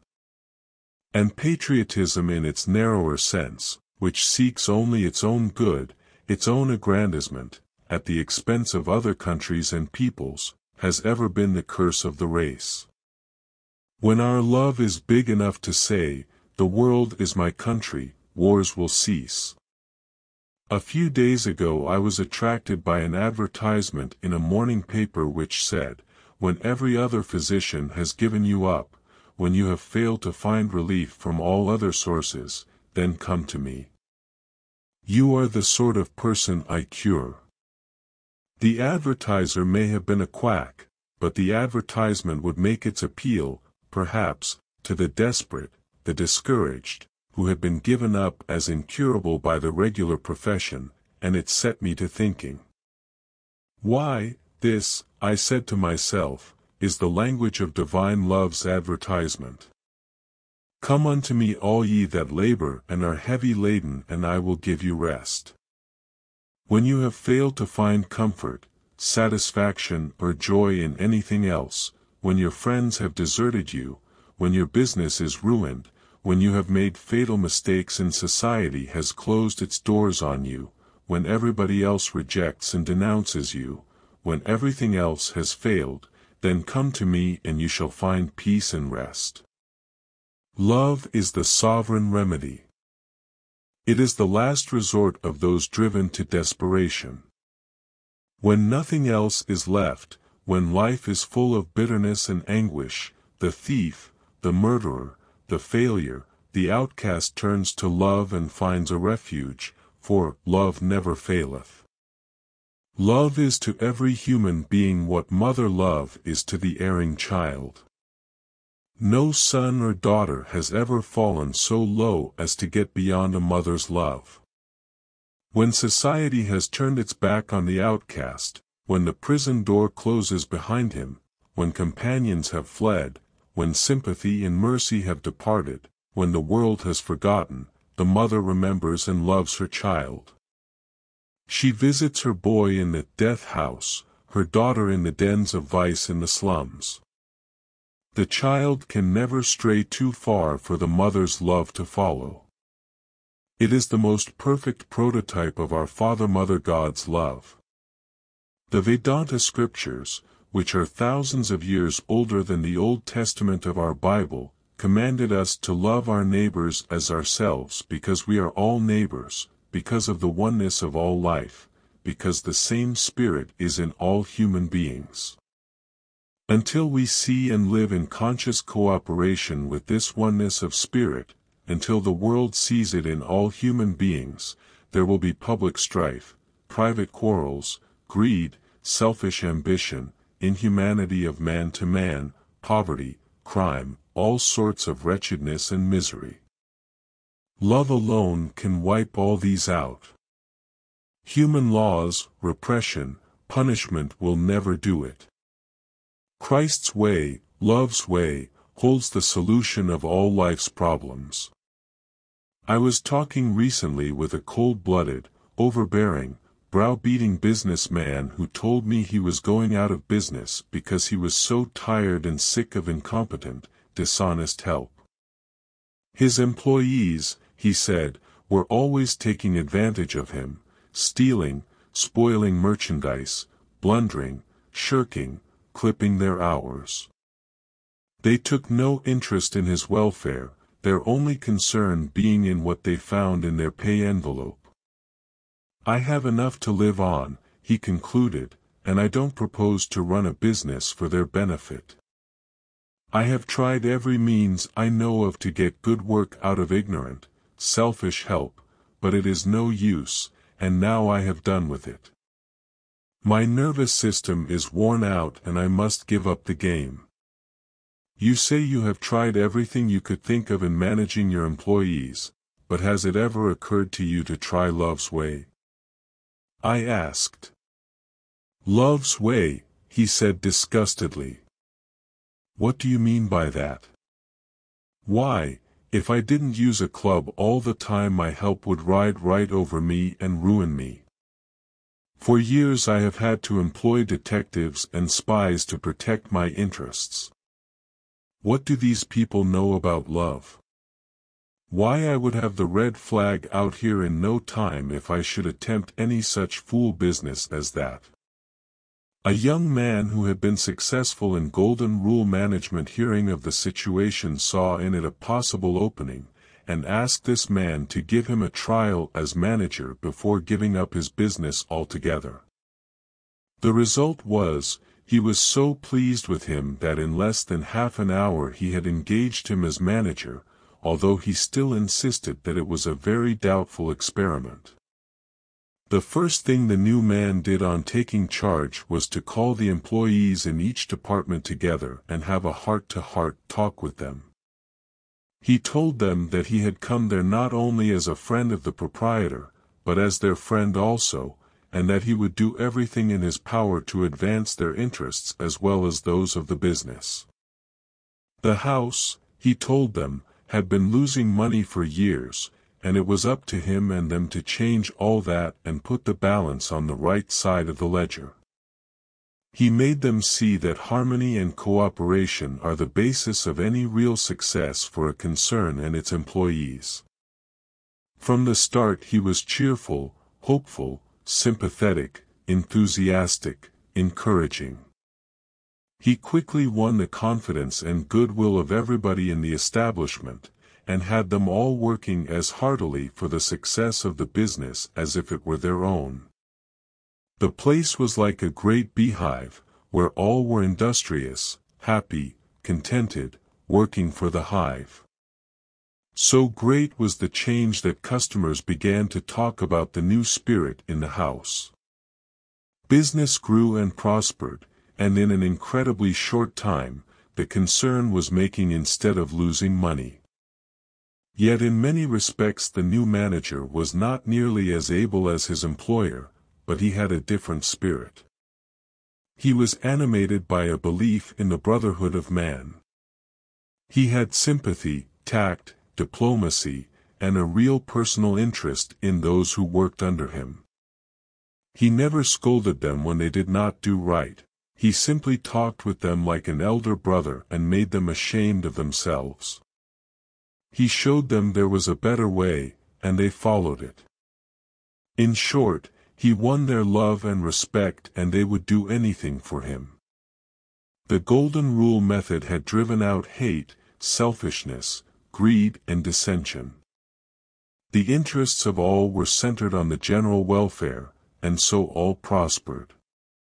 When the proprietor returned from abroad, whither he had gone for a few months' rest and recuperation, he could scarcely believe in the reality of the transformation that Love's Way had effected in his old employees and in the entire establishment.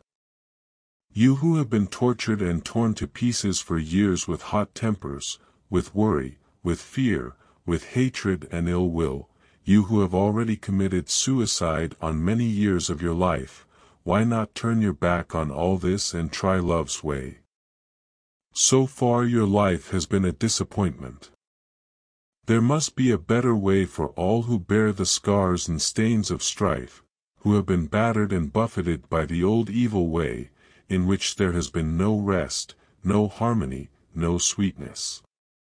Why not try love's way? Try it for every trouble, for every hurt and sorrow. Try it you whose home life has been a bitter disappointment, you husbands and wives who have quarreled, who have never known what peace and comfort are, try love's way. It will smooth out all your wrinkles, it will put a new spirit into your home that was never there before, it will bring a new light into your eyes, new hope into your heart, and new joy into your life. You mothers who have worn yourselves to a frazzle and prematurely aged yourselves in trying to bring up your children by scolding, nagging, punishing, driving, why not try love's way instead? You can love your boys and girls into obedience and respect much more quickly and with far better results to them and to yourself than by driving them, appeal to their best and noblest instincts instead of their worst, and you will be surprised how quickly and readily they will respond to your appeal. There is something in human nature which protests against being driven or forced. If you have been trying to force your boys and girls in the past, give it up and try the new way, love's way. See if it does not work wonders in your home.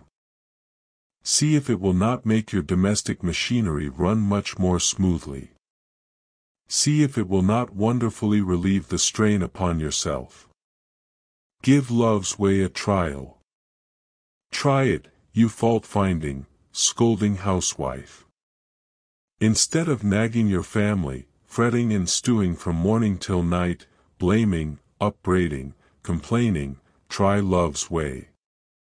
Instead of berating a maid before your guests when she accidentally breaks a piece of china, Put yourself in her place, try to realize her embarrassment, and pass over the mishap cheerfully. Then, in private, give her a gentle word of caution. She will be more careful in the future. If your laundress returns a piece of smirched linen, or if her work is not quite so well done as it was the last time, don't give her a brutal scolding. Harsh treatment will only make her sullen and unhappy, but you will find her susceptible to kindness and gentle words. Give sympathy and kindness instead of scolding and nagging and you will work a revolution in your household. You will be delighted to find how quickly love's way will change the atmosphere in your family, how soon helpful relations will take the place of antagonistic ones. Praise, generous, wholehearted, unstinted praise, now and then, will not hurt anyone, but, on the contrary, will act like lubricating oil on dry squeaky machinery, and its reflex action on yourself will be magical. You husbands who have been substituting money and luxury for love, who have thought that if a woman had a fine house, beautiful clothes, and all her bills paid, she ought to be satisfied and happy, you who have so miserably failed of your object in this substitution will be surprised to find how much happier you can make your wife by bestowing on her a generous, unselfish love. A very little money, a very humble home with love will make every true woman happier than millions, a palatial home, with indifference. Try love's way, you men who have been lording it over your families, bullying and browbeating your wives and children, using slave-driving methods in your home. You know that this old brutal way has not brought you happiness or satisfaction, you have always been disappointed with it, then why not try the new philosophy, try love's way. It is the great cure-all, it is the Christ remedy which is leavening the world. Try it you who are worn out with the discord and the hagglings, the trials and tribulations you encounter every day in your business. You men and women who have never been able to get good help, who are driven to desperation with the wicked breakage and wastage of your employees, you who have been through purgatory in your struggle with dishonesty and inefficiency, whose faces are furrowed with cruel wrinkles and prematurely aged in trying to fight evil with evil, try love's way. It will create a new spirit in your store, your factory, your office. Whatever your business, whatever your trials and difficulties, love will ease the jolts of life and smooth your way miraculously. Try love's way all you who have hitherto lived in purgatory because you did not know this better way. You have tried the getting square policy, the hatred and grudge method, you have tried the revenge way, the jealousy way, you have tried the worry, the anxiety method, and these have pained and tortured you all the more. You have tried law and the courts to settle troubles and difficulties with neighbors and business associates, and perhaps you won lawsuits only to make bitter, lifelong enemies. But perhaps you have never yet tried love's way, excepting in spots. If you have not yet tried it as a principle, as a life philosophy, as a great life lubricant, begin now. It will smooth out all the rough places and wonderfully ease your journey over the jolts of life. You may be wondering why you have so few friends, why you do not attract people, why others are not more interested in you. Look into your heart and you will find the reason. If you are sending out a current of selfishness, of uncharitableness, unkindness, indifference, ingratitude, you cannot get a return current of friendship, of encouragement and helpfulness. The stream that leads back to you will be just like that which goes out in your thought, in your habitual mental attitude. To have friends, to win love you must make yourself a magnet for love. You must send out the friendly thought current, the helpful current, the kindly, loving current of human fellowship. If you give out stinginess, narrowness, meanness, selfishness, you will not receive love's gifts in return. As you give, so will you receive, and the more generously you give of love and kindness and service the more generously will the current that returns bear them back to you. The most beautiful thing on this earth, that which every human being craves most is love. It is, as Henry Ward Beecher said, the river of life in this world.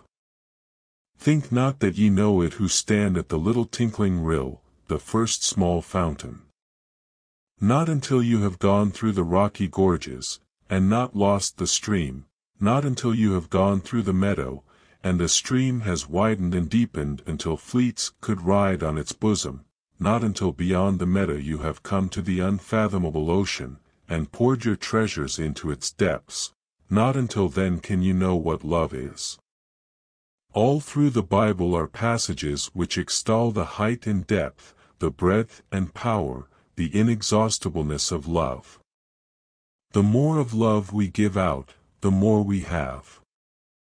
Love maintains perpetual summer in the soul and shuts out winter's chill. Love of man is love of God, and love of God prolongs life. With long life will I satisfy him, declares Jehovah in the words of the psalmist, because he hath set his love upon me. Love is harmony, and harmony prolongs life, as fear, jealousy, envy, friction, and discord shorten it. Those who are filled with the spirit of love, whose sympathies are not confined to their own family, but reach out to every member of the human family, are more exempt from the ills of mankind than the selfish and pessimistic, who lose the better part of life, the joy and the strength that come from giving themselves to others. Some natures are so permeated with the spirit of love, of helpfulness, of unselfishness, that their very presence acts like a balm upon the wounded soul. They radiate harmony, soul sunshine. There is a personal charm about them which strengthens, reassures, and uplifts.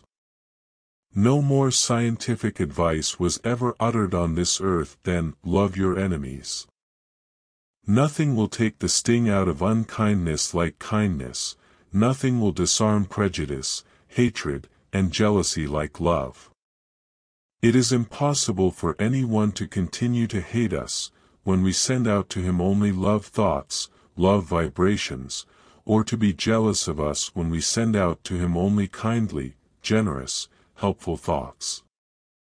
Hatred or the spirit of revenge cannot live in the presence of love any more than an acid can retain its eating, biting qualities in the presence of an alkali. One whose heart is filled with love for all cannot possibly have an enemy very long, because love dissolves all enmity, all jealousy, neutralizes, antidotes all hatred. One-sided hatred cannot exist because there is nothing to keep it alive. It must be fed in some way or the fire will die out for lack of fuel. It is simply impossible to keep on feeling unkindly towards another, to continue hating him very long when we discover that he feels kindly toward us and is willing to help us.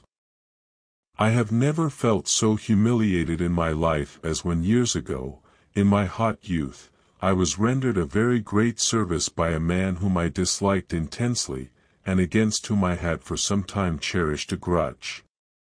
His great-hearted, generous act, which was a real help to me, made me feel utterly ashamed of myself. It showed me as nothing else could have done what a mean, unworthy, contemptible thing it is to nurse a feeling of hate or revenge toward a fellow being. We cannot hold the love thought without feeling the uplift, the glow, the divine energy which it sends through the whole system.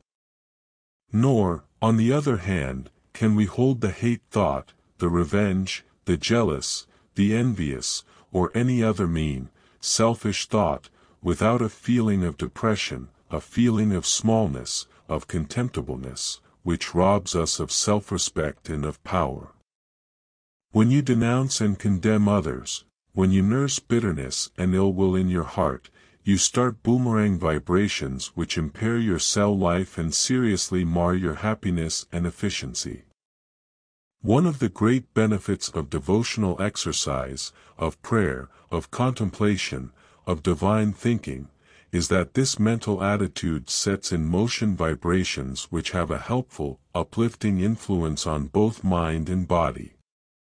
Where love and affection are habitually vibrating through the cell life they develop a poise and serenity of character, a sweetness and strength, a peace and satisfaction that reinforce the whole being. Love soothes and strengthens. Hate lacerates, wrinkles, weakens. The character of people who keep themselves continually stirred up by discordant emotions, who live in discordant homes where there is perpetual wrangling, criticism, denunciation, scolding, twitting are cold, skeptical, unlovely, selfish. Their affections become marbleized. There is nothing outside of vice which will deform the character so quickly as living in an atmosphere of perpetual hatred, jealousy, envy and revenge. The wear and tear of their vicious vibrations is ever getting in its deadly work. Love is the great disciplinarian, the supreme harmonizer, the true peacemaker. It is the great balm for all that blights happiness or breeds discontent, a sovereign panacea for malice, revenge, and all brutish passions and propensities. As cruelty melts before kindness, so the evil passions find their antidote in sweet charity and loving sympathy. One reason why a happy home is the sweetest, most beautiful spot on earth is because the love atmosphere, the harmony vibrations give a blessed sensation of harmony, of rest, of safety, security and power. The moment we enter such a place we feel its soothing, reassuring, uplifting atmosphere. It produces a feeling of mental poise, of serenity which we do not experience anywhere else. During a recent visit to a large family I was much impressed by the power of one person to create this beautiful home spirit. In this family was one sister who, though the youngest member, seemed to take the place of the mother, who was dead. This young girl was the apparent center of the home. Nothing of importance was undertaken by any of her brothers without consulting her. Not one of them would leave the house without first kissing her goodbye, and she was the first one they sought when they came home. They all seemed anxious to confide to her their little secrets, to tell her of what had happened to them during the day, to have her opinion and advice in all difficulties. The secret of this young girl's influence lay in her great interest in the boys, and her wonderful love for them. In talking with the brothers I discovered that each thought that the sister was especially interested in him and his affairs, and that he would not think of undertaking or deciding anything of importance without first consulting her. Each and all of them seemed to prefer her company to that of any other young lady, and were always proud to escort her when she went anywhere. Those boys are all clean-minded, open, frank and chivalrous, and I could not help thinking that a great deal of it was due to the sister's influence. To love, and to be loved, said Sydney Smith, is the greatest happiness of existence. Every one, rich and poor, high and low, is reaching out for love. What will not a man do to win the love of one who embodies his ideal of womanhood, one in whom he sees all the beautiful qualities that he himself lacks. This love is really a divine hunger, the longing for possession of what would make him a whole man instead of the half one he feels he is. Why is it that when a coarse-grained, brutal, dissipated man falls in love with a sweet, pure girl he immediately changes his ways, looks up, thinks up, braces up, drops his profanity, is more refined, more choice in his language, more exclusive in his associations, and is, to all appearances, for the time at least, a changed man. Simply because love is a more powerful motive to the man than dissipation. He drops the latter, and if his love is steady and true he will never again indulge in any degrading practice. Who has not seen the magic power of love in transforming rough, uncouth men into refined and devoted husbands? I have known women who had such great, loving, helpful hearts, and such charm of manner, that the worst men, the most hardened characters would do anything in the world for them, would give up their lives even to protect them. But these men could not be reformed by prison methods, could not be touched by unkindness or compulsion. Love is the only power that could reach them. I do not believe there is any human being, in prison or out, so depraved, so low, so bad but that there is somebody in the world who could control him perfectly by love, by kindness, by patience. Many a man has been kept from performing a disgraceful, a criminal act by the thought that somebody loved him, believed in him, trusted him. Though thy sins be as scarlet they shall be made whiter than snow. Love purifies, lifts up, regenerates. We are all familiar with its wonderful transforming power, how it erases the scars of sin, smooths out the wrinkles which vice has left in the face, softens the hard features and puts its own divine stamp there. We know how it changes the coarse, brutal, sinful man into its own divine likeness, how it brings the color back to the pale cheek, the luster to the dull eye, how it restores courage to the disheartened, hope to the distressed and the despairing. We know how it calls into the face a light which was never there before, and which is not of earth. In the remarkable play, The Passing of the Third Floor Back, we have a striking illustration of the subtle, silent force of the love motive. Those who have seen or read the play will remember how in response to an advertisement in a London paper, room to let, third floor back, comes a remarkable man, who is given the title of the stranger. This man takes the third floor back, and finds himself in a boarding house filled with questionable characters, petty thieves, gamblers, people who have led fast lives, all sorts of uncharitable, envious men and women. They stoop to every kind of meanness. One woman even steals candles. Everyone tries to cheat everyone else and is cheated in return. The landlady is of the same type as her boarders. She preys on them and they prey on her. She waters the milk and adulterates the food. Then to keep herself from being robbed she puts everything under lock and key. The mere presence of the stranger seems antagonistic to the practices and low-flying ideals of the boarders and the landlady. They begin to make all sorts of fun of him. But he takes no notice. Instead he gives them kindness for unkindness, love for hate, and a pleasant smile as the only answer to their sarcastic, cutting remarks and innuendos. Gradually, as they become better acquainted, he begins to talk to them of themselves, to point out their good qualities, and to show them what great ability they have in certain lines, what wonderful things are possible to them.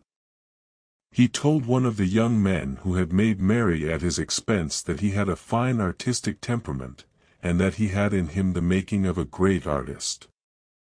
He showed another his possibilities as a musician, and so on with every member of the discordant, jangling group, until each one finally came under the spell of his love and kindness. The little London slavey, or maid of all work who was abused and constantly reminded that she had been in state prison and hence was a nobody, under the stranger's uplifting influence became a self-respecting, noble woman. The landlady, who had hitherto treated the girl like a slave, began to favor her and made her go outdoors and get a little change while she did the work. A man and wife who had lived a cat and dog life were brought together in harmony. All of the boarders, without exception, even those who had been the most brutal and selfish, gradually changed and became thoughtful, helpful and kindly toward one another. They became friends. The whole atmosphere of the house was changed. The stranger had shown every man and woman of them his or her better self, and in so doing had literally made them anew. Thus did one who typified the Christ spirit, a simple, quiet man who loved his fellow men and who found his greatest joy in serving others, managed to divert all of these people out of the crooked channels in which they had lived and into the right path toward happiness. Love, discovering to them these higher possible selves, transformed them. This is love's way. Love tames the fiercest animals. How quickly their wild, ferocious expression is replaced by a milder, softer, more gentle one under the kindly treatment of one who really loves them, one who looks upon them as did Saint Francis, as his little dumb brothers and sisters. The brute nature is gradually softened and distrust gives way to confidence. The suspicious look is replaced by a trustful one. Affection takes the place of dislike and fear, Love goes out to meet love. Is there any more beautiful illustration in nature of the influence of love and kindly treatment than the evolution of our pet dogs from the ferocious wolf? Note the gentle, peaceful face of a cow or a horse which has been brought up as a family pet. Such animals would not step on or injure a child any more than we would ourselves. We love and trust them and they love and trust us in return. Love begets love.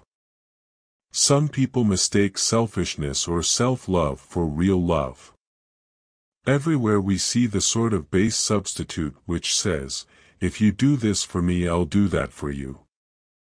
The woman that says to a man, in her heart, if not with her lips, if you'll support me and give me a home, I'll love you, does not love. This is selfishness. A great many people confuse love of the thing given with love of the giver. They mistake the love of their own comforts, of a good time, of dress and luxuries, for love of the person who supplies them with these things. This is a mere travesty of the genuine thing. Love simply loves and asks nothing in return. There is no self in it. Abuse, bitterness, indifference, ingratitude do not change or destroy love. It simply loves on. And no love is ever lost, whether it is returned or not. Genuine love is a force that always wins out.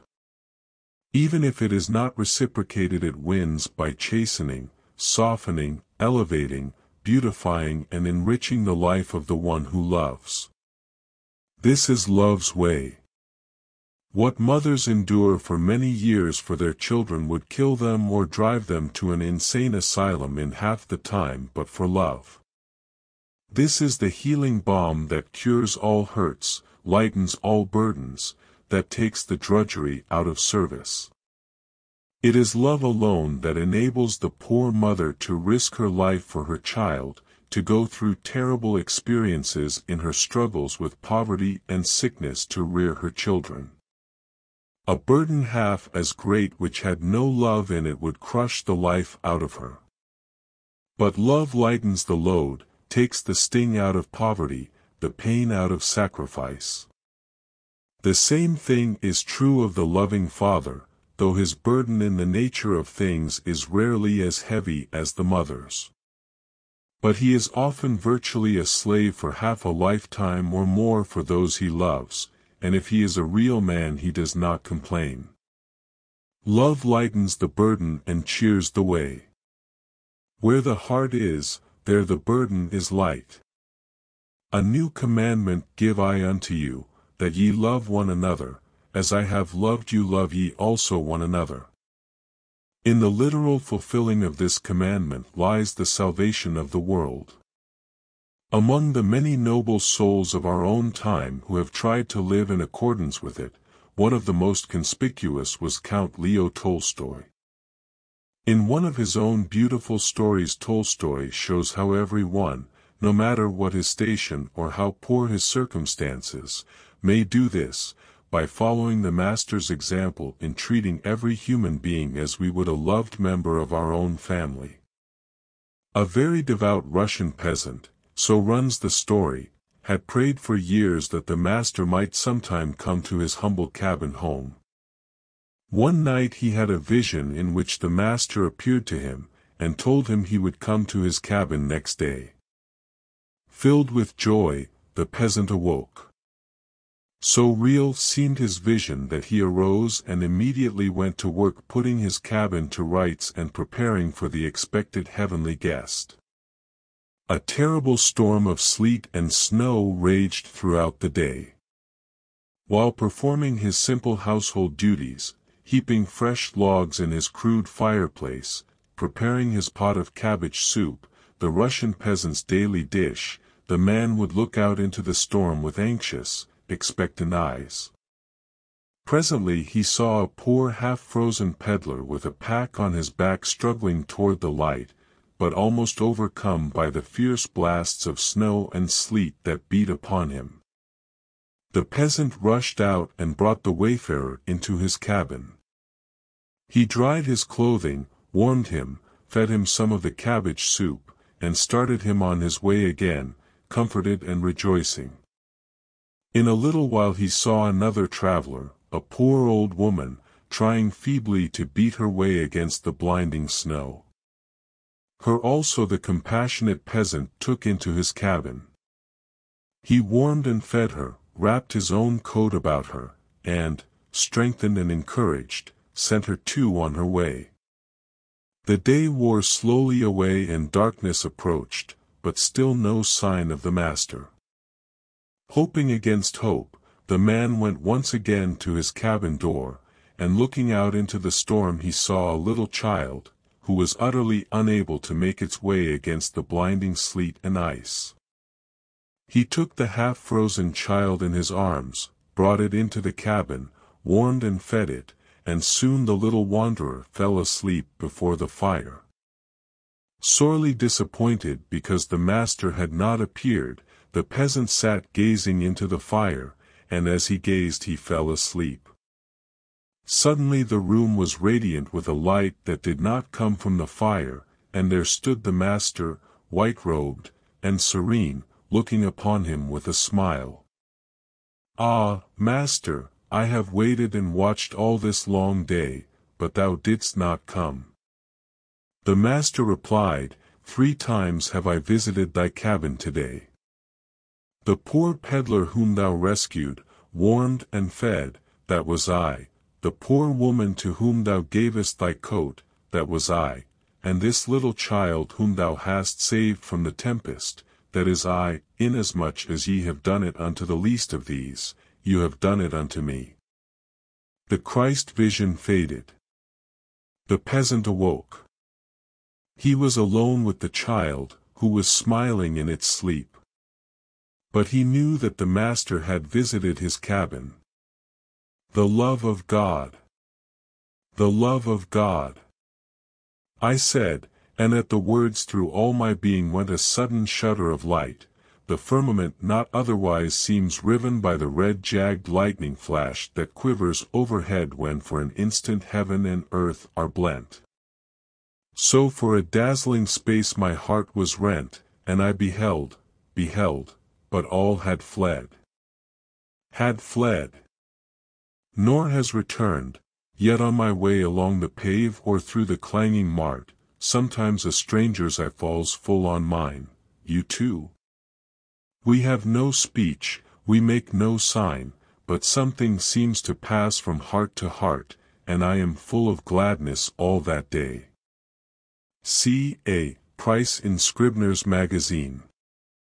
Chapter 10 Where Your Supply Is he who dares assert the I, may calmly wait while hurrying fate meets his demand with sure supply. Helen Wilmans Never affirm or think about yourself, your prospects, your career, or your happiness what you do not wish to come true. Every child should be taught to expect success and happiness, to believe that the good things of the world are intended for him. We never can get more out of ourselves than we expect. If we expect large things, demand them, if we hold the large mental attitude toward our work, toward life, we shall get much greater results than if we depreciate ourselves, and look for only little things. That man who dares not assert the I, with undaunted assurance, with the conscious vigor and determination of one who believes in his divinity, will never do great things, because he will never make the demand that will draw sure supply. Before one can hope to win out in any undertaking he must be able to say, I, positively, with the force of conviction. He must polarize his mind to the positive attitude. This is the attitude that creates, that produces results in the world of matter as well as in the realm of spirit. The positive man is forceful because he has faith in himself. He forms his opinions without the aid of others and is not afraid to stand for what he thinks. He does not hesitate to differ with others. He is not a mush of concession, like the negative weakling who subscribes to what everyone he meets says, thinks or believes. He makes statements with positiveness, without hesitation. The Bible would never have gained such a dominating place in the life of the race had it referred to authorities to substantiate its statements, had it tried to prove its doctrines. Much of its supremacy has come from its tremendous positiveness, its vigorous affirmation of facts. You will find nothing negative or wishy-washy in the great book. Its assertions are imperious, positive, dogmatic. It is one perpetual hammering, driving home of truths, of great fundamental facts. The biblical writers speak with assurance and authority because of their profound conviction of the truths they utter. They do not argue or plead. They affirm. There is no appeal. As has been well said of the Bible, it never appeals to readers for confirmation. It states, Every line breathes dominance, superiority and confidence. We find the same imperious dominant qualities, the same positiveness in great leaders of men. They deal in affirmations. They throw themselves with intense conviction into whatever they attempt. They continually, both mentally and vocally, assert their power to do it, and, the result is a natural corollary, they succeed in what they attempt. The difference between the positive and the negative mind, the man who can assert the I with vigor and the man who cannot, is the difference between success and failure. The positive man keys his life to the I can note, the negative man to the I can't. The positive man denies the limitations of environment, of resources, of opportunities. He not only believes but knows that infinite bounty surrounds him, and that he can make it his own. The negative man, on the other hand, will not fight against environment, no matter how hard it may be, but will yield to it without a struggle. He sees limitations and difficulties everywhere. To him obstacles are insurmountable. But for the positive, dominant qualities in man we would still be living in caves and eating our food raw. It is the positive, forceful man that overcomes. Obstacles do not frighten, or turn him from his purpose. They are to him but the apparatus in the gymnasium, which give him additional strength and reinforce his determination to achieve. He knows that he can command infinite supply, that the great forces of the universe are working for him, and that he has only to direct them. He knows that it is his birthright to conquer, that the Creator put him here for that very purpose, to overcome, to grow, to ascend, to be godlike. Everyone has sufficient positive power to guide and direct his own life if he will only use and develop that power. If he does not use he will lose. If you do not think and act for yourself, if you do not assert yourself and push your own way, the forces about you will take command and push you. And remember this, when you are pushed you go downhill, when you push yourself you go uphill. Everyone is either pusher or pushed in this world. Even the kingdom of heaven is taken by violence. He who would attain it must be aggressive for truth. No namby-pamby weakling who is afraid to stand on his own feet and fight for the right can get there. If you ever expect to do anything to justify your existence, quit looking for some outside agent which will move your life train. Your power is coiled up right inside of you. There is where your engine is. The name of that engine is I, use the great force at your command. Get up steam and forge ahead. You will never get very far by any other means. You are only losing time in trying to get any power outside of yourself, in pulls or influence, to move you forward. When the Creator made you a co-partner in His work, He put inside of you all the machinery necessary for the part you were to play. Claim what he intended for you. Develop and use your machinery, and no power on earth can hold you back from the goal you set for yourself.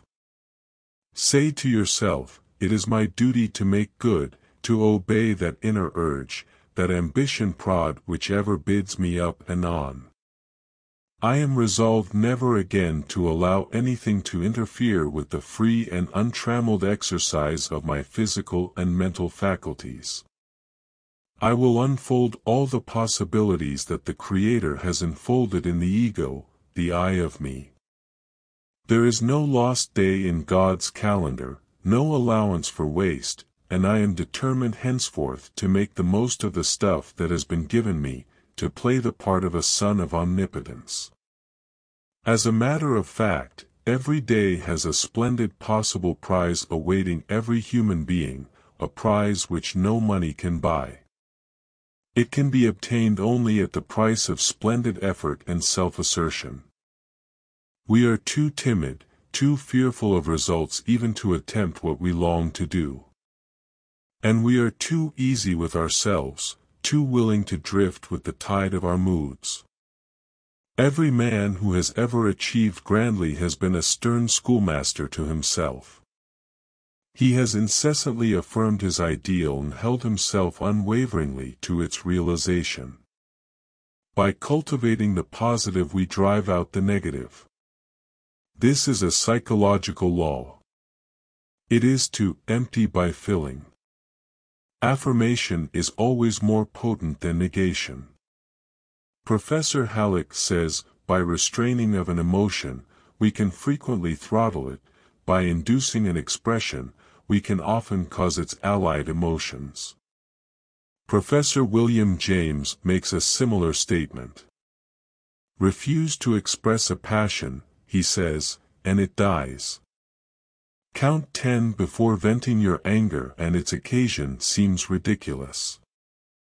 Whistling to keep up courage is no mere figure of speech. On the other hand, sit all day in a moping posture, sigh, and reply to everything with a dismal voice, and your melancholy lingers. There is no more valuable precept in moral education than this, as all of us who have experienced know. If we wish to conquer undesirable emotional tendencies in ourselves we must assiduously, and in the first instance cold-bloodedly, go through the outward movements of those contrary dispositions which we wish to cultivate. Smooth the brow, brighten the eye, contract the dorsal rather than the ventral aspect of the frame, and speak in a major key, pass the genial compliment and your heart must indeed be frigid if it does not gradually thaw. Few of us realize the tremendous force there is in the vigorous incessant affirmation of conditions which we long to establish. United with the visualizing of the man or woman we yearn to be or the thing we are determined to achieve, it becomes an irresistible power in shaping events. Act the part, affirm the possession, the assured realization of the thing desired, and it will tend to materialize. This is a fundamental law of creation. What is called autosuggestion, or self-suggestion, is one of the most active agencies employed in mind building. We can literally make our minds, thought by thought, as we can our bodies, fiber by fiber, through vigorous affirmation. There is a mysterious power in the spoken word which gets a greater hold upon us than simply passing the same word through the mind or looking at it on the printed page. The vocal expression of a thought makes a greater impression upon the memory and especially influences the subconscious mind. It works like a leaven in the whole nature, putting agents in motion that establish a connection between us and our desires, the objects for which we are working.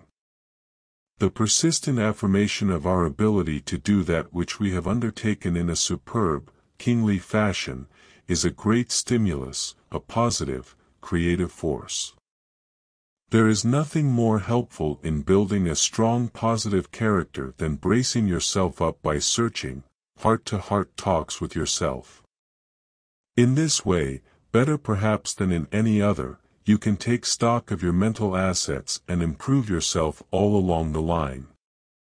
If you are timid, for instance, or even feel that you are something of a coward, stoutly deny it. Insist that you are no shirker, no coward, that you are brave even to daring. Boldly assume the quality of a hero, vehemently affirm that you actually possess invincible courage, and you will be surprised at your immediate increase of strength and positiveness. Deny that you have any weakness, defect or deficiency which can handicap your career. Insist upon affirming the opposite quality, the winning quality. If you lack decision, if you are a waverer, a vacillator, if you are a putter off of things, if procrastination runs in your blood, persistently affirm that you possess the opposite qualities. At the same time resolve that you are going not only to play the heroic part in life, that you are not only going to begin work upon the duty awaiting you, but that you are going to put it through, that you are going to do things, and that you will never again allow yourself to waver, to procrastinate in the smallest matter, even if you do make mistakes now and then. Better make a mistake and forge ahead than to remain negative and inactive. The habit of vigorous affirmation is the habit of victory. But remember that action must follow on the heels of resolution or you will never go any farther. Affirmation and resolution without prompt endeavor for realization are worse than useless.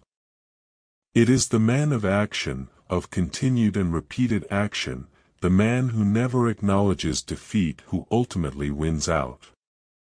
During our Civil War the Southern generals said it didn't do any good to beat Grant, because he never knew when he was beaten and, consequently, wouldn't stay beaten. Men who leave their mark on the world are men of iron resolution, of grim determination. If youth were only taught at home and in school the power of an inflexible resolve, an inexorable affirmation of the thing they are determined to accomplish, if they were only taught the invincibleness of an unshakable will, of the positive victorious mental attitude, of a resolve which knows no defeat, life would not be half so hard. Nerve us with incessant affirmatives. Don't bark against the bad, but chant the beauties of the good. The positive, creative, affirmative elements are our friends. They draw us our sure supply. All negatives are our enemies. They drive away supply. Affirm the good, never the bad, the bright, never the dark, the true, and never the false, harmony, never discord. We should never forget that whatever tends to optimism is ready to give us a lift. The first step toward a happy, Successful life is to get control of the supply that is ready to flow in answer to our demand. This you can do by forming the habit of affirming that the best will come to you, that only the things that are good for you can come into your life. Don't let yourself slip into the foolish habit of anticipating trouble, misfortune, sickness, disaster, accidents. To anticipate or expect such things is to affirm their reality and draw them to you. The habit of anticipating them will get them into the habit of arriving. You will thus be drawn into a current of circumstance corresponding to the character of your negative thought. Put yourself into a positive, success and happiness attitude the first thing every morning by taking time, even if only a few minutes, to commune with the Creator. Get into tune with the infinite, the source of your strength, the moment you awake. Keep yourself in harmony with the principle which underlies your being during the day and your every act will be a step forward on the desired road. Say to yourself constantly, happiness is my birthright. I was made to exult in life, not to go about with a long, sad, dejected face as though it had been a bitter disappointment, as though I were a misfit in the world.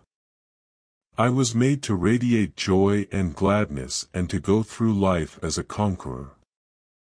If I am indeed a child of the Creator, and I know that I am, it is a positive insult to him to go through the world as though I were a beggar, a slave. I bear the image of the King of Kings, and it is my business to make all men see the likeness. It is my duty to prove my divine heritage by radiating royal manhood. I know of no practice which will do more for one's growth and life enlargement than the habit of rising above one's moods and discouragements through perpetual affirmation of one's divinity. If, for example, you get up in the morning feeling negative, blue and discouraged, if you don't feel like working at anything, just go off alone and have a good heart-to-heart -heart talk with yourself something like this, now, look here, young man, or young woman, none of this, you are going to do a grand day's work today, you are going to get right out of this condition, you have had enough of it. If you are a real man, or woman, you will rise above your mood and wring victory out of this day, even though it looks so unpromising. It does not matter what comes or what goes, what happens or what does not happen, there is one thing I am sure of, and that is, I am going to be positive, creative, to get the most possible out of today, I am not going to allow anything to rob me of my happiness, or of my right to live this day through from beginning to end, and not merely to exist. I do not care what comes, I shall not allow any annoyance, any happening, any circumstance which may cross my path to rob me of my power and peace of mind. I will not be unhappy today, no matter what occurs. I am going to enjoy it to its fullest capacity. This shall be a complete day in my life. I shall not allow the enemies of my happiness to mar it. No misfortune in the past, nothing which has happened to me in days gone by, which has been disagreeable or tragic, no enemies of my efficiency, shall be guests in my spirit's sacred enclosure today. Only happy thoughts, joy thoughts, friend thoughts shall find entertainment in my soul this day. No negative thoughts, none of my enemies shall gain admittance to scrawl their hideous autographs on the walls of my mind. There shall be no admittance, today, except to the friends of my best moods. I will tear down all black, sable pictures and hang in their place pictures of joy and gladness, of things which will encourage, cheer, and increase my power. Everything which ever handicapped my life, which has made me uncomfortable and unhappy, shall be expelled from my mental kingdom this day and every coming day.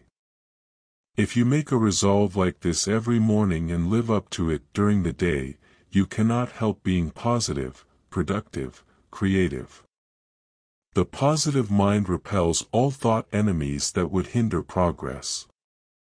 Doubt, fear, despair, worry, these have no place in the creative brain. They are products of the negative mind. The man who would bend circumstances to his will cannot afford to harbor them. Hold negative, despondent, discouraged thoughts and your surroundings will be negative, unpropitious.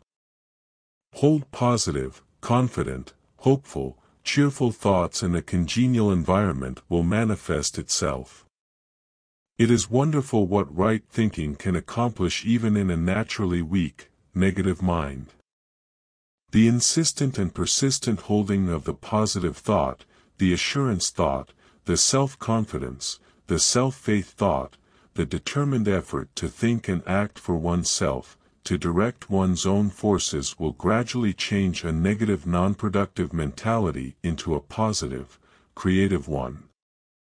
I have known very timid, sensitive people who scarcely dared to say their souls were their own before others, to so cure their habit of self-effacement and so strengthen their weak self-confidence by constant audible affirmation of their own strength, that in a very few months they had largely overcome this weakness.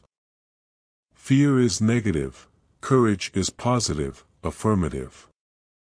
If we would make our lives effective, we must root out all of the things which keep us in discord, all negative elements, and give ourselves over to the power of affirmation. Many a person has ruined his life effort by depreciating it and sending out to those about him the negative vibration of his inferiority.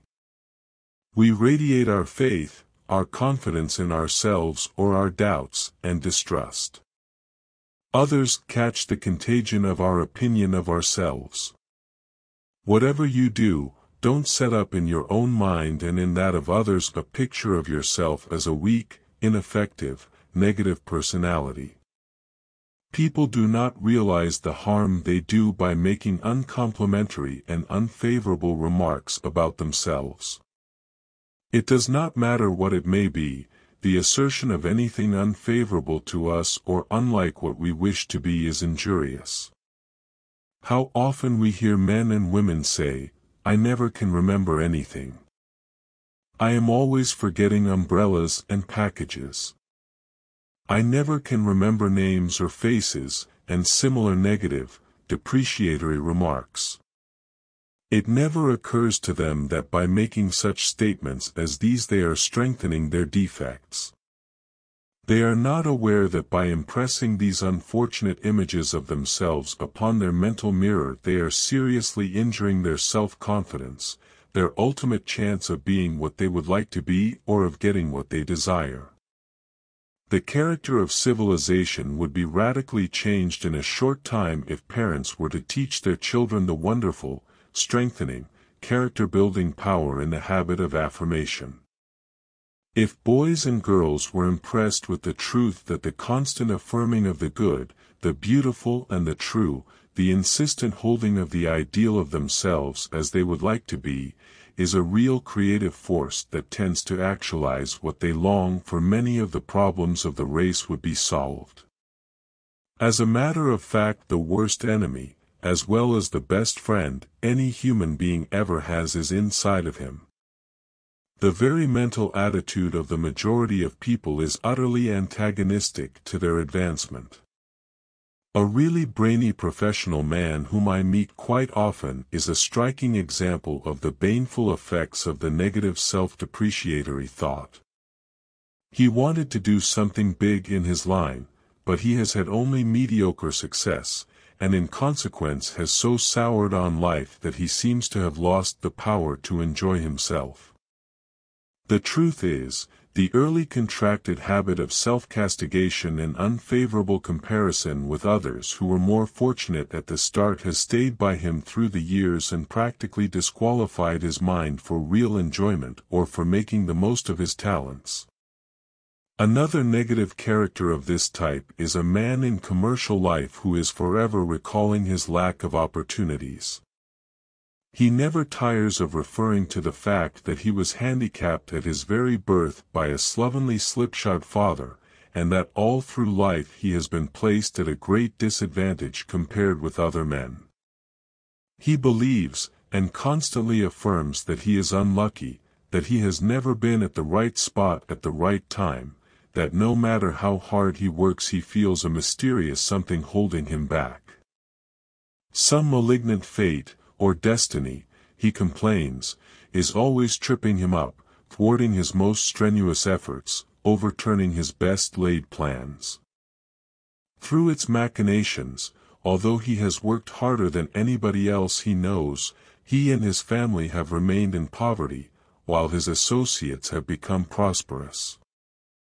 The cause of this man's failure is not far to seek. It is plain that he started wrong and has been going wrong ever since. He has been talking failure all his life, affirming hard times, poverty, ill luck, and disappointment. He has been sowing thistles and all sorts of ill weeds in his garden and yet he wonders why his harvests have been so stingy, so blighted and overshadowed by weeds. Affirmations, acts, motives, ambitions, mental attitudes are the seeds sown in human gardens. Their character determines what our harvests shall be. Our future reaping depends entirely on our past sowing. What we are enjoying or suffering today is the result of yesterday's sowing. We are reaping weeds, thistles, thorns, or beautiful flowers and luscious fruit, according to the seeds we have sown. The only soil in which our good seed thoughts will flourish is that of mental harmony. In this fruitful ground lies the secret of all efficiency and happiness. To come into unity with the author of our being is to realize perfect mental harmony. And this is the first requisite of an efficient life, a goal that can be reached only by the road of constant, unfailing affirmation.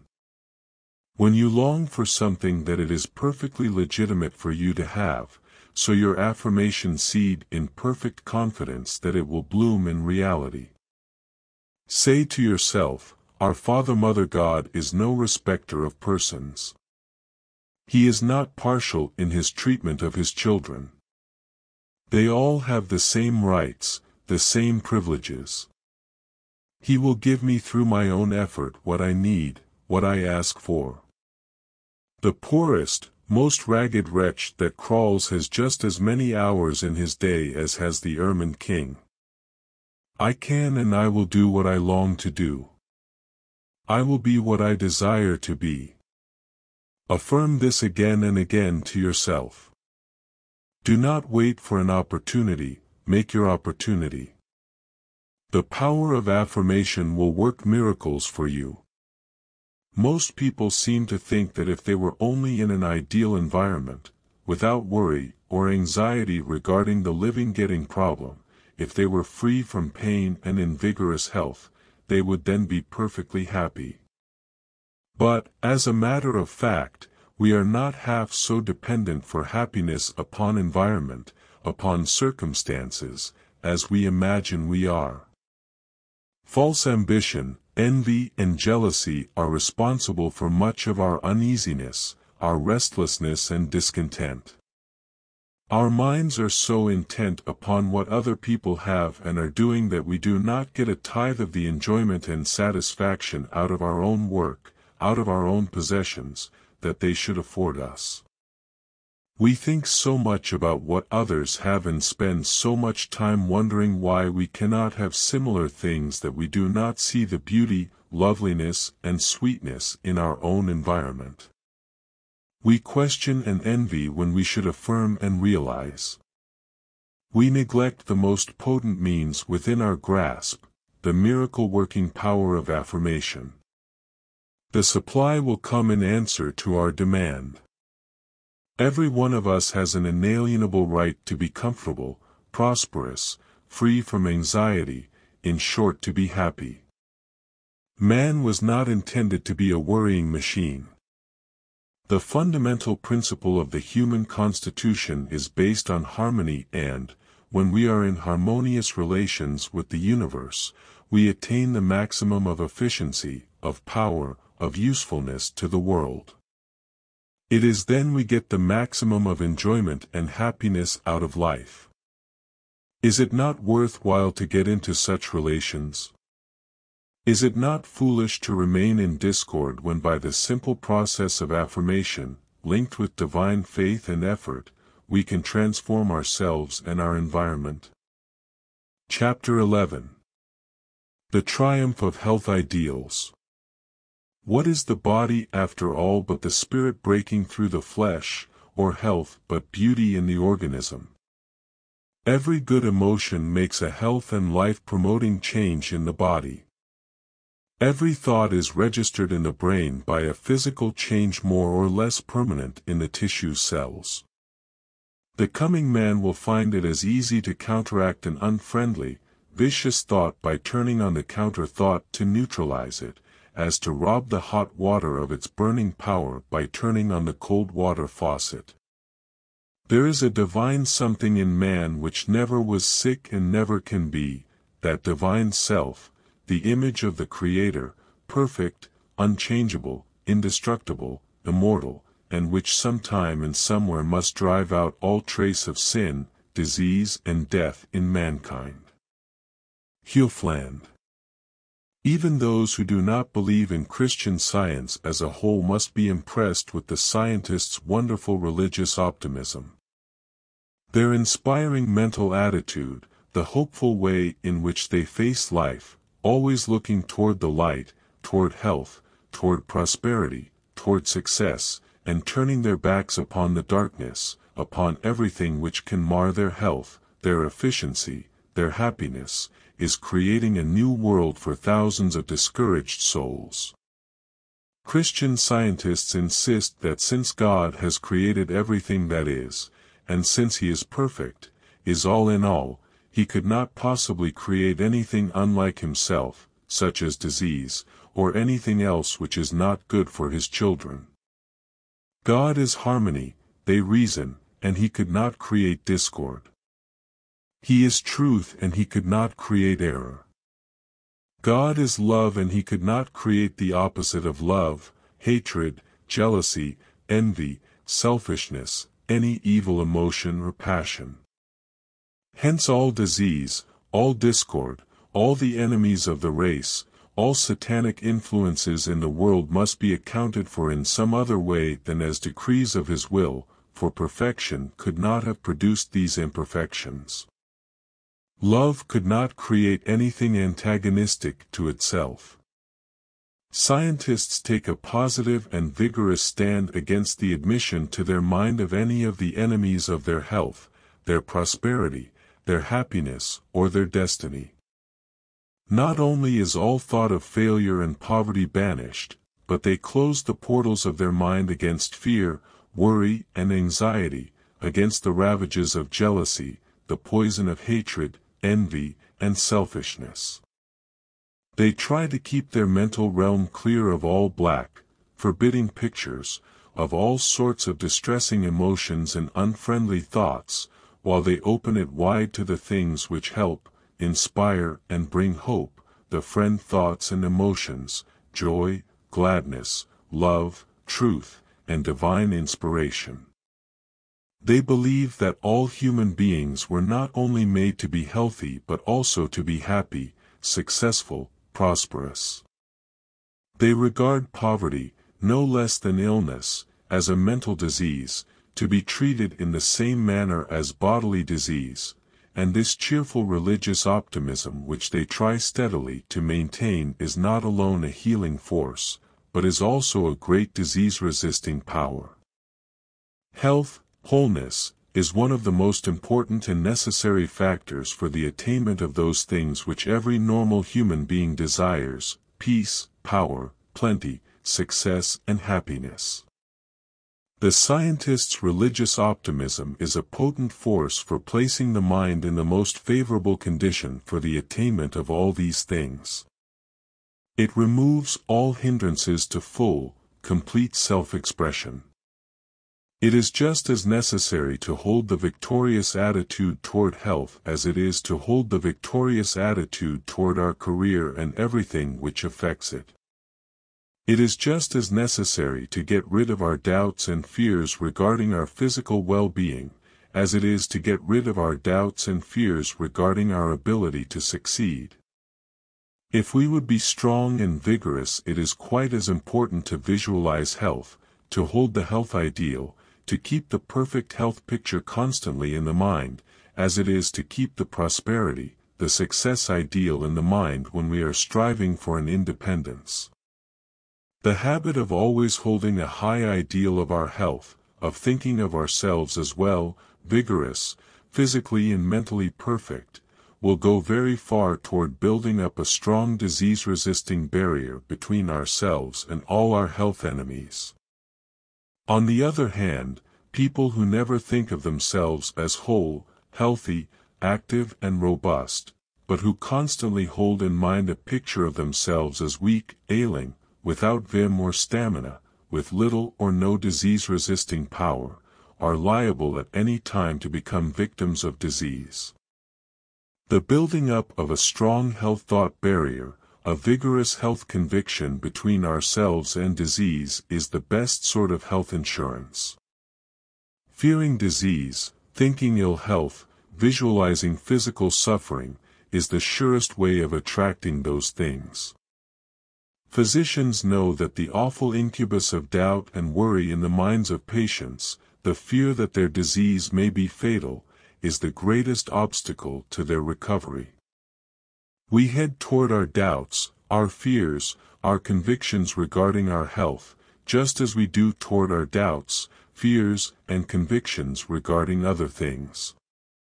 If we are convinced that we are not going to be strong, rugged, virile, if we fear that we are likely to develop inherited weaknesses and disease tendencies, we are headed toward these conditions, and will probably realize them. On the contrary, if we hold the victorious attitude toward health, if we visualize the health ideal, the health conviction, we head mentally toward health, and what we head toward mentally is the pattern of that which is continually being built into our life structure.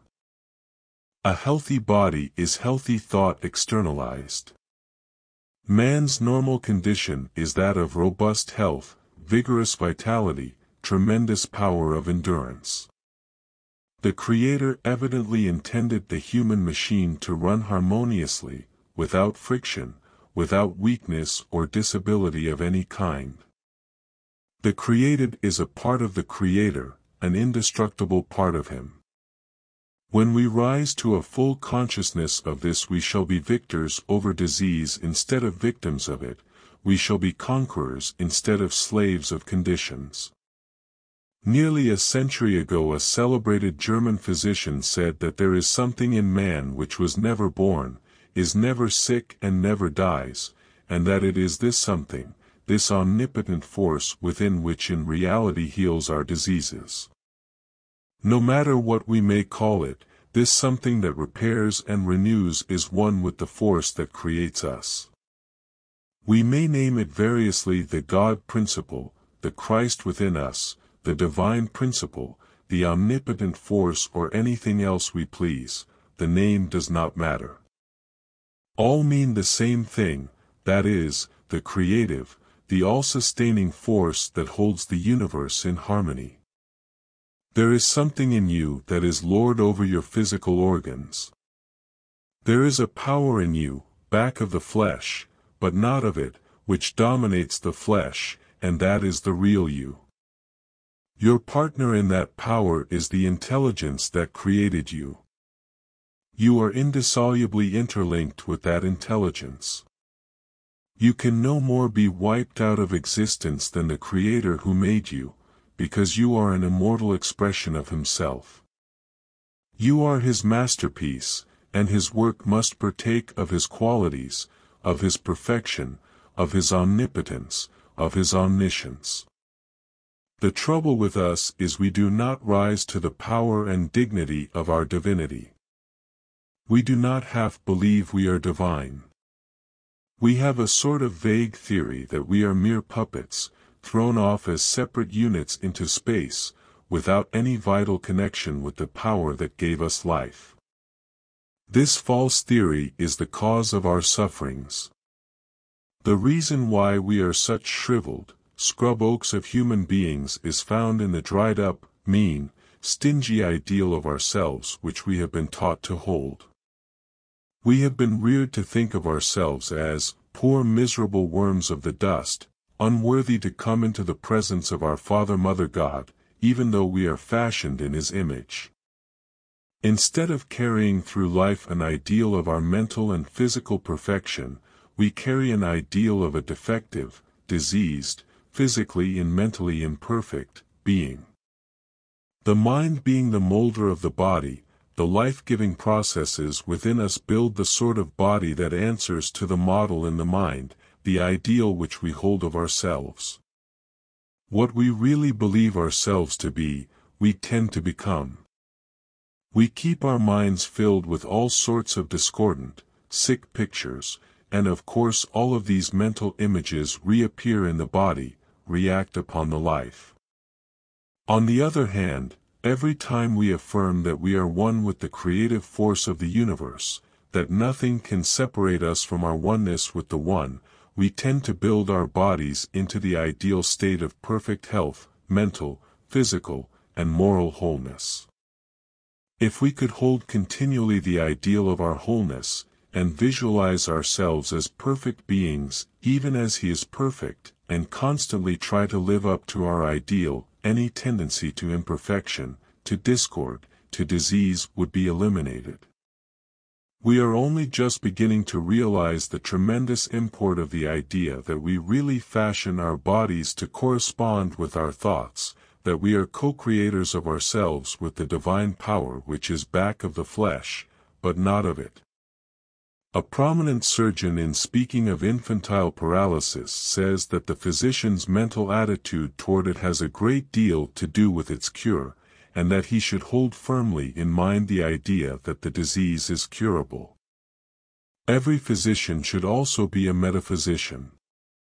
He should be a profound believer in the principle that the power which created the patient can recreate him, can repair damages, restore diseased or lost tissues. The most advanced physicians do believe that at best they can but help nature in her healing processes. They realize that the same power which created the patient is present in the healing of every wound, every broken bone and every hurt we suffer. The surgeon sets the bone, dresses the wound, but the same power that first created the flesh and bone must do the healing. The mental healer vigorously denies the reality of disease in the sense that truth is a reality. To him all is infinite mind, and its infinite manifestation, as Mrs. Eddy says, and therefore all must be good. Only the good can be real as God made all that is. The persistent denial that anything could exist which the Creator did not create, and that he could make anything unlike himself, is one of the fundamental principles of the Christian science faith. To the healer health is a vital, immortal principle, the everlasting fact, and disease, although it seems painfully real to the sufferer, is but a false belief. The healer holds in mind only what he desires to establish in his patient's mind. He shuts out everything else. Health is what he wishes to establish, and to do this he holds insistently and tenaciously the health ideal. He refuses to see the sick, diseased man or woman, and persists in visualizing the ideal one that God intended. To him the defective, deficient, suffering being which disease and physical discord have made is not the real man or woman. That being is only a travesty of the ideal, perfect creature the Creator planned. He does not allow himself to think of, or to picture disease symptoms. To visualize the physical appearance of disease would be to acknowledge its reality, and this would be to defeat his healing. He could not, for example, cure cancer or tuberculosis while mentally picturing the horrible symptoms of these diseases. He wishes to keep all such things out of his mind because of their baleful suggestiveness. Visualizing them would merely etch their reality deeper and deeper in his consciousness, and the suggestion would be conveyed into the patient's consciousness. The mental healer's aim is to produce in the mind of the person he is treating a consciousness of the scientific reality of health, and of the unreality of disease.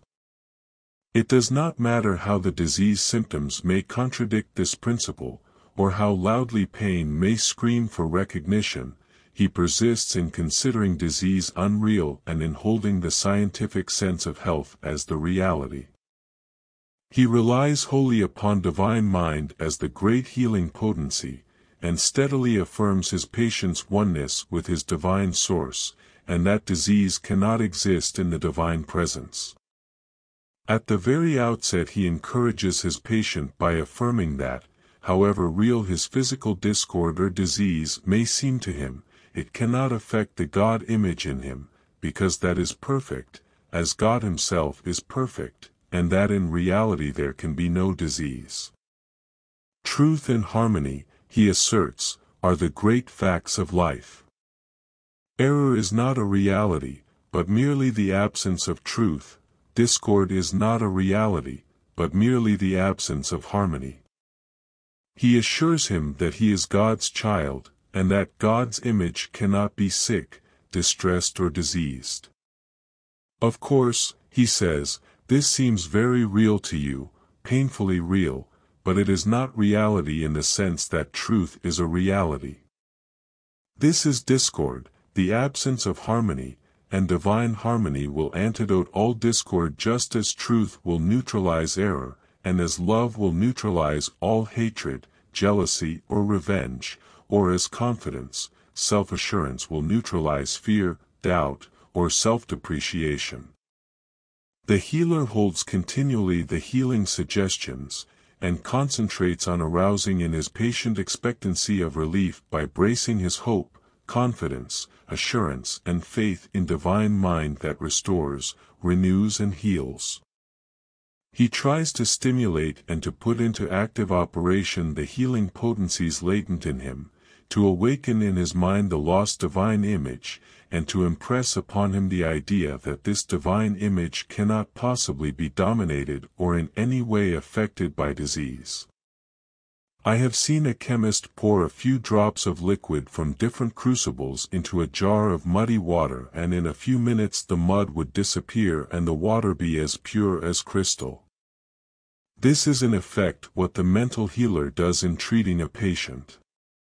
No matter what the disease is his great remedy lies in mental chemistry, in neutralizing, destroying the error with its natural antidote. The healer's constant affirmation that there can be no sickness, no disease in God's image in man, is a powerful suggestion which tends to weaken the grip of error in his patient's body. The very shutting out of all fear, of the terror of disease and death, is a great step towards a cure, because these things are depressing to all the bodily functions. Everything that discourages, that makes the patient despondent, is a great devitalizer, and constantly lowers his disease-resisting power.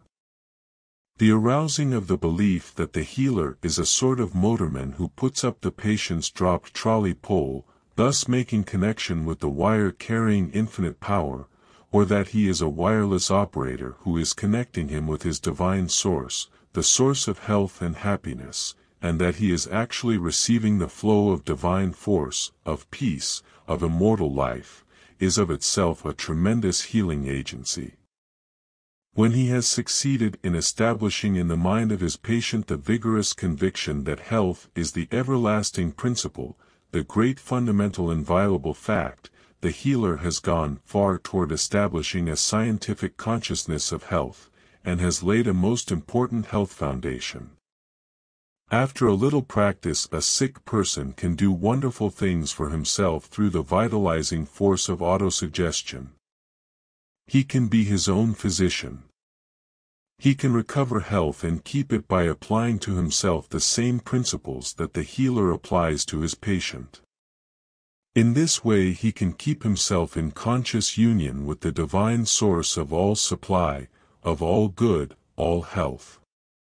There are sufficient latent potencies in every human being, if he would only arouse and make them operative, to keep him in health and harmony. We can all be our own healers if we will.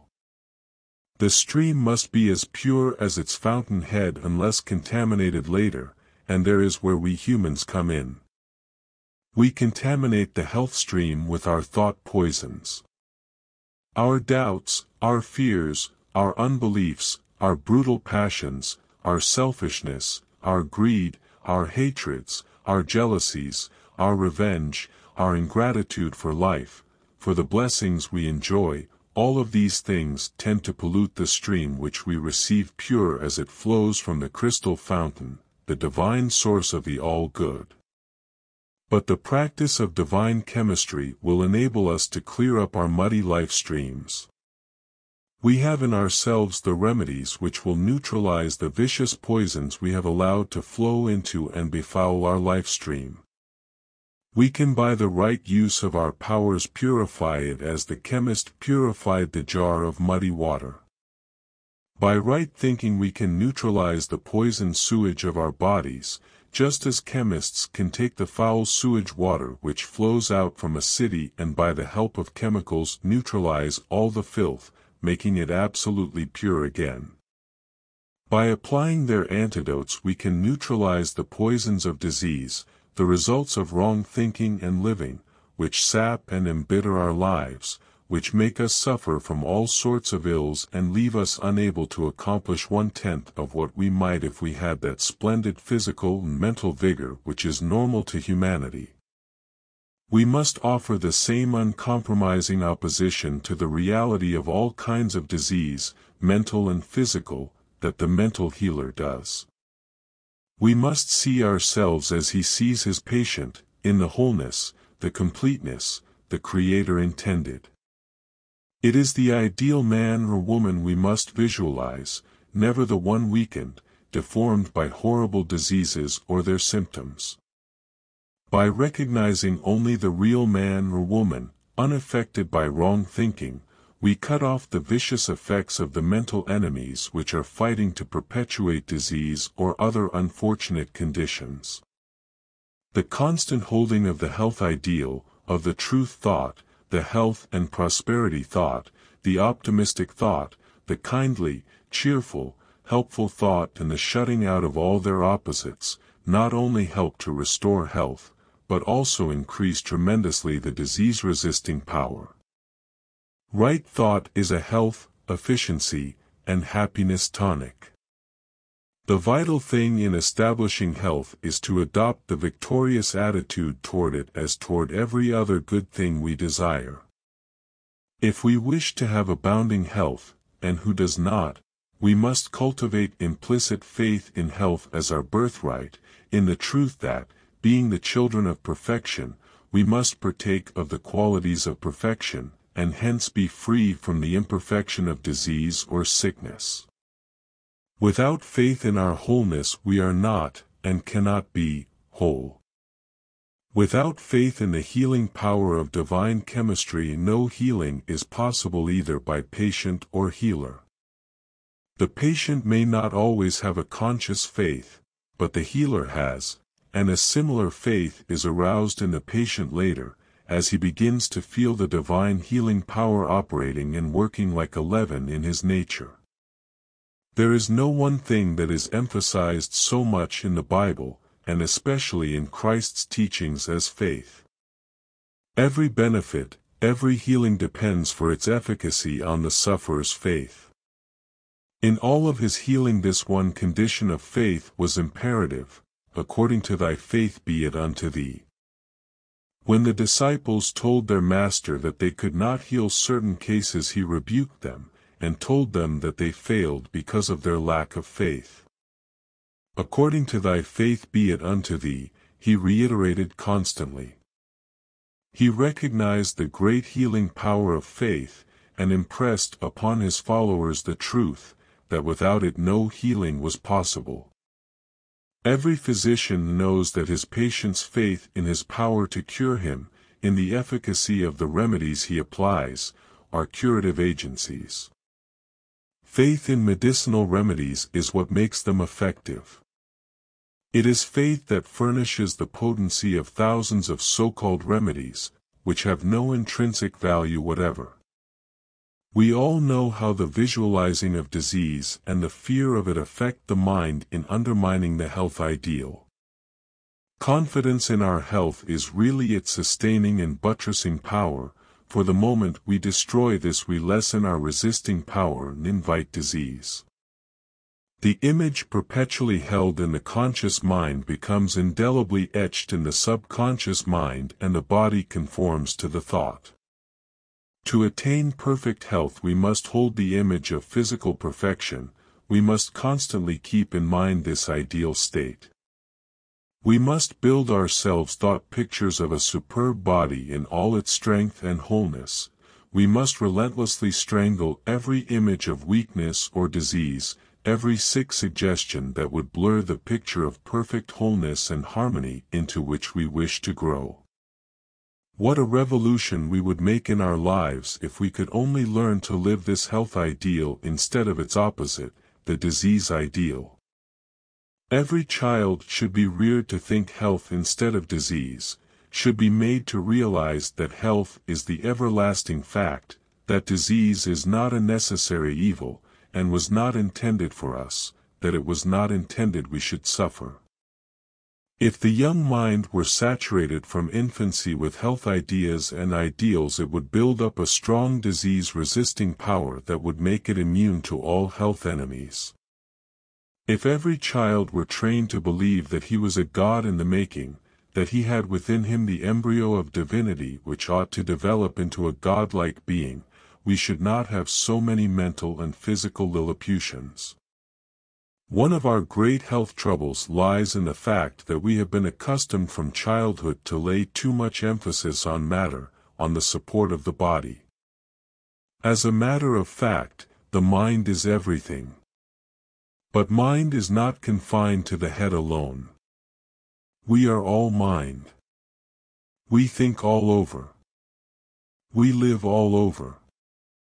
Our sensations are the intelligent expression of all the cells of the body. The body is a great cooperative institution composed of billions of cells. Some of these cells have a higher functioning quality than others, but they all have their appointed places. Every cell is an important member of the body corporation and has a voice in the government of the whole. When we are wounded or diseased, for instance, billions of these tiny cell repairers, healers, renewers, health builders, rush instantly to the wounded part to repair and restore the injured tissues. We are all conscious that there is continually going on within us these repairing, renewing, reinvigorating, as well as healing, processes. We feel that there is a marvelous and beneficent intelligence ever working miracles within us, a power which heals our wounds and cures our hurts. Whence comes the intelligence which governs and directs the work of these little builders and repairers? It comes from the within of us, for our objective mind is comparatively passive in the process. But the great intelligence back of the flesh, which keeps the heart beating, the lungs breathing, and all of the various bodily functions in activity, never ceases working, and never leaves us for an instant. It permeates every atom of the body, illuminating each separate cell with a reflection of its own light.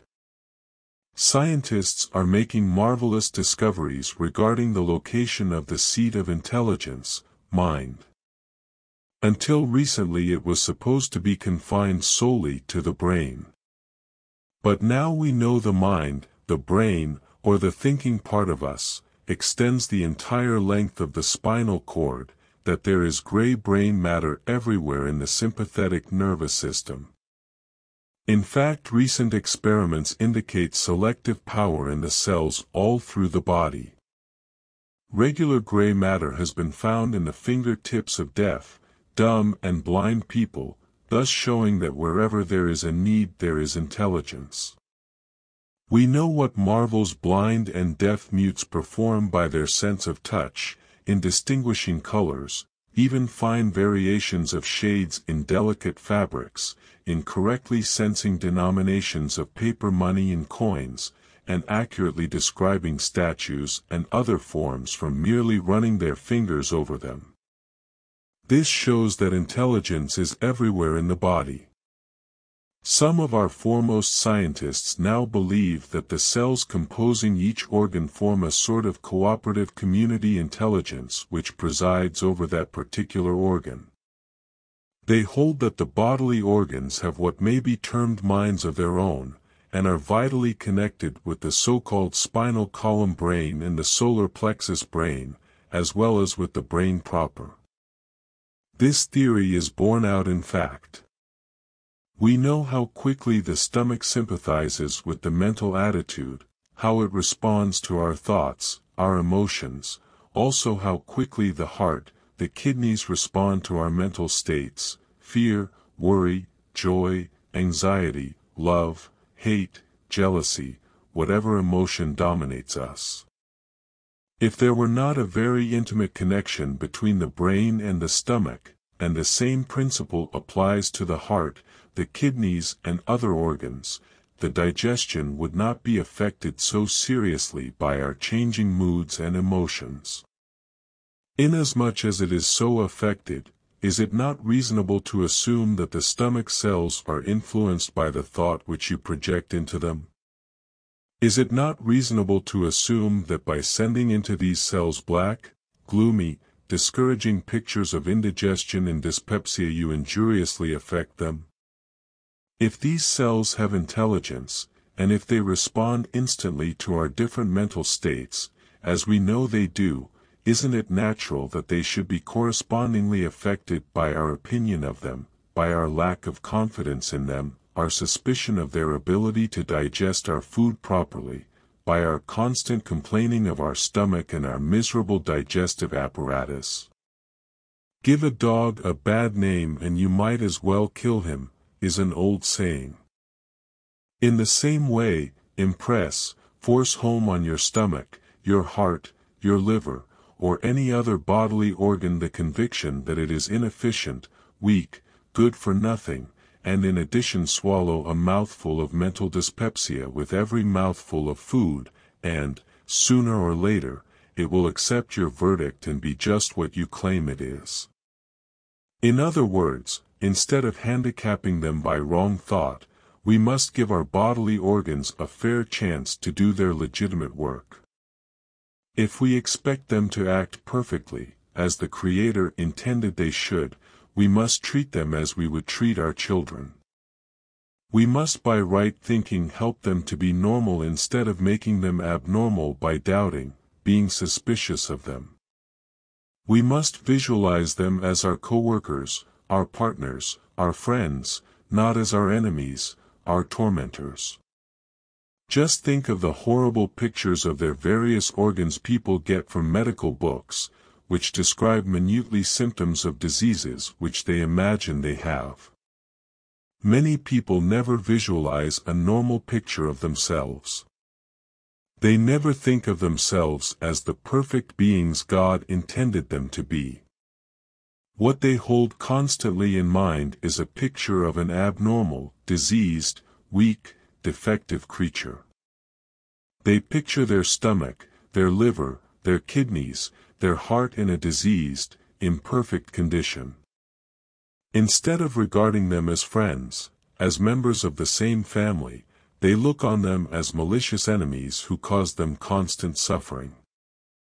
Oh, they cry out, I've got such a miserable stomach. I can't eat anything. Everything I eat hurts me. My treacherous old heart, how it pumps.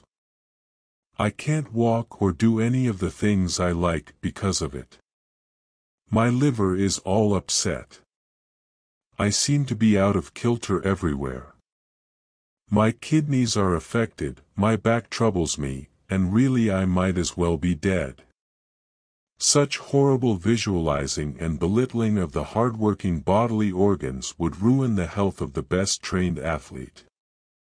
If you would be a friend to yourself, you must be a friend of your organs, which are so intimately and sympathetically connected with your brain-mind, the central station of your body. You must believe in their perfection, in their normal functioning. You must picture them trying to help you to carry out your great life purpose instead of working at cross purposes with you. You must have confidence in them, Think of them as your friends instead of enemies handicapping your success and ruining your chances in life. Replace the pictures of diseased organs with their opposites, pictures of their wholeness, their completeness, their soundness, and you will find yourself coming into health and power. Assume the victorious attitude, and think of yourself as an absolutely perfect being, divine, immortal, possessing superb health, a magnificent physique, a vigorous constitution, a sublime mind. Every morning when you rise, before you go to bed at night, and whenever you think of it during the day, stoutly affirm the fact of your perfection physically, mentally, and morally. Constantly assert mentally, and, when alone, orally, I am health because I am of God. God is my life, he is the great creative power that sustains and upholds me every instant. This power is perpetually recreating me, and trying to keep me up to the ideal, the original plan of my being when I was created. I shall cooperate with it today, and every day. I shall aim to be perfect, even as my Father. There is a great restorative power in the mere resolve to be well, strong and vigorous, in affirming and tenaciously holding the perfect ideal of ourselves which the Creator had in His plan of us. There is a recreative force in the realization that any departure from this ideal means departure from God, from perfect health, from the reality of the perfect physical, mental and moral being planned by Him. You will be surprised to see how this mental attitude, this visualized physical ideal, will be reproduced in the body. The mind is the body builder, the great health sculptor, and we cannot surpass our mental model. If there is a weakness or flaw in the thought model, there will be corresponding deficiencies in the health statue. As long as we think ill health, doubt our ability to be strong and vigorous, as long as we hold the conviction of the presence of inherited weaknesses and disease tendencies, look upon ourselves as victims instead of conquerors of ill health, in short, as long as the mental model is defective perfect health is impossible. Joyous, abounding health can be established just as anything else can be established, by right thinking and right living, by thinking health instead of disease, thinking strength instead of weakness, harmony instead of discord, thinking true thoughts instead of error thoughts, love thoughts instead of hatred thoughts, health thoughts, upbuilding thoughts instead of destructive tearing down thoughts. A great many regular physicians now, and all soon will, show patients how they can make use of the great healing, medicinal power of thought, the miracle of right thinking, which unites them with the force back of the flesh. They will show each patient what attitudes of mind, what affirmations and what autosuggestions will tend to keep him in harmony, they will teach him the healing use of suggestion. The physician of the future will use largely for his remedies, ideas, mental attitudes, and suggestions. The time will come when parents and teachers will realize the tremendous force, the character-building power in the affirmation of health, wholeness, completeness, harmony. They will teach children to exert this power that will drive out discord and dispel disease.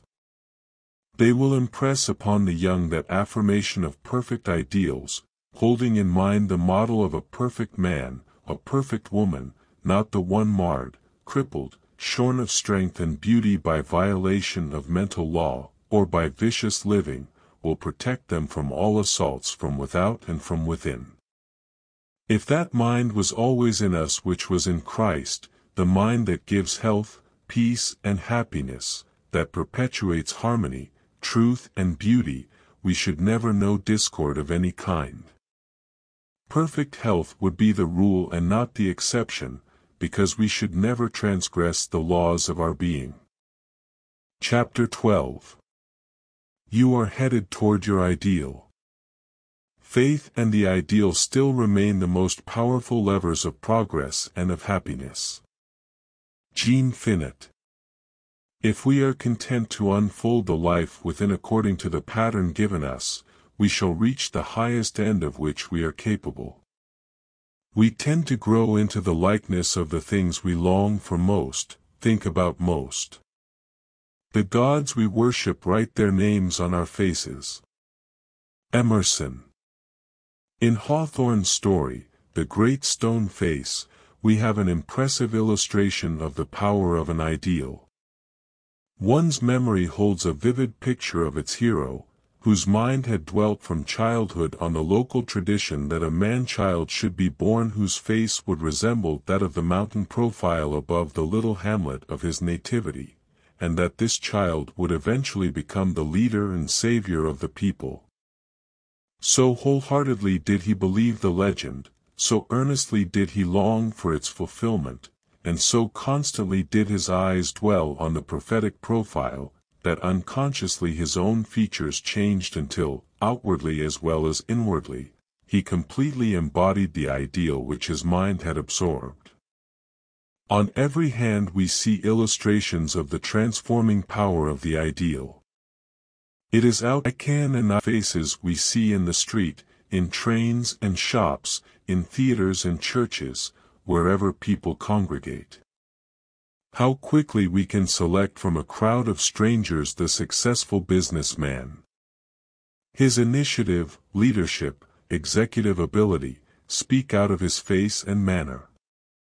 The same is true of men in other vocations, of the scholar, the clergyman, the lawyer, the teacher, the doctor, the farmer, the day laborer. Go into any institution, factory, store, or other place of business and you can quickly detect the nature of the ideals outpictured in the faces, in the expression, in the manner of the people you see there. Visit Sing Sing and you will see the power of the ideal which has worked like a leaven in its inmates. The criminal suggestion, the criminal thought, the criminal ideal is reflected in the faces of those who visualized crime, planned and thought out its details long before they committed the criminal act. Whatever we hold in our minds, dwell upon, contemplate, whatever is dominant in our motives, will stand out in our flesh so that the world can read it. Many absolutely authentic cases of stigmata are recorded in the lives of medieval saints, on whose bodies appeared an exact reproduction of all the wounds of the crucified Christ. Some of these cases were in convents and monasteries, and were the result of long and intense concentration of the mind of the subject upon the physical sufferings of Christ. Frequently the phenomena occurred after the austerities of Lent, during which the monks and nuns had focused more intensely and steadily upon the tortures of the Saviour's passion and death. If the contemplation of those tortures, the constant mental picturing of the sufferings of the God-man, the soul's great sympathy with its ideal could change the very tissues of the body, could reproduce on it the actual physical marks of the cruel spear in the side, of the nails in the hands and feet and of the thorns in the head, think of the wonderful possibilities in the reversal of these thoughts and this picturing. Think of what the contemplation of the wonderful work accomplished by the Savior on earth, of the constant mental picturing of his glorious life, of his tenderness, and love for humanity, of his power and dignity, of his continual outpouring of himself in service. Think of what the constant holding of such an ideal, such a model, and the perpetual effort to realize it would do for the race. We tend to become like what we admire, sympathize with and persistently hold in mind. The hero of The Great Stone Face became the counterpart of his ideal. The history of Christianity is a continuous record of the power of the ideal to raise men and women to their highest power.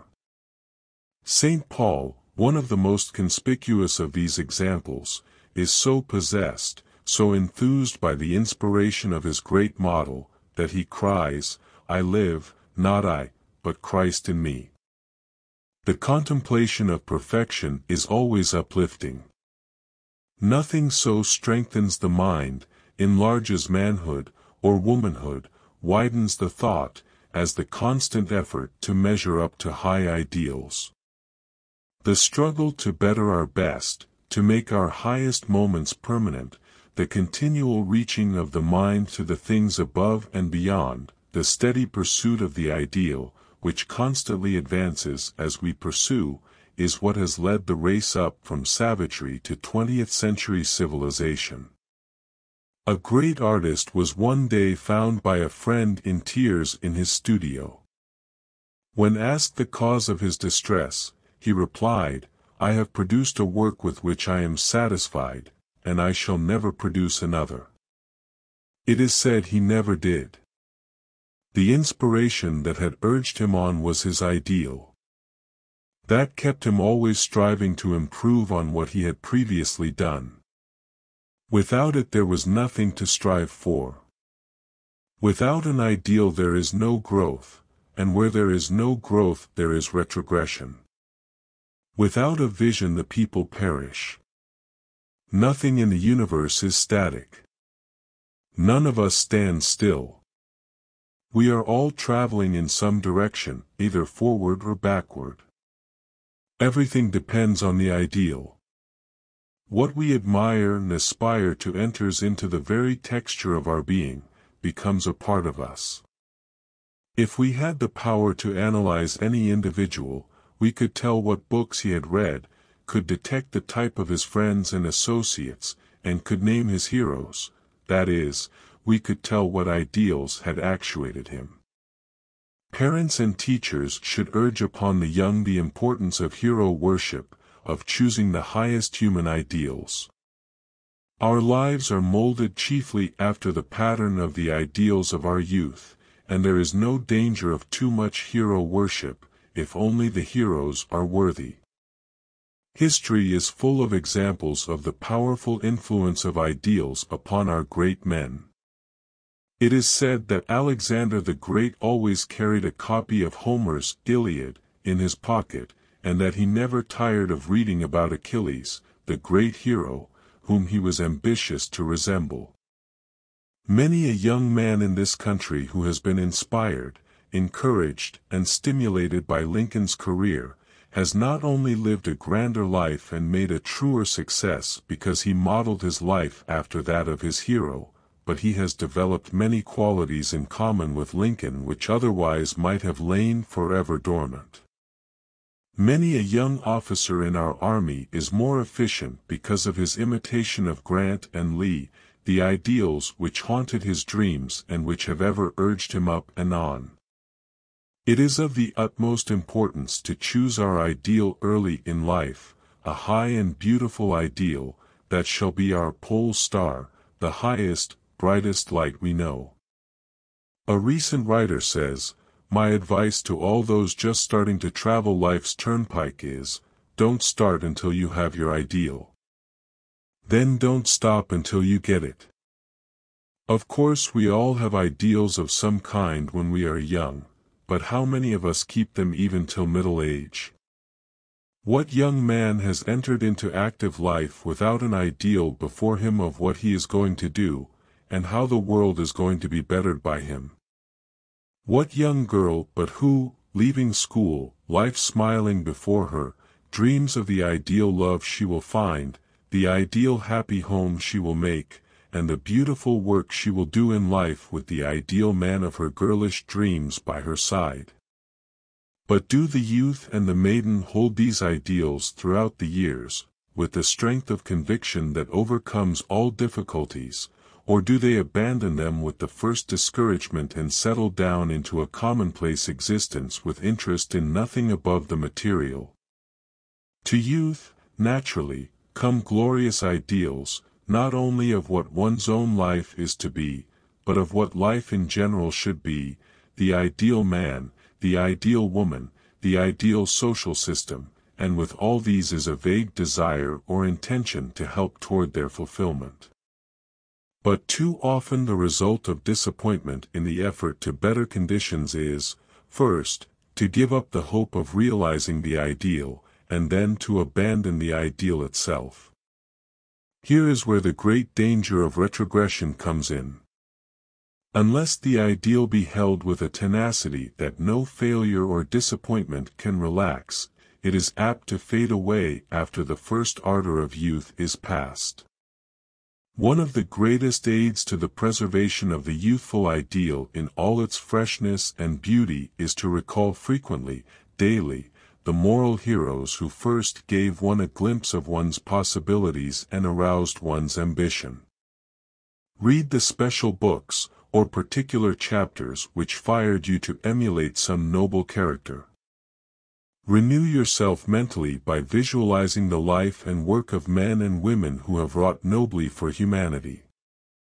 Think of the Washingtons, the Franklins, the Lincolns, the Emersons, the Ruskins, the Florence Nightingales, the Jane Addams, the Susan B. Anthonys, the Frances Willards, and you will be strengthened to resist the debasing influence of the fierce competition for wealth and preferment, even for mere subsistence, which in so many instances pushes out of sight the aspirations and ideals of youth.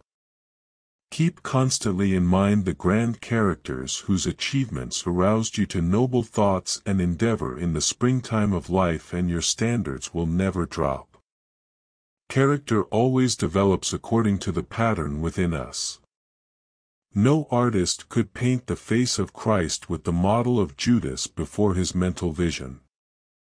No great character can ever be built with low, groveling ideals in the mind. The constant struggle to measure up to a high ideal is the only force in heaven or on earth that can make a life great, beautiful and fruitful. If we would ever accomplish anything of worth, if we would ever establish our oneness with the Creator, and accomplish the work He sent us here to do, we must live up to our ideal. With eyes fixed on this ideal, we must work with heart and hand and brain, with a faith that never grows dim, with a resolution that never wavers, with a patience that is akin to genius, we must persevere unto the end, for, as we advance, our ideal as steadily moves upward. The situation that has not its duty, its ideal, says Carlyle, was never yet occupied by man. Yes, here, in this poor, miserable, hampered, despicable actual, wherein thou even now standest, here or nowhere is thy ideal, work it out therefrom, and, working, believe, live, be free. Fool! The ideal is in thyself. Never were truer words spoken. Wrapped up in every human being there are divine energies which, if given proper direction, will develop the ideal from stage to stage. Who sees a sculptor at work upon a block of marble sees what appears to be only a mechanical performance. But, out of sight in the sculptor's brain, there is a quiet presence we do not perceive, and every movement of the hand is impelled by that shining thought within the brain. That presence is the ideal. Without it he would be a mason, through it he becomes an artist. The ideal is the real. By it we shape our lives as the sculptor shapes the image from the rough marble. External means alone will not accomplish this. You must lay hold of eternal principles, of the everlasting verities, or you never can approach your ideal. Your first advance toward it lies in what you are doing now, in what you are thinking. Not on some far-off height, in some distant scene, or fabled land, where longing without endeavor is magically satisfied, will we carve out the ideal that haunts our souls, but, here and now in this poor, mean actual, here or nowhere is our ideal. In the humble valley, on the boundless prairie, on the farm, on sea or on land, in workshop, store, or office, wherever there is honest work for the hand and brain of man to do, within the circumscribed limits of our daily duties, is the field wherein the outworking of our ideal must be wrought. Your circumstances may be uncongenial, says James Allen, but they shall not long remain so if you but perceive an ideal and strive to reach it. You cannot travel within and stand still without. Here is a youth hard pressed by poverty and labor, confined long hours in an unhealthy workshop, unschooled, and lacking all the arts of refinement. But he dreams of better things, he thinks of intelligence, of refinement, of grace and beauty. He conceives of, mentally builds up, an ideal condition of life, the vision of a wider liberty and a larger scope takes possession of him, unrest urges him to action, and he utilizes all his spare time and means, small though they are, to the development of his latent powers and resources. Very soon so altered has his mind become that the workshop can no longer hold him. It has become so out of harmony with his mentality that it falls out of his life as a garment is cast aside, and, with the growth of opportunities which fit the scope of his expanding powers, he passes out of it forever. Years later we see this youth as a full-grown man. We find him a master of certain forces of the mind which he wields with worldwide influence and almost unequaled power.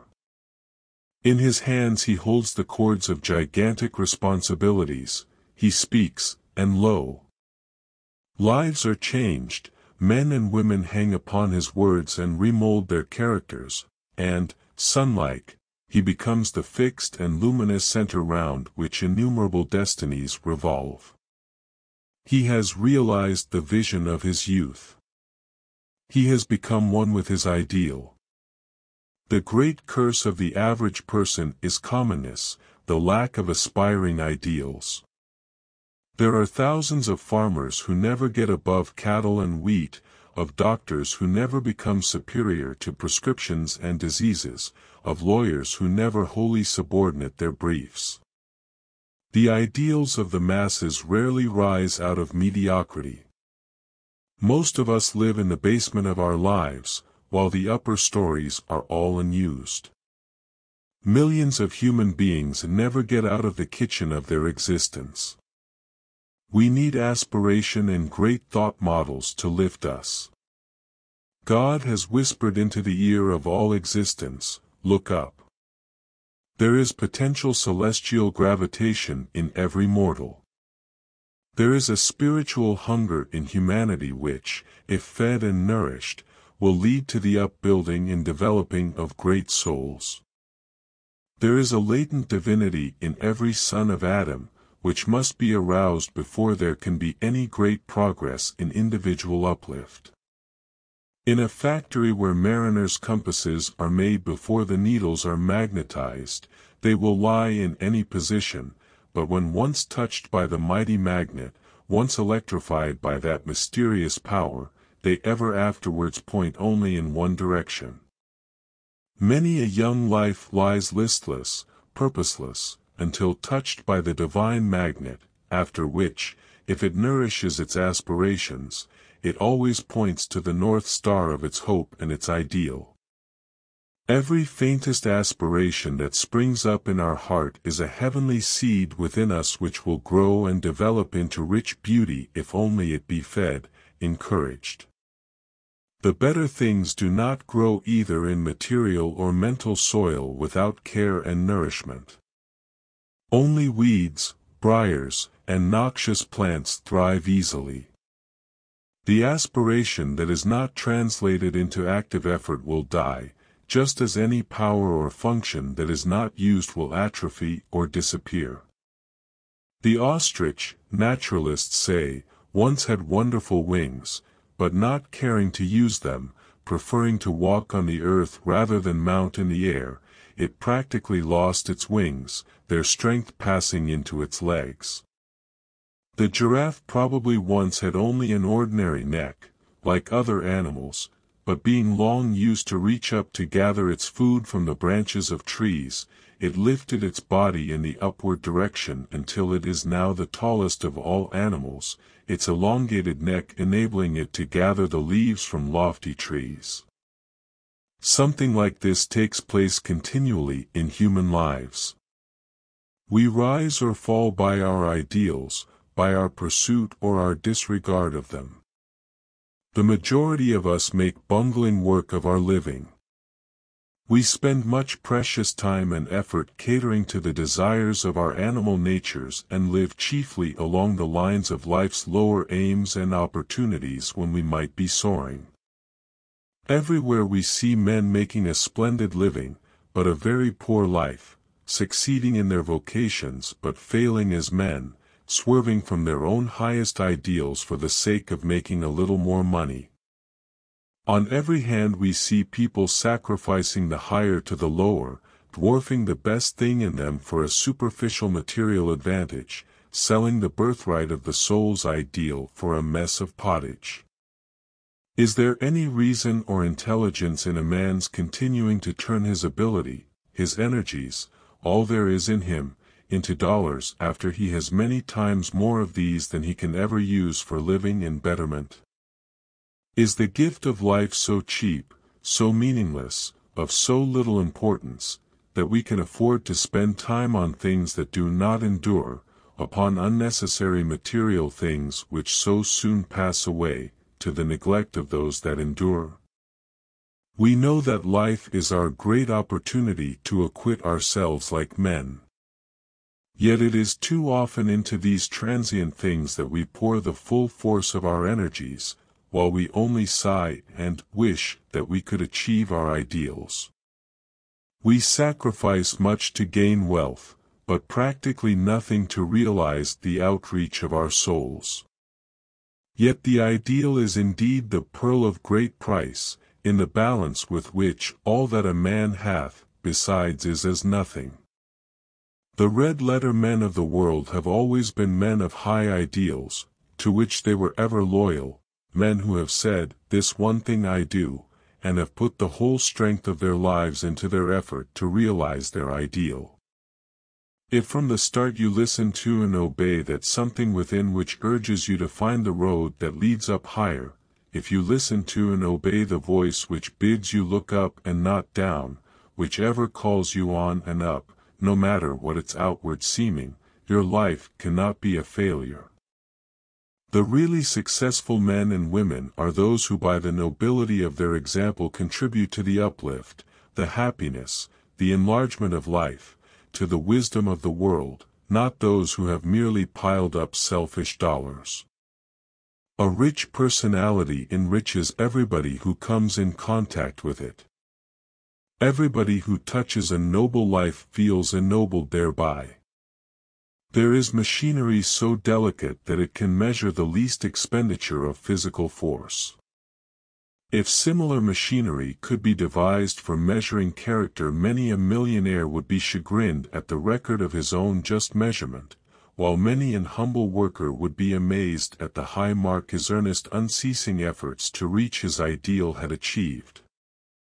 I believe the time will come when not money, but growth, not lands and houses, but mental and moral expansion in larger and nobler living, will be even the popular measure of true riches, real success.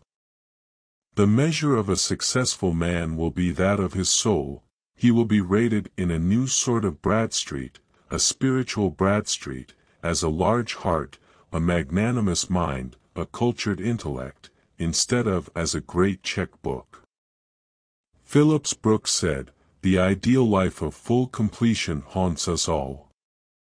We feel the thing we ought to be beating beneath the thing we are. God hides some ideal in every human soul. At some time in his life, each feels a trembling, fearful longing to do some great good thing. Life finds its noblest spring of excellence in its hidden impulse to do one's best. Everyone who substitutes the finer for the cheaper goal, each one who today and every day holds to his high ideal despite the stress and turmoil of modern daily living, in such measure hastens the day when such an ideal will be the inspiration of the masses and the power that moves the world. Chapter 13 How to make the brain work for us during sleep would you not think yourself fortunate to have a secretary of great ability and worth absolutely subject, day and night, to your will, and so susceptible to instructions that even your slightest mental suggestion would be faithfully carried out? If you had such a secretary, and knew that in spite of his great ability he would be able to do what you suggested only in proportion to your belief in his power to do so, would you not be careful to entertain no doubts of his ability to carry out your wishes or suggestions? Now, just substitute for this personal secretary your subconscious self, that part of you which is below the threshold of your consciousness, and try to realize that this self is actually the sort of secretary I have endeavored to describe, capable of carrying out all your desires, of executing all your purposes, of realizing your ambitions, to the exact extent of your belief in its powers, and you will get some idea of what it can accomplish for you. This secretary is closer to you than your breath, nearer than your heartbeat, a faithful servant, walking by your side all through life, to execute your faintest wish, to carry out your desires, to help you to achieve your aims. Every bit of help, of encouragement, of support you give to this other self will add to the magnificence, the splendor of your destiny. On the other hand, all negative, vicious thoughts, all selfishness, greed and envy, all doubts and fears, all the discouraging, destructive thoughts you entertain, will impair and weaken your secretary or servant in exact proportion to their intensity and persistency. In fact it rests with yourself whether your secretary shall be your greatest help, a heavenly friend and assistant, or your greatest hindrance, your worst enemy. It doesn't matter what we call them, subconscious and conscious self, or subjective and objective mind, we are all conscious that these are two forces constantly at work in us. One commands and the other obeys. We know that one of these, the subjective mind, does not originate its acts, but gets its instructions from the objective mind, which contains the will power. Experience shows us that the subjective or subconscious mind, which I have called a personal secretary, is a servant which obeys our will, carries out our wishes, and registers in the brain a faithful record not only of every thought, word and act of ours, but of everything we see, and everything we hear others say. Coleridge tells of a remarkable instance of the truth of this. A young German servant girl was taken ill with a fever, and in her delirium she recited correctly long passages from famous authors in Latin, Greek and Hebrew. Scholars were called in to hear this uneducated girl speaking fluently tongues of which she had no knowledge in her conscious moments, and to tell if they could what it meant. They were much puzzled and could make nothing of it, but later the miracle was explained. Years before, it seems, the girl had lived in a minister's family, and was accustomed to hear her master recite the classics aloud. She had listened attentively, and her subconscious mind had faithfully recorded every word in her brain, and reproduced what it had heard when the objective mind was quiescent. Numerous instances might be cited to show that our subconscious mind is the record storehouse of all that has ever happened to us.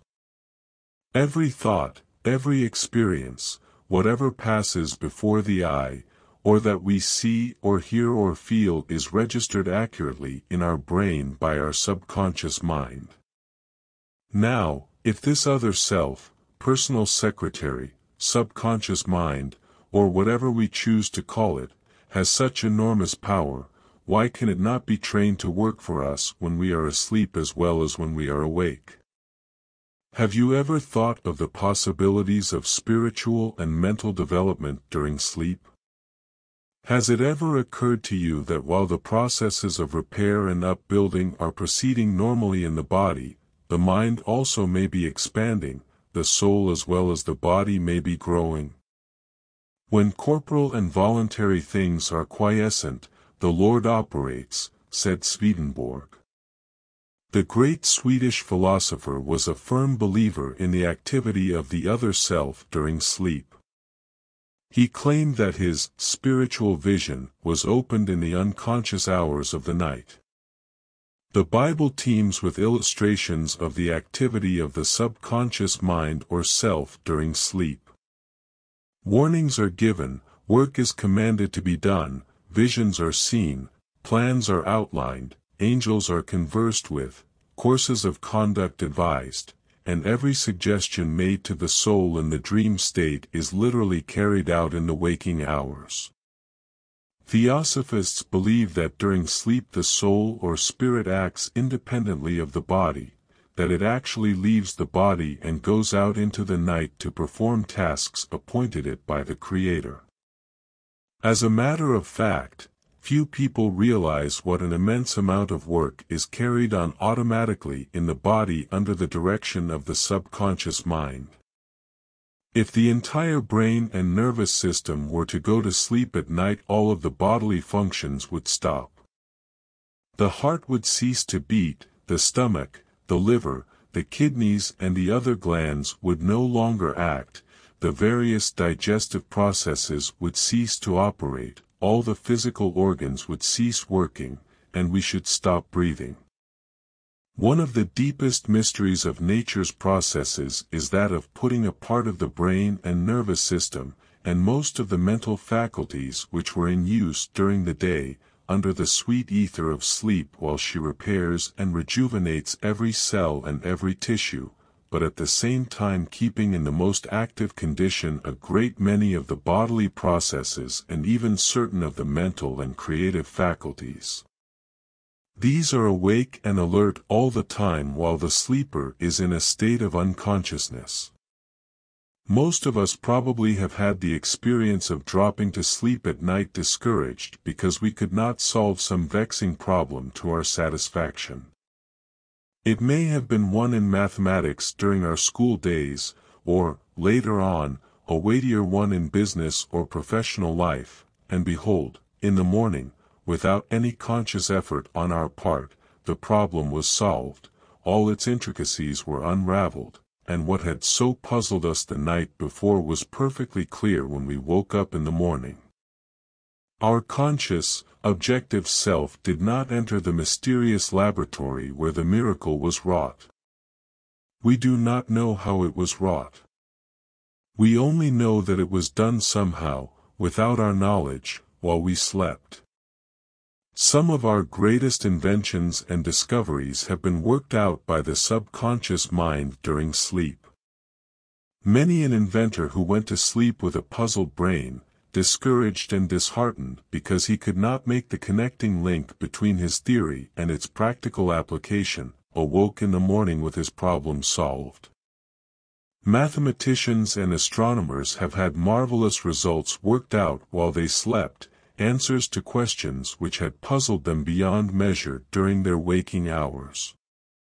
Writers, poets, painters, musicians, all have received inspiration for their work while the body slumbered.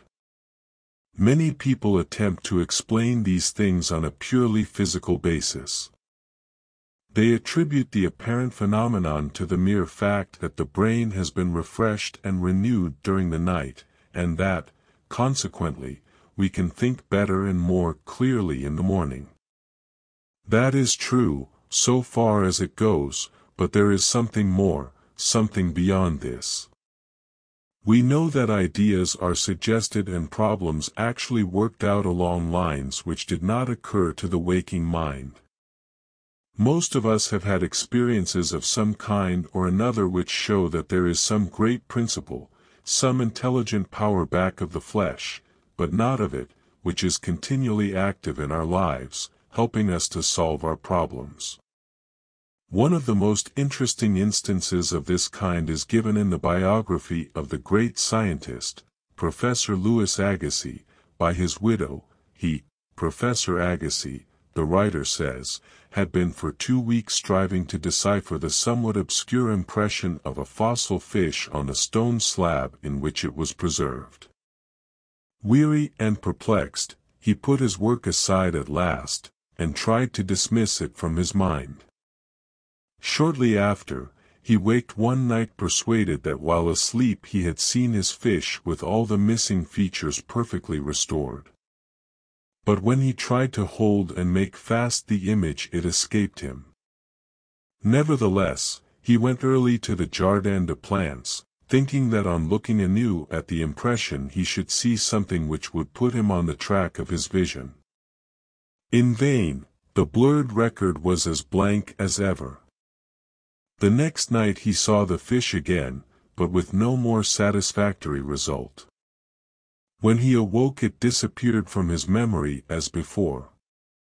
Hoping that the same experience might be repeated, on the third night he placed a pencil and paper beside his bed before going to sleep. Accordingly, towards morning the fish reappeared in his dream, confusedly at first, but at last with such distinctness that he had no longer any doubt as to its zoological characters. Still half dreaming, in perfect darkness, he traced these characters on the sheet of paper at the bedside. In the morning he was surprised to see in his nocturnal sketch features which he thought it impossible the fossil itself should reveal. He hastened to the Jardin des Plantes, and, with his drawing as a guide, succeeded in chiseling away the surface of the stone under which portions of the fish proved to be hidden. When wholly exposed it corresponded with his dream and his drawing, and he succeeded in classifying it with ease. We are all familiar with examples of the marvelous feats performed by somnambulists. They will get up and dress while fast asleep, lock and unlock doors, go out and walk and ride in the most dangerous places, where they would not attempt to go when awake. Many have been known to walk with sure feet along the extreme edges of roofs of houses, on the banks of rivers, or close to the edge of precipices, where one false step would precipitate them to death. They will speak, write, act, and move as if entirely conscious of what they are doing. A somnambulist will answer questions put to him while asleep and carry on a conversation rationally. In this respect the state of the sleepwalker is similar to that of a person in a hypnotic trance. He can be acted on from without and remain wholly unconscious. Surgical operations have been performed upon a hypnotized person without the use of anesthetics, and there is no doubt that this also would be possible during profound sleep. The subjective mind is much more susceptible to suggestion when the objective mind is unconscious. There is no resistance on account of prejudice or external influences. That we are on the eve of marvelous possibilities of treating disease during sleep there is not the slightest doubt. The same is true of habit forming, mind changing, of mind improving, of strengthening deficient faculties, of eradicating peculiarities and idiosyncrasies, of neutralizing injurious hereditary tendencies, of increasing ability. The possibilities of changing the disposition and of mind building during sleep are only beginning to be realized. The power of the subjective mind over the body is well illustrated by the fact that thoughts aroused in a hypnotized person can very materially shift the circulation of the blood. They can send it at will to any part of the body. The hypnotist can make his subject blush or turn pale, express in his face fierce anger or appealing love. He can at will produce anesthesia in any part of the body so that a needle or knife may be inserted in the flesh without causing the slightest pain. He can so impress the hypnotized person's mind with the belief that the water he drinks is whiskey that he will actually exhibit all the appearance of drunkenness. He can make him believe that the spoonful of water he takes is full of poison so that he will immediately develop the symptoms of poisoning. The subjective mind is not only capable of carrying out orders but, as has already been shown, every impression made on it is indelible. How often we say, when we cannot recall a well-known name, or the details of some important event or experience, well, I cannot think of that now, but it will come to me, I shall think of it later. And how often have the forgotten details flashed into our mind when the occasion had passed and we were thinking of something else. Again and again have we puzzled our brains at night trying to think of some particular thing which had gone out of our memory, only to find it waiting for us in the morning. We are beginning to realize that all of our experiences during the day, all of our thoughts, emotions and mental attitudes, the multitude of little things which seem to make but a fleeting impression, are not in reality lost. Every day leaves its phonographic records on the brain, and these records are never erased or destroyed. They simply drop into the subconscious mind and are ever on call. They may not come at once in response to our summons, but they are still there and are often, many years after they have dropped into the subconscious mind, reproduced with all their original vividness. I heard recently of a prominent banker who lost a very important key, the only one to the bank treasures. He claimed that it had not been lost in the ordinary way, but stolen. Suspicion at once attached to the employees. A prominent detective was placed in the bank, and, after watching and questioning everyone on the staff, he became convinced that none but the banker himself knew anything about the key. Every detective is necessarily something of a mind reader, and this one, believing firmly in his own theory, suggested a simple plan for recovering the key. He told the banker to quit suspecting the employees and worrying about burglars getting the bank's treasures, to relax his overwrought mind and go to sleep with the belief that he himself had put the key away somewhere, and that it would be found in the morning. If you do this, he said, I believe the mystery will be solved. The banker, to the best of his ability, did as the detective suggested, and on getting up the following morning he was instinctively led to a certain secret place, and, behold, there was the key. He was not conscious that he had put it there, but after finding it he had a faint recollection of previously going to this place. The banker's objective or conscious mind was probably busy with something else when he put the key away. Only his subconscious self had any knowledge of what he was doing. Then when he missed the key his fears, his worry, his anxiety, his suspicions and generally wrought-up mentality made it impossible for his subjective mind to reveal the secret to him. But after his mind had become poised and he was again in tune with his subjective intelligence the information was passed along. Dr. Hack Tuke, a distinguished English authority on the subject. The memory, freed from distraction as it sometimes is, he says, is so vivid as to enable the sleeper to recall events which had happened years before and which had been entirely forgotten. Now, if, as we have seen, the subconscious mind can perform real work, real service for us, why should we not use it especially during sleep? Why should we not avail ourselves of this enormous creative force to strengthen all our powers and possibilities, to piece out, virtually to lengthen our time, our lives. Think what it would mean to us in a lifetime if we could keep these sleepless creative functions always in superb condition so that they would go on during the night working out our problems, unraveling our difficulties, carrying forward our plans, while we are asleep. We have sufficient proof already to show that they do actual constructive work, but the testimony of Dr. Tuke on this point is of interest.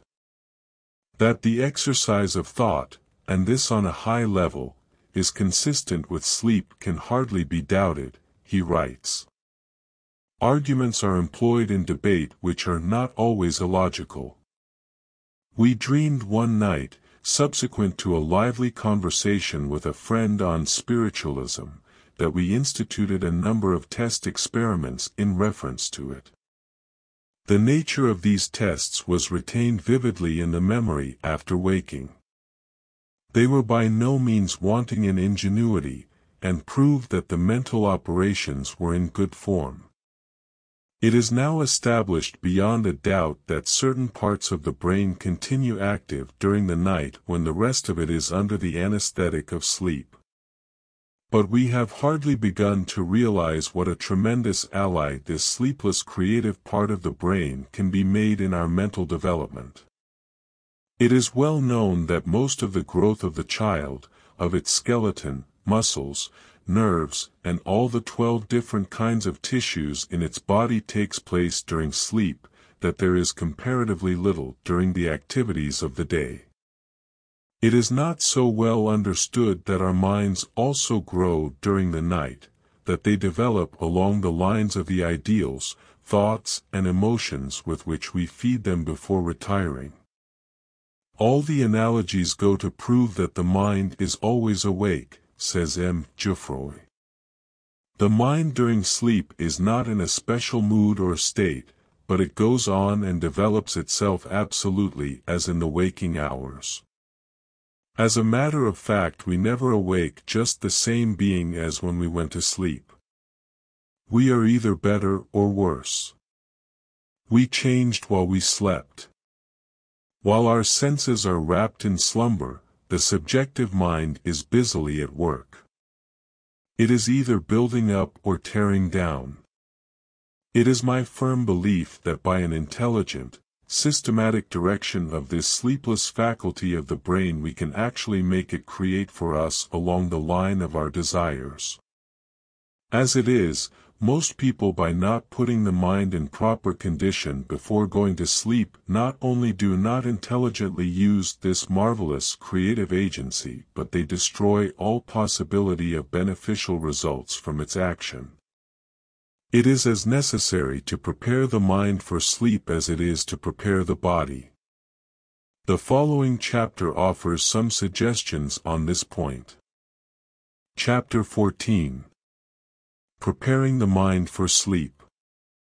Sleep, gentle sleep, how have I fright thee? Shakespeare not long ago I heard a young lady say that it was simply impossible for any woman to look charming or to be agreeable right after getting up in the morning. The Reverend Dr. Bushnell declared that, a man must be next to a devil who wakes angry. The way we feel when we awake in the morning depends on how we were feeling or thinking when we went to sleep.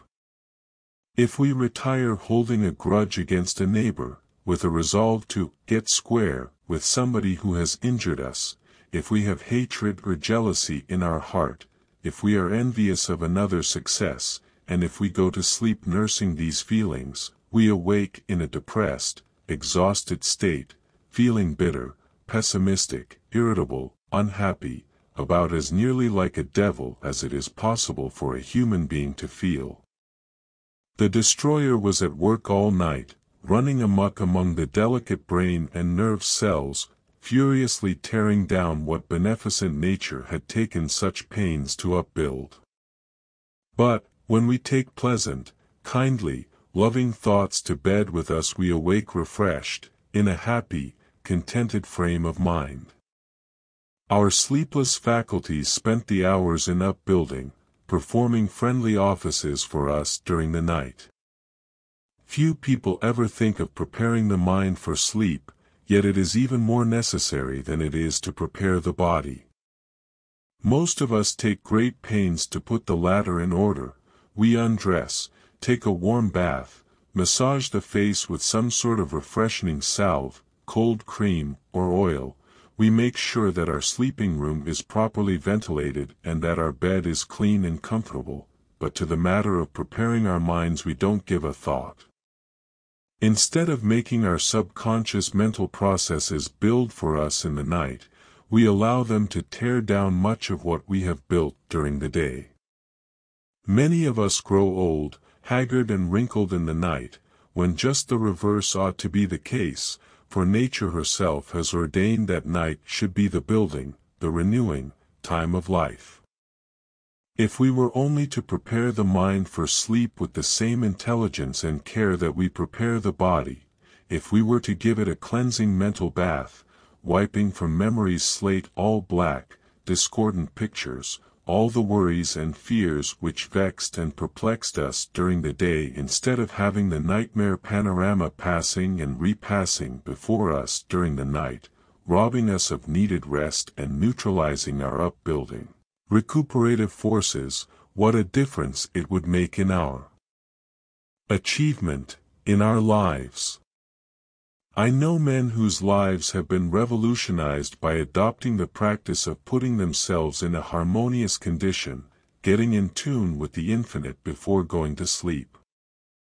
Formerly they were in the habit of retiring in a bad mood, tired, discouraged over anticipated evils, worrying about all sorts of things. They would discuss their misfortunes at night with their wives and then fall to thinking over the unfortunate conditions in their affairs, their mistakes, and the possible evil consequences that might result from them.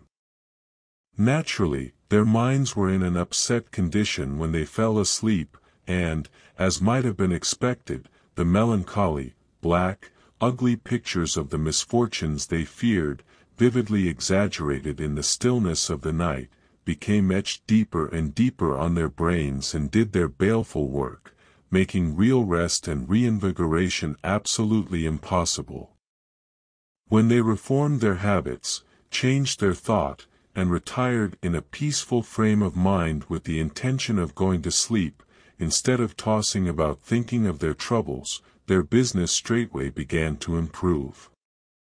They were stronger, fresher, more vigorous, more resourceful, better able to cope with difficulties, to make plans and to carry them out than when they were depleting their physical and mental resources by robbing themselves of their best friend, nature's restorative, sleep.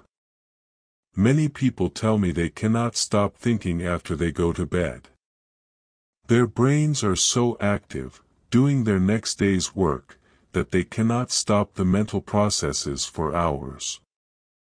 Of course you cannot stop all thinking the first night you begin to form the new habit, when you have practiced the old night thinking habit for years, when perhaps as far back as you can remember you have gone to bed every night worrying, worrying, thinking, thinking, planning, planning ahead for days, for weeks, for months, planning ahead perhaps for the coming year. But if you persist, and make it a cast iron rule to allow no anxieties or fears, no business troubles or discords of any kind to enter your bed chamber, you will succeed in accomplishing your object. Think of your chamber as the one place sacred to rest, where the things that trouble and harass and vex during the daytime shall find no entrance. Put this legend over the door, or in some conspicuous place where you can see it. This is my holy of holies, the place of supreme peace and power in my life from which all discord must be shut out. When you undress and lie down, say to yourself, I have done my best during the day. Now I am going to drop thinking, drop worrying and planning, and get good, refreshing sleep to prepare me for tomorrow's work. Clear your mind not only of all anxious, worrying business thoughts, but also of all ill will or hatred toward another. Resolve that you will not harbor an unpleasant, bitter, or unkind thought of any human being, that you will wipe off the slate of your memory everything you have ever had against anyone, that you will forget whatever is unpleasant in the past and start with a clean slate. Just imagine that the words harmony, peace, love, goodwill to every living creature, are emblazoned in letters of light all over the walls of your room. Repeat them over and over until that other self, that personal secretary just below the threshold of your consciousness, becomes saturated with the ideas they convey, and after a while you will drop into slumber with a serene, poised mind, a mind filled with happy, joyous, creative thoughts. Of course, until the new habit is fixed, thoughts will intrude themselves in spite of you, but you needn't harbor them. You needn't allow yourself, under any circumstances, to go on thinking about business or any discordant thing after you retire any more than you would allow a madman to slash you with a knife without making any attempt to defend yourself. You can, if you only persist in the new and better way, fall asleep every night like a tired child, and awake in the morning just as refreshed and happy. Your subconscious self will, after a while, carry out your behests without any conscious effort on your part. This sleepless subconscious self is, in fact, one of the most effective agents man has to help him accomplish whatever he desires. Insomnia, for instance, which is the curse of so many Americans, may be entirely overcome by its aid. If you are a victim of insomnia, and go to bed every night with the thought firmly fixed in your consciousness that you are not going to sleep, you are, to a great extent, the victim of your belief.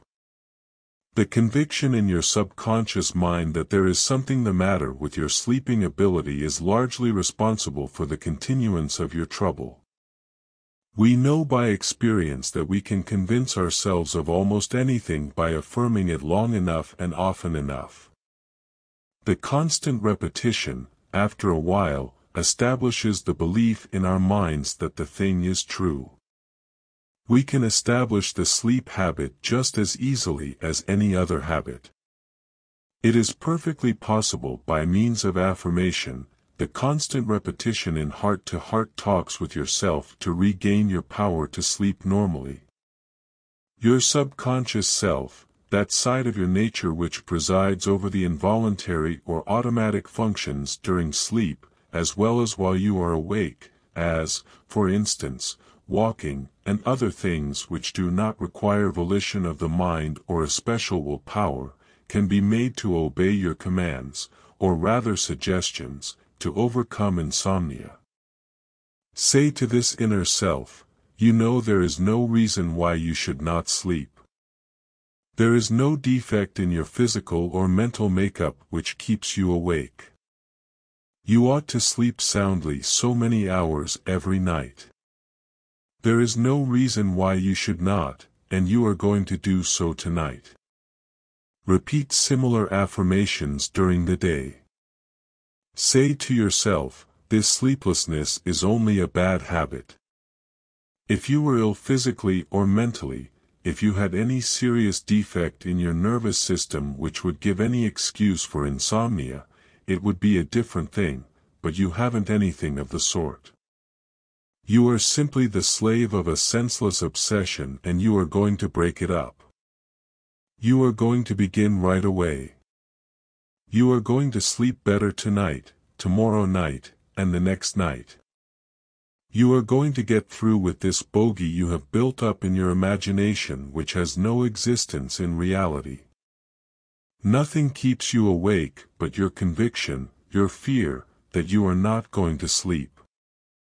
Prepare your mind for sleep in the way already suggested by emptying it of all worry and fear, all envy and uncharitableness, everything that disturbs, irritates, or excites. Crowd these out with thoughts of joy, of good cheer, of things which will help and inspire. Compose yourself with the belief that you will go to sleep easily and naturally, relax every muscle and say to yourself in a quiet drowsy voice, I am so sleepy, so sleepy, so sleepy. The subconscious self will listen and in a short time will automatically put your suggestion into practice. It is needless to say that if insomnia is a result of bad or irregular habits, the victim must first of all change his habits before he can expect any relief. Man is a bundle of habits. We perform most of our life functions with greater or less regularity, so that they become practically automatic. Regularity, system, order are imperative for our health, our success and our happiness. This is especially true in regard to sleep. We must keep regular hours, be systematic in our habits, or our sleep is likely to suffer.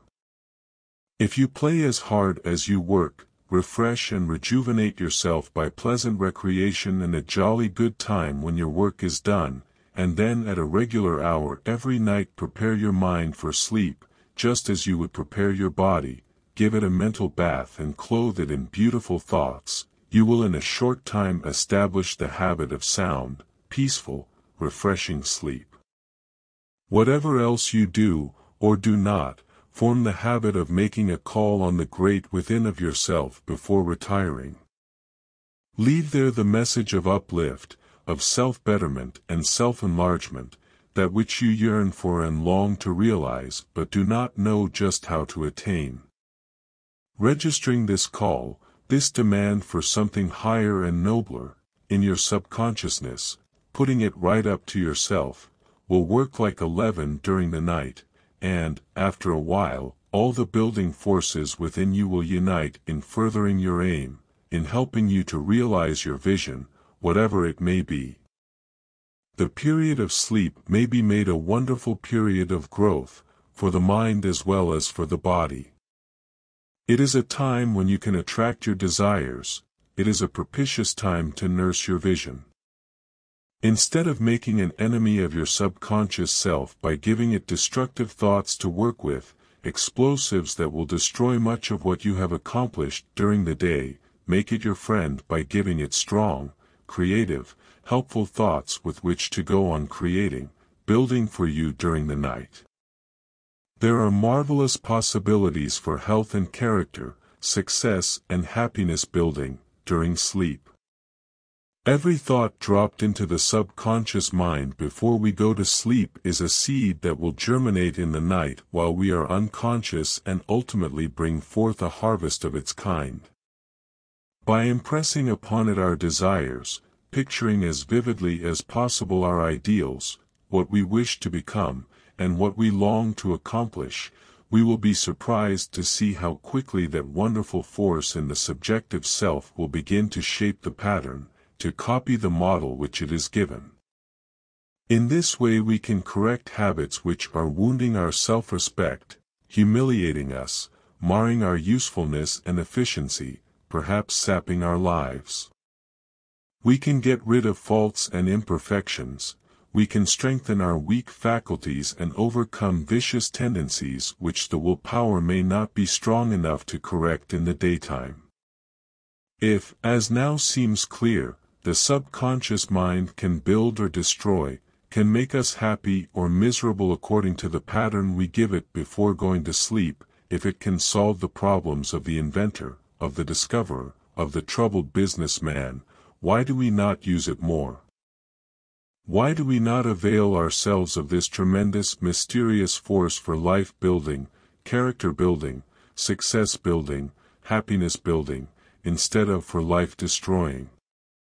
One reason is that we are only just beginning to discover that we can control this secondary self or intelligence, which regulates all the functions of the body without the immediate orders of the objective self. We are getting a glimpse of what it is capable of doing by experiments upon hypnotized subjects, when the objective mind, the mind which gets most of its material through the five senses is shut off and the other, the subjective mind, is in control. We are finding that it is comparatively easy while a person is in a hypnotic state to make wonderful changes in disposition, and to correct vicious habits, mental and moral defects, through suggestion. There is no doubt that so far as the subjective mind is concerned we are in a similar condition when asleep as when in a hypnotic trance, and experiments have shown that marvelous results are possible, especially in the case of children, by talking to them, during their sleep, advising them, counseling them, suggesting things that are for their good. Parents should teach their children how to prepare their minds for sleep so that the subconscious self would create, produce something beautiful instead of the black, discordant images of fear which so often terrorize little ones before they fall asleep and when they wake up in the dark hours of the night.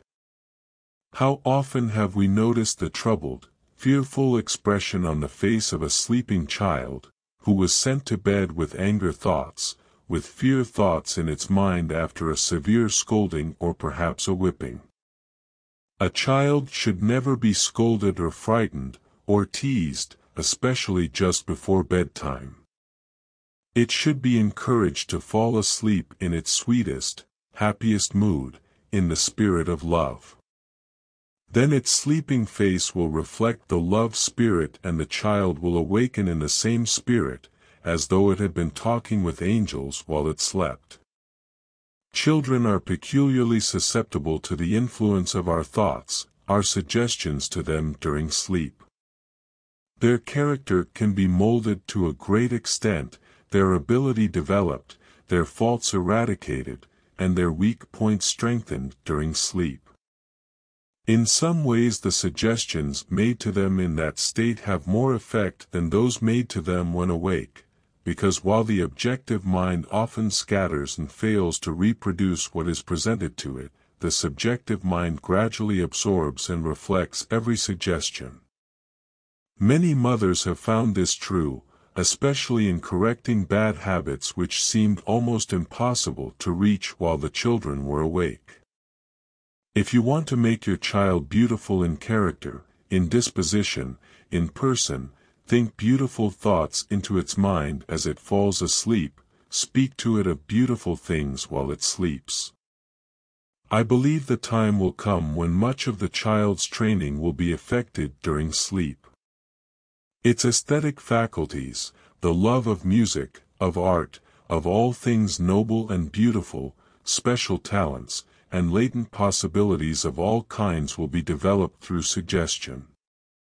In the marvelous interior creative forces lies the great secret of life, and blessed is he who findeth it.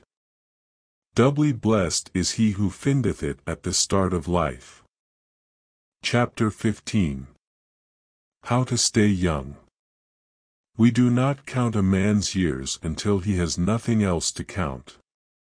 R. W. Emerson The ability to hold mentally the picture of youth in all its glory, vivacity, and splendor has a powerful influence in restraining the old age processes.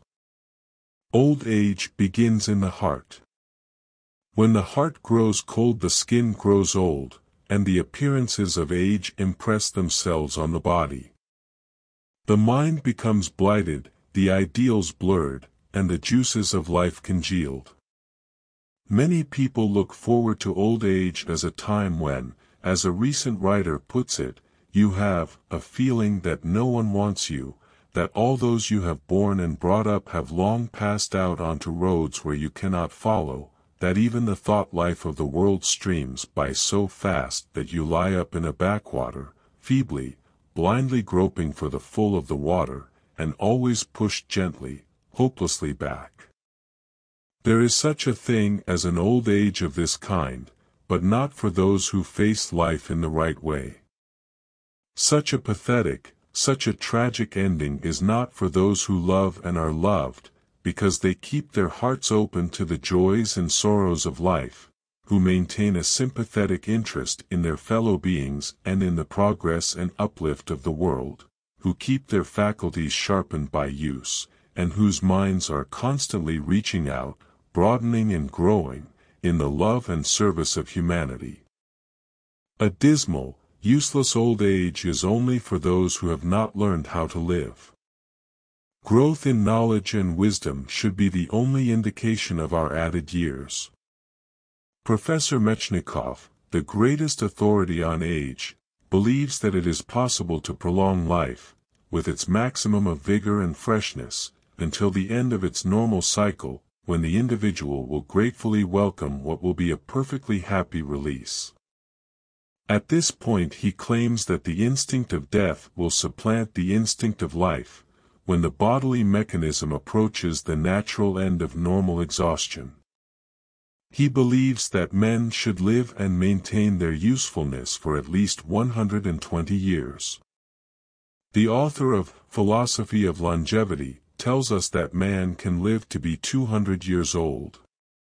Jean Finot says, speaking physiologically, the human body possesses peerless solidity. Not one of the machines invented by man could resist for a single year the incessant taxes which we impose upon ours. Yet it continues to perform its functions notwithstanding. What we have a horror of is the premature death of the faculties, the cutting off of power, opportunity, the decay of the body many years before the close of the life on earth. We shudder at the giving up of a large part of life that has potency of work, of action, and of happiness. This horror of senility increases, because life continually grows more interesting. There never was a time when it seemed so precious, so full of possibilities, when there was so much to live for, as in this glorious present. There never was a time when it seemed so hard to be forced out of the life race. We are on the eve of a new and marvelous era, and the whole race is on the tiptoe of expectancy. Never before was the thought of old age as represented by decay and enforced inactivity so repugnant to man. But why should anyone look forward to such a period? It is just this looking forward, the anticipating and dreading the coming of old age, that makes us old, senile, useless. The creative forces inside of us build on our suggestions, on our thought models, and if we constantly thrust into our consciousness old age thoughts and pictures of decrepitude, of declining faculties, these thoughts and pictures will be reproduced in the body. A few years ago a young man died of old age in a New York hospital. After an autopsy the surgeon said that while the man was in reality only 23 years old he was internally 80. If you have arrived at an age which you accept as a starting point for physical deterioration, your body will sympathize with your conviction. Your walk, your gait, your expression, your general appearance, and even your acts will all fall into line with your mental attitude. A short time ago I was talking with a remarkable man of sixty about growing old. The thought of the inevitableness of the aging processes appalled him.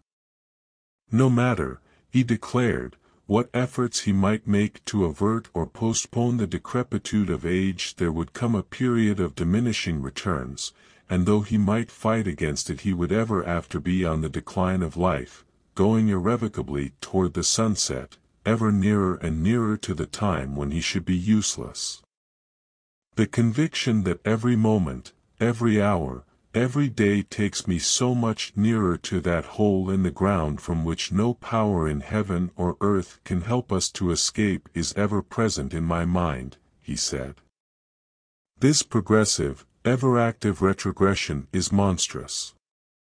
This inevitably decrepit old age staring me in the face is robbing me of happiness, paralyzing my efforts and discouraging my ambition. But why do you dwell on those things that terrify you? I asked. Why do you harbor such old age thoughts? Why are you visualizing decrepitude, the dulling and weakening of your mental faculties? If you have such a horror of the decrepitude, the loss of memory, the failing eyesight, the hesitating step, and the general deterioration which you believe accompany old age, why don't you get away from these terrifying thoughts, put them out of your mind instead of dwelling on them? Don't you know that what you concentrate on, what you fear, the pictures that so terrify you, are creating the very conditions which you would give anything to escape? If you really wish to stay the old age processes you must change your thoughts. Erase everything that has to do with age from your mind. Visualize youthful conditions. Say to yourself, God is my life. I cannot grow old in spirit, and that is the only old age to fear. As long as my spirit is youthful, as long as the boy in me lives, I cannot age. The great trouble with those who are getting along in years is that they put themselves outside of the things that would keep them young. Most people after 50 begin to shun children and youth generally. They feel that it is not becoming to their years to act as they did when younger, and day by day they gradually fall more and more into old age ways and habits. We build into our lives the picture patterns which we hold in our minds. This is a mental law. When you have reached the time at which most people show traces of their age you imagine that you must do the same. You begin to think you have probably done your best work, and that your powers must henceforth decline. You imagine your faculties are deteriorating, that they are not quite so sharp as they once were, that you cannot endure quite so much, and that you ought to begin to let up a little, to take less exercise, to do less work, to take life a little easier. The moment you allow yourself to think your powers are beginning to decline they will do so, and your appearance and bodily conditions will follow your convictions. If you hold the thought that your ambition is sagging, that your faculties are deteriorating, you will be convinced that younger men have the advantage of you, and, voluntarily, at first, you will begin to take a back seat, figuratively speaking, behind the younger men. Once you do this you are doomed to be pushed farther and farther to the rear. You will be taken at your own valuation. Having made a confession of age, acknowledged in thought and act that, in so far as work and productive returns are concerned, you are no longer the equal of young men, they will naturally be preferred before you. If people who have aged prematurely could only analyze the influences which have robbed them of their birthright of youth they would find that most of them were a false conviction that they must grow old at about such a time, needless worry, all worry is needless, silly anxiety, which often comes from vanity, jealousy, and the indulgence of such passions as excessive temper, revenge, and all sorts of unhealthy thinking. If they could only eliminate these influences from their lives, they would take a great leap back toward youthfulness. If it were possible to erase all of the scars and wrinkles, all the effects of our aging thoughts, aging emotions, moods, and passions, many of us would be so transformed, so rejuvenated that our friends would scarcely know us. The aging thoughts and moods and passions make old men and women of most of us in middle life. The laws of renewal, of rejuvenation are always operating in us, and will be effective if we do not neutralize them by wrong thinking. The chemical changes caused in the blood and other secretions by worry, fear, the operation of the explosive passions, or by any depressing mental disturbance, will put the aging processes in action. Whatever we establish as a fixed conviction in our lives we transmit to our children, and this conviction gathers cumulative force all the way down the centuries. Every child in Christian countries is born with the race belief that three score years or three score years and ten is a sort of measure of the limit to human life. This has crystallized into a race belief, and we begin to prepare for the end much in advance of the period fixed. As long as we hold this belief we cannot bar out of our minds the consequent suggestion that when we pass the half-century limit our powers begin to decline. The very idea that we have reached our limit of growth, that any hope of further progress must be abandoned, tends to etch the old age picture and conviction deeper and deeper in our minds, and of course the creative processes can only reproduce the pattern given them. Some men cross the zenith line, from which they believe they must henceforth go downhill, a quarter of a century or more earlier than others, because we cross this line of demarcation mentally first, cross it when we are convinced that we have passed the maximum of our producing power and have reached the period of diminishing returns. Many people have what they are pleased to call a premonition that they will not live beyond a certain age, and that becomes a focus toward which the whole life points. They begin to prepare for the end. Their conviction that they are to die at a certain time largely determines the limitation of their years. Not long since, at a banquet, I met a very intelligent, widely read man who told me that he felt perfectly sure he could not possibly live to be an old man. He cited as a reason for his belief the analogy which runs through all nature, showing that plants, animals and all forms of life which mature early also die early, and because he was practically an adult at 15 he was convinced that he must die comparatively young. He said he was like a poplar tree in comparison with an oak, the one matured early and died early, the other matured late and was very long-lived. So thoroughly is this man under the dominion of his belief that he must die early that he is making no fight for longevity. He does not take ordinary care of his health, or necessary precautions in time of danger. What is the use, he says, of trying to fight against nature's laws? I might as well live while I live, and enjoy all I can, and try to make up for an early death. Multitudes of people start out in youth handicapped by a belief that they have some hereditary taint, a predisposition to some disease that will probably shorten their lives. They go through life with this restricting, limiting thought so deeply embedded in the very marrow of their being that they never even try to develop themselves to their utmost capacity.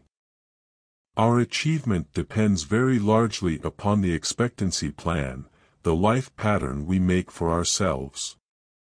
If we make our plan to fit only one half or one third of the time we ought to live, naturally we will accomplish only a fraction of what we are really capable of doing. I have a friend who from boyhood has been convinced that he would not live much, if any, beyond forty years, because both his parents had died before that age. Consequently he never planned for a long life of steady growth and increasing power, and the result is he has not brought anything like all of his latent possibilities into activity, or accomplished a fourth of what he is really capable. It is infinitely better to believe that we are going to live much longer than there is any probability we shall than to cut off precious years by setting a fixed date for our death simply because one or both of our parents happen to die about such an age, or because we fear we have inherited some disease, such as cancer, which is likely to develop fatally at about a certain time. Just think of the pernicious influence upon a child's mind of the constant suggestion that it will probably die very young because its parents or some of its relatives did, that even if it is fortunate enough to survive the diseases and accidents of youth and early maturity, it is not possible to extend its limits of life much, if any, beyond a certain point. Yet we burn this and similar suggestions into the minds of our children until they become a part of their lives. We celebrate birthdays and mark off each recurring anniversary as a red-letter day and fix in our minds the thought that we are a year older. All through our mature life the picture of death is kept in view, the idea that we must expect it and prepare for it at about such a time. The truth is that death suggestion has wrought more havoc and marred more lives than almost anything else in human history. It is responsible for most of the fear, which is the greatest curse of the race. A noted physician says that if children, instead of hearing so much about death, were trained more in the principles of immortality, they would retain their youth very much longer, and would extend their lives to a much greater length than is now general. I believe the time will come when the custom of celebrating birthdays, of emphasizing the fact that we are a year older, that we are getting so much nearer the end, will be done away with. Children will not then be reminded so forcibly once in 365 days that each birthday is a milestone in age we shall know that the spirit is not affected by years, that its very essence is youth and immortality. In our inmost souls we shall realize that there is a life principle within us that knows neither age nor death. We shall find that old age is largely a question of mental attitude, and that we shall become what we are convinced we must become. As a matter of fact the average length of life is steadily increasing, because science is teaching men how to live so as to conserve health and youth. Formerly men and women grew old very much earlier than they do now, and they died much younger. We do not think so much about dying as they used to in the early days of this country, when to prepare for the future life seemed to be the chief occupation of our Puritan ancestors. They had very little use for this world and did not try to enjoy life here very much. They were always talking and praying and singing about the life over there, while making the life here gloomy and forbidding. They forgot that the religion Christ taught was one of joy. There is no greater foe to the aging processes than joy, hope, good cheer, gladness. These are the incarnation of the youthful spirit. If you would keep young, cultivate this spirit, think youthful thoughts, live much with youth, enter into their lives, into their sports, their plays, their ambitions. Play the youthful part, not half-heartedly, but with enthusiasm and zest. You cannot use any ability until you think, until you believe, you can. Your reserve power will stand in the background until your self-faith calls it into action. If you want to stay young you must act as if you felt young.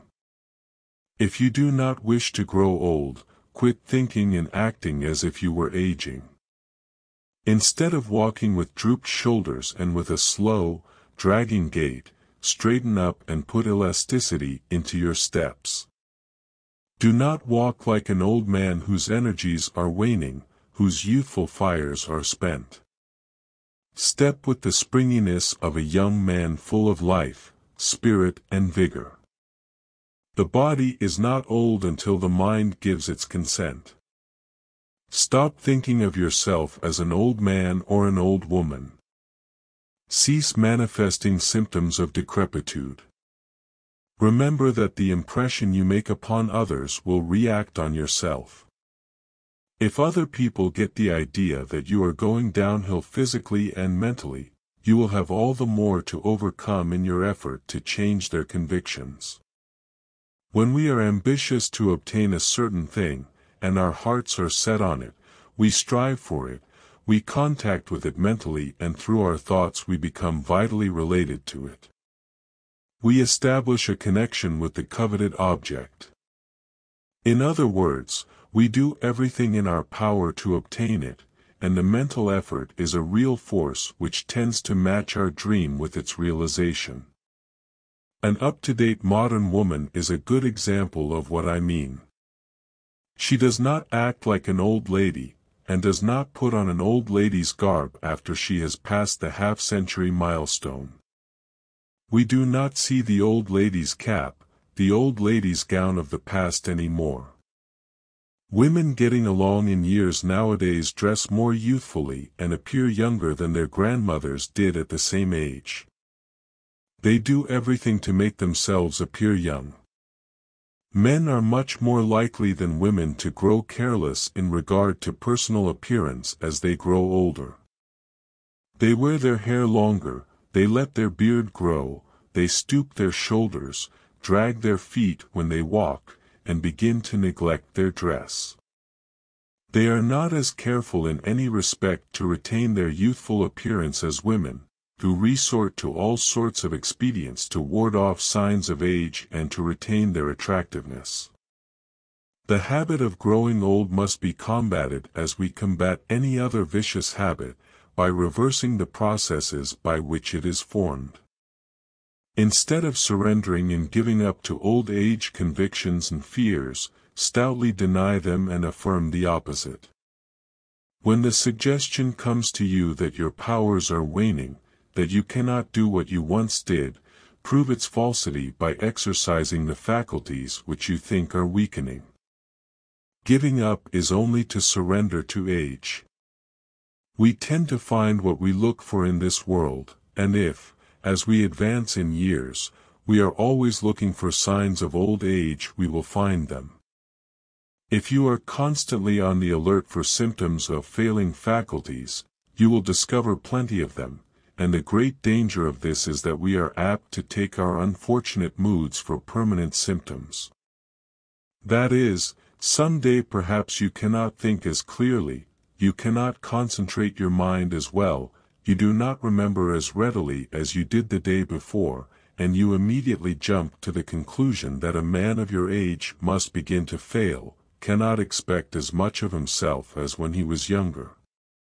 In other words, a person whose mind is concentrated upon his aging processes is inclined to draw a wrong conclusion from his temporary moods and feelings, mistaking them for permanent conditions. The majority of people who are showing the signs of premature aging are suffering from chronic thought poison, that is, the chronic old age poison. From the cradle they have heard old age talk, the reiteration of the old age belief that when a person reached about such an age he would then naturally begin to let up, to prepare for the end. And so instead of fighting off age by holding the eternal youth thought and the vigor thought they have held the thoughts of weakness and declining powers. When they happen to forget something, they say their memory is beginning to go back on them, their sight will soon begin to fail, and they go on anticipating signs of decline and decrepitude until the old age visualization is built into the very structure of their bodies. Instead of forming the habit of looking for signs of age, form the habit of looking for signs of youth. Form the habit of thinking of your body as robust and supple and your brain as strong and active. Never allow yourself to think that you are on the decline, that your faculties are on the wane, that they are not as sharp as they used to be and that you cannot think as well, because your cells are becoming old and hard. He ages who thinks he ages. He keeps young who believes he is young. We get a good hint of the power of mental influence in the marvelous way in which many of our actresses and grand opera singers retain their youthfulness, because they feel that it is imperative that they should do so. Had Sarah Bernhardt, Adelina Patti, Lilli Lehmann, Madame Schumann Heink, Lillian Russell, and scores of other actresses and singers pursued any other vocation they would undoubtedly have been at least ten, perhaps twenty years older in appearance than they are. There are too many exceptions to the race belief that man's powers begin to wane at fifty, 60, or 70 to allow oneself to be influenced by it. We really ought to do our best work after 50. If the brain is kept active, fresh and young, and the brain cells are not ruined by a vicious life, worry, fear, selfishness, or by disease induced by wrong living or thinking, the mind will constantly increase in vigor and power. Men and women whose faculties are sharp and whose minds are keen and vigorous at 90, and even at a 100, prove this. I know a number of men in their 70s and 80s who are as sturdy and vigorous physically and mentally today as they were 20 years ago. Only recently I was talking with a businessman who broke down at 40 from overstrain but who is now, in his 80th year, more buoyant and elastic in mind and body than many men at fifty. This man does not believe in growing old because he knows that ten years ago he did not have a bit of the cell material in his body that he has today. Why should I stamp these new body cells with four score years, he says, when not a single one of them may be a quarter of that age? Many of us do not realize the biological fact that nature herself bestows upon us the power of perpetual renewal. There is not a cell in our bodies that can possibly become very old, because all of them are frequently renewed. Physiologists tell us that the tissue cells of some muscles are renewed every few months. Some authorities estimate that 80 or 90% of all the cells in the body of a person of ordinary activity are entirely renewed within a couple of years. One's mental attitude, however, is the most important of all. There is no possible way of keeping young while convinced that one must inevitably manifest the characteristics of old age.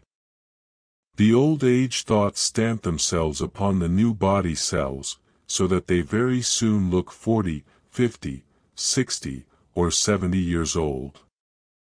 We should hold tenaciously the conviction that none of the cells of the body can be old because they are constantly being renewed, a large part of them every few months. It is impossible for the processes producing senility to get control of the system, or to make very serious changes in the body, unless the mind first gives its consent. Age is not so much a matter of years as of the limpidity, the suppleness of the protoplasm of the cells of the body, and there is nothing which will age the protoplasm like aging thoughts and serenity enemies, such as worry, anxiety, fear, anger, hatred, revenge, or any discordant emotion. If you keep your protoplasm young by holding youthful ideals, there is no reason why you should not live well into the teens of your second century. Constantly affirm, I am young because I am perpetually being renewed, my life comes new every instant from the infinite source of life. I am new every morning and fresh every evening, because I live, move, and have my being in Him who is the source of all life. Not only affirm this mentally, but also audibly. Make this picture of perpetual rejuvenation and recreation so vivid that you will feel the thrill of youthful renewal through your entire system. Some people try to cure the physical ravages made by wrong living and wrong thinking by patching their bodies from the outside. The beauty parlors in our great cities are besieged by women who are desperately trying to maintain their youthful appearance, not realizing that the elixir of youth is in one's own mind, not in bottles or boxes. Is there anything quite so ghastly as to see an old lady, really old because her heart is no longer young, with a painted or enameled face, dressed like a young girl? Such a woman deceives no one but herself.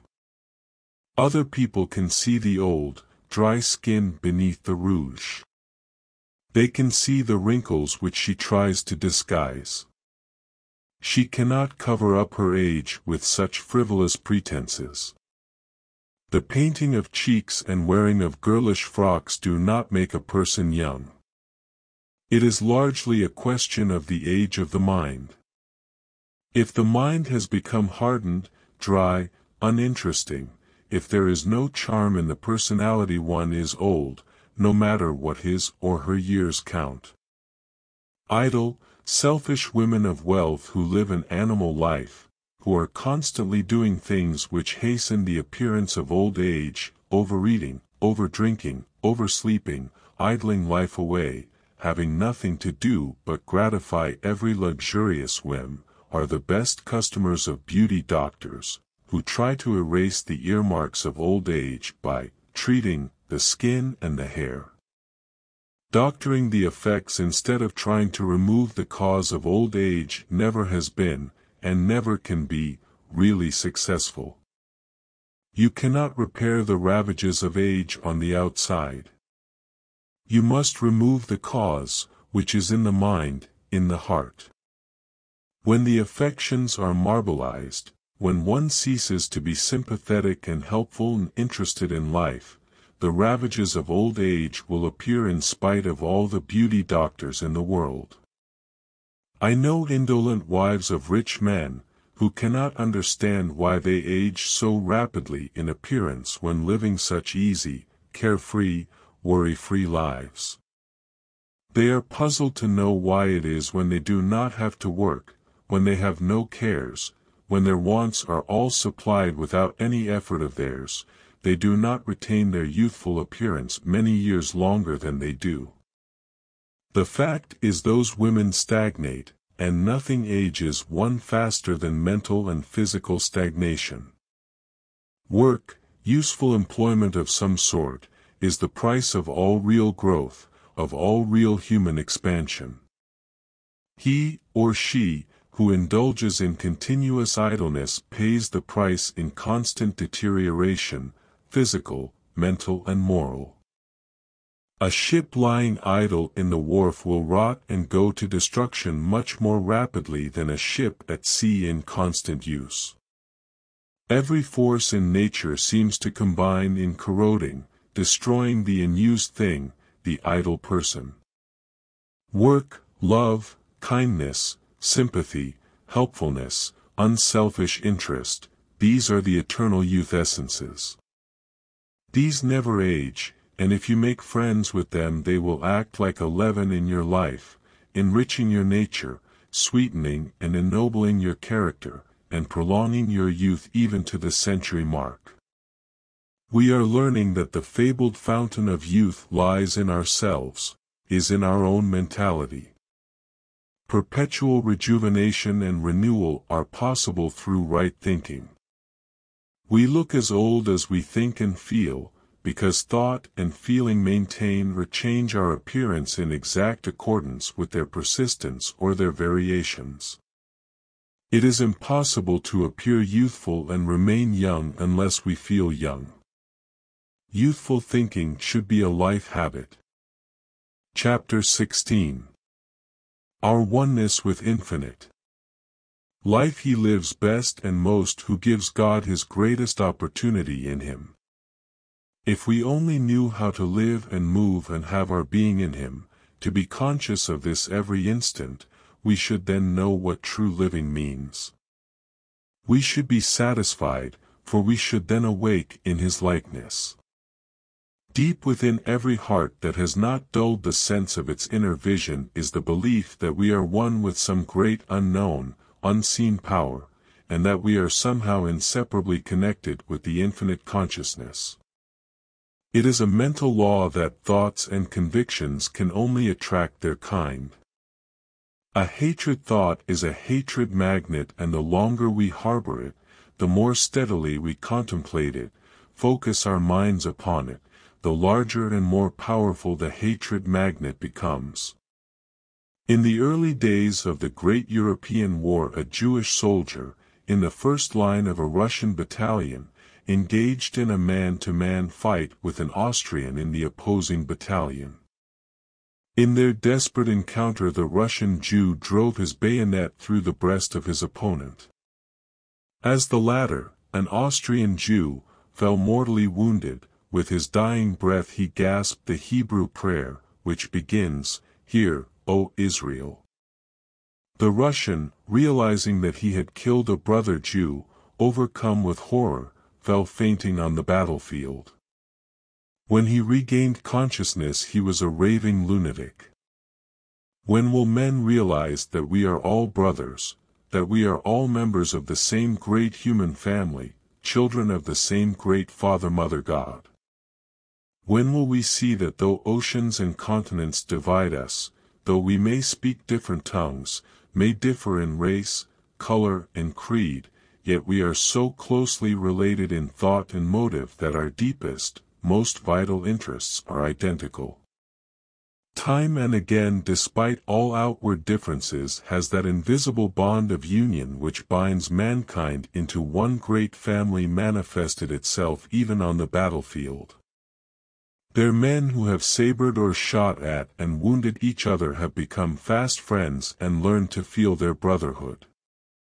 Many and many a time has it happened that soldiers who had been bitter enemies in battle and had tried in every way to kill each other, have found while convalescing side by side that they were really one in sympathy and feeling, brothers at heart and did not know it. If these men had known and seen into one another's soul before the battle as they had afterwards in the hospital they never could have been induced to fire at or to try to injure one another.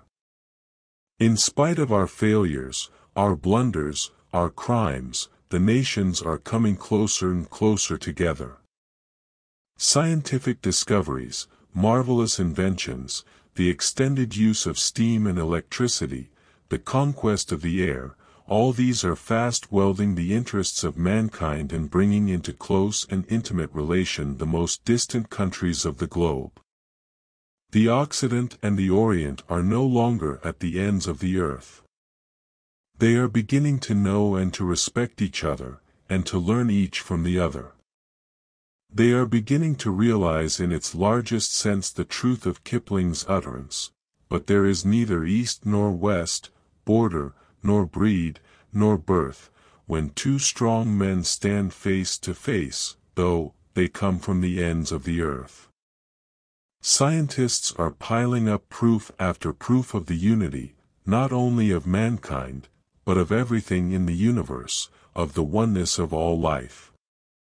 They are demonstrating that there is but one substance, one eternal force or essence in the universe, and that all we see is but a varying expression of it. Everything about us is merely a modification, a change of form of this universal substance, just as electricity is a manifestation of force in various forms, in its unchained power in rending giant trees and destroying huge buildings, and as harnessed by man in moving trains, in lighting our homes, in furnishing heat for cooking and in many other domestic and industrial devices. The lesson of lessons for us to learn from this is our inseparable union with the Creator of life, that everlasting, eternal unity of spirit, that oneness with the Father which Christ came to teach. I and the Father are one. I am the vine, ye are the branches. We are as closely united one to the other, and all to the Father as are the branches to the parent stem. When we are conscious of our union, of our co-partnership with the infinite, we feel an added power, just as the branch feels the force of the life currents flowing into it from the vine. Severed from the parent stem the same branch would not feel so confident. It would soon find that of itself it could do nothing, and in a short time it would wither and die. The moment we pluck a flower from its stem it begins to wilt and fade because it is separated from the source of its life. Cut off from the great chemical laboratory of nature, from the creative, miracle-working energy of the sun, the soil, and the atmosphere, it dies within a few hours. The moment we are cut off from our divine source we begin to wither, shrivel and die. As long as we remain separate nothing can stop this fatal blighting process. When we are not fed from our source we are like the branch severed from the parent vine, like the flower plucked from its mother stem. My experience has shown that people who, from different causes, feel cut off from connection with the divine source of things suffer intensely from fear. They are filled with a vague, but overmastering terror which presses upon them with greater force because it is unseen, unknown. They dimly feel that like meteors in the sky which have passed beyond the controlling gravity governing the other heavenly bodies, they are separate, unrelated human atoms without assurance that they are under a protective, guiding, sustaining power.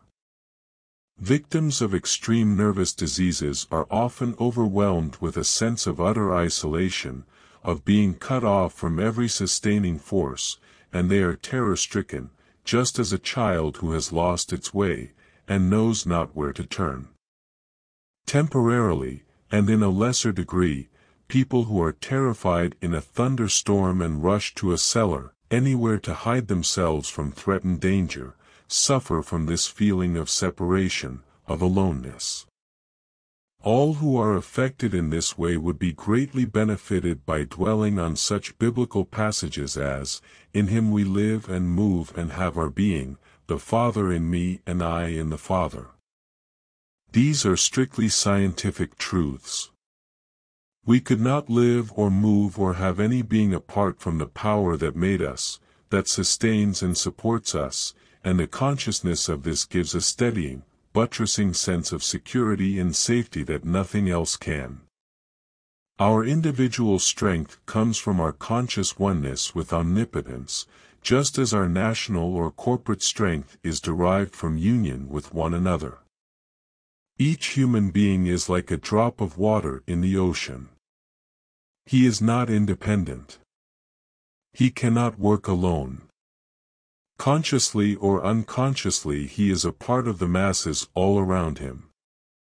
He is touched by other water drops on every side, and his existence, his success is largely dependent upon his union with the others. Even if a drop of the ocean could separate itself from the mass and should try to live its own life in its own way it would soon cease to exist as a drop. A man cannot accomplish much alone. His success depends on his union with other men. His dignity and strength are reinforced by the organization or association of which he is a unit, as a cable is reinforced by the sum of the strength of its separate wires. Nature, says Humboldt, is unity in diversity of manifestation, one stupendous whole, animated by the breath of life. When we come into conscious realization of the truth that we are a part, the most important part, of the stupendous whole created by God, and that we are working in cooperation with Him, we will come into possession of a power and dignity which will make our lives sublime. The greatest minds of all ages have drawn their strength from the invisible source, from their vital connection with the power which creates, and works through every one of us. They have also believed in the great mission of the race, believed in a divine plan running through the universe which works for righteousness, and shapes the destiny of the race. This faith in the Godward movement of the great human current has characterized even those who did not openly profess any religious faith. Their belief in the divinity of humanity has been a strong factor in their character, and the root source of their power. This same faith, this unquestioned confidence in the divine cosmic intelligence, has given more comfort, has brought more peace of mind, and happiness to vast multitudes of human beings than any other thing. Indeed it is the only thing that can bring us true peace, enduring happiness. There is something beside brain force needed to make a man a real constructive power in the world, and that is his divine connection, his being in the current which runs Godward. Without this essential, notwithstanding all that the mind and the body can do for us, we feel a void in our being, a great lack, a longing, a yearning for something, we know not what.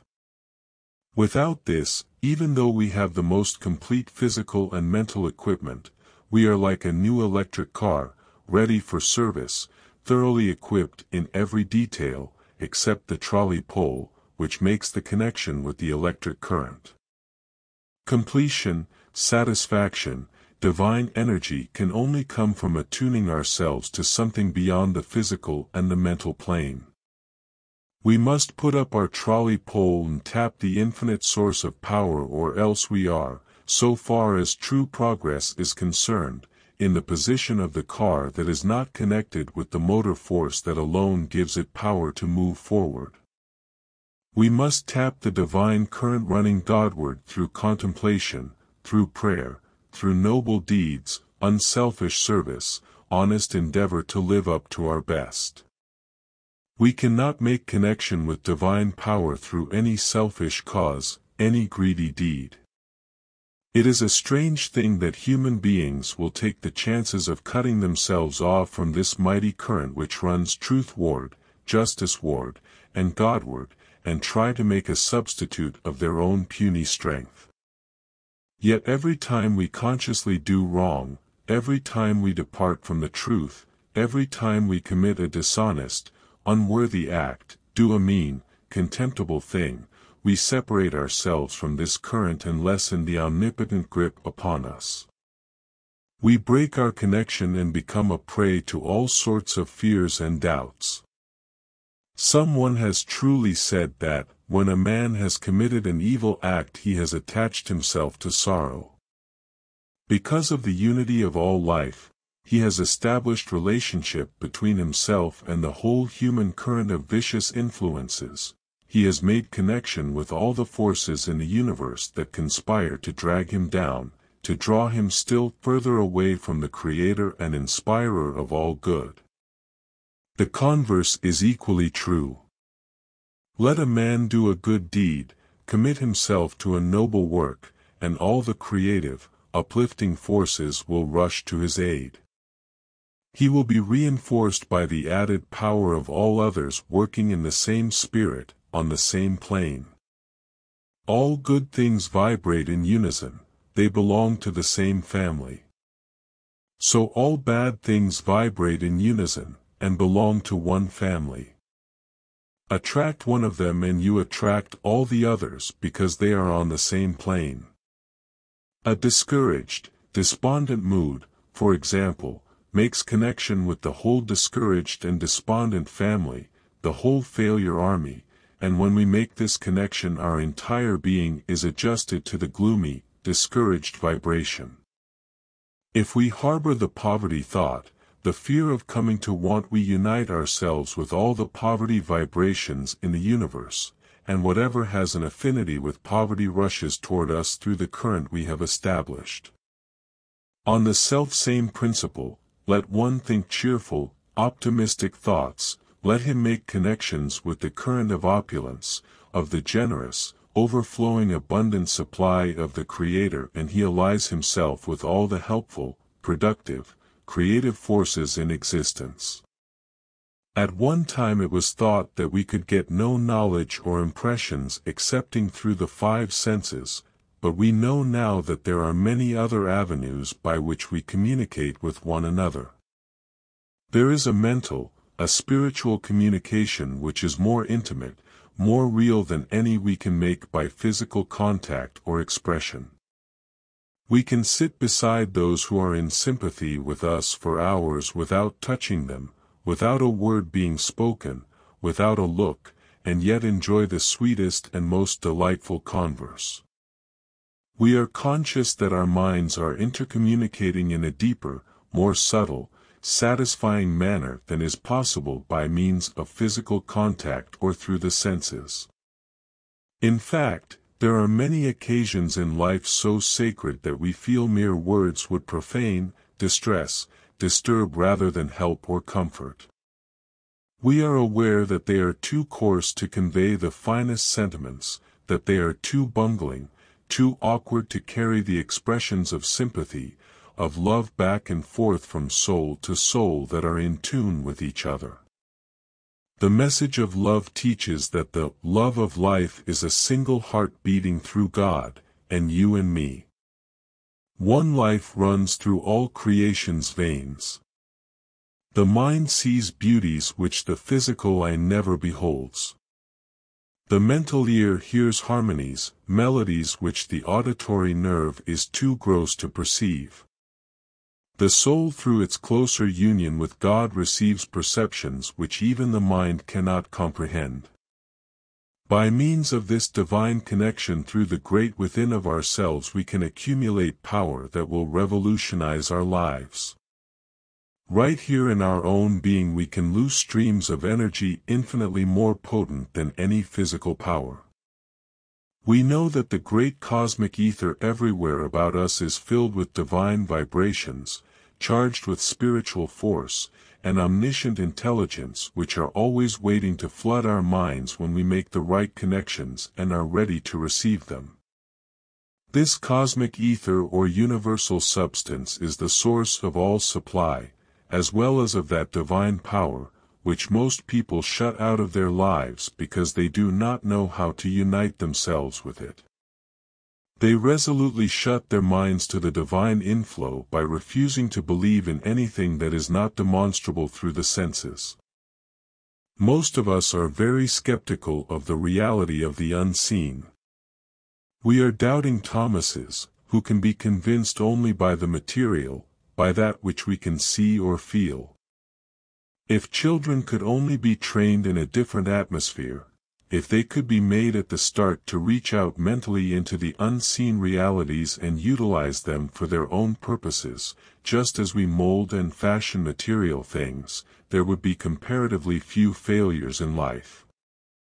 It was intended that man should live in perpetual contact with the power that created him, that would keep him in tune with all that is healthful and good and pure and true, but, unfortunately, we are constantly losing our connection and thus making ourselves impotent, weak, when we might be potent, strong, creative. To live in wireless communication with the divine current that runs through all creation is to be in touch with divinity indeed, is to be divinely successful. No power outside of ourselves can cut us off from communication with this current. Even the worst criminals, those who have been cut off from human society may still be one with their source if they choose. The Creator has not cut them off, has not discarded them. They have broken the connection themselves. The Creator would not blast with a thunderbolt, would not crush with his wrath the most profane wretch that ever lived, even though he should curse him for creating him. The great love of the Father would still sustain him, keep him alive, feed him, permit the same beautiful sun to shine upon him as upon the greatest saint. All the blessings of nature would still be there for his enjoyment, would be given as freely to him as to the most devoted worshipper.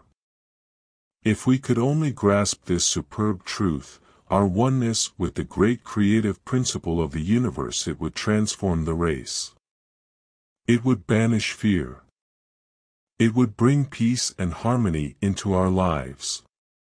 It would give us a sense of security and satisfaction and happiness such as we never before knew.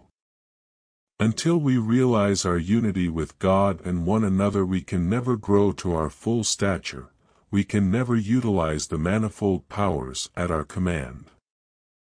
Nor shall we ever reach that glorified manhood which matches the Creator's pattern of the possible man until it is ingrained into every child's nature that he was not only created by his Father-Mother God, but that he is forever after vitally connected with him, that he is nearer to him than his own hands and feet, closer than his own heartbeat. This oneness of the child with his Maker is the principle which must ultimately mold the race into perfect beings. The End Copyright 2022 by Free Books Tube. Thank you for listening, please consider to subscribe, like, and share, to help the channel growth, new videos on a daily basis.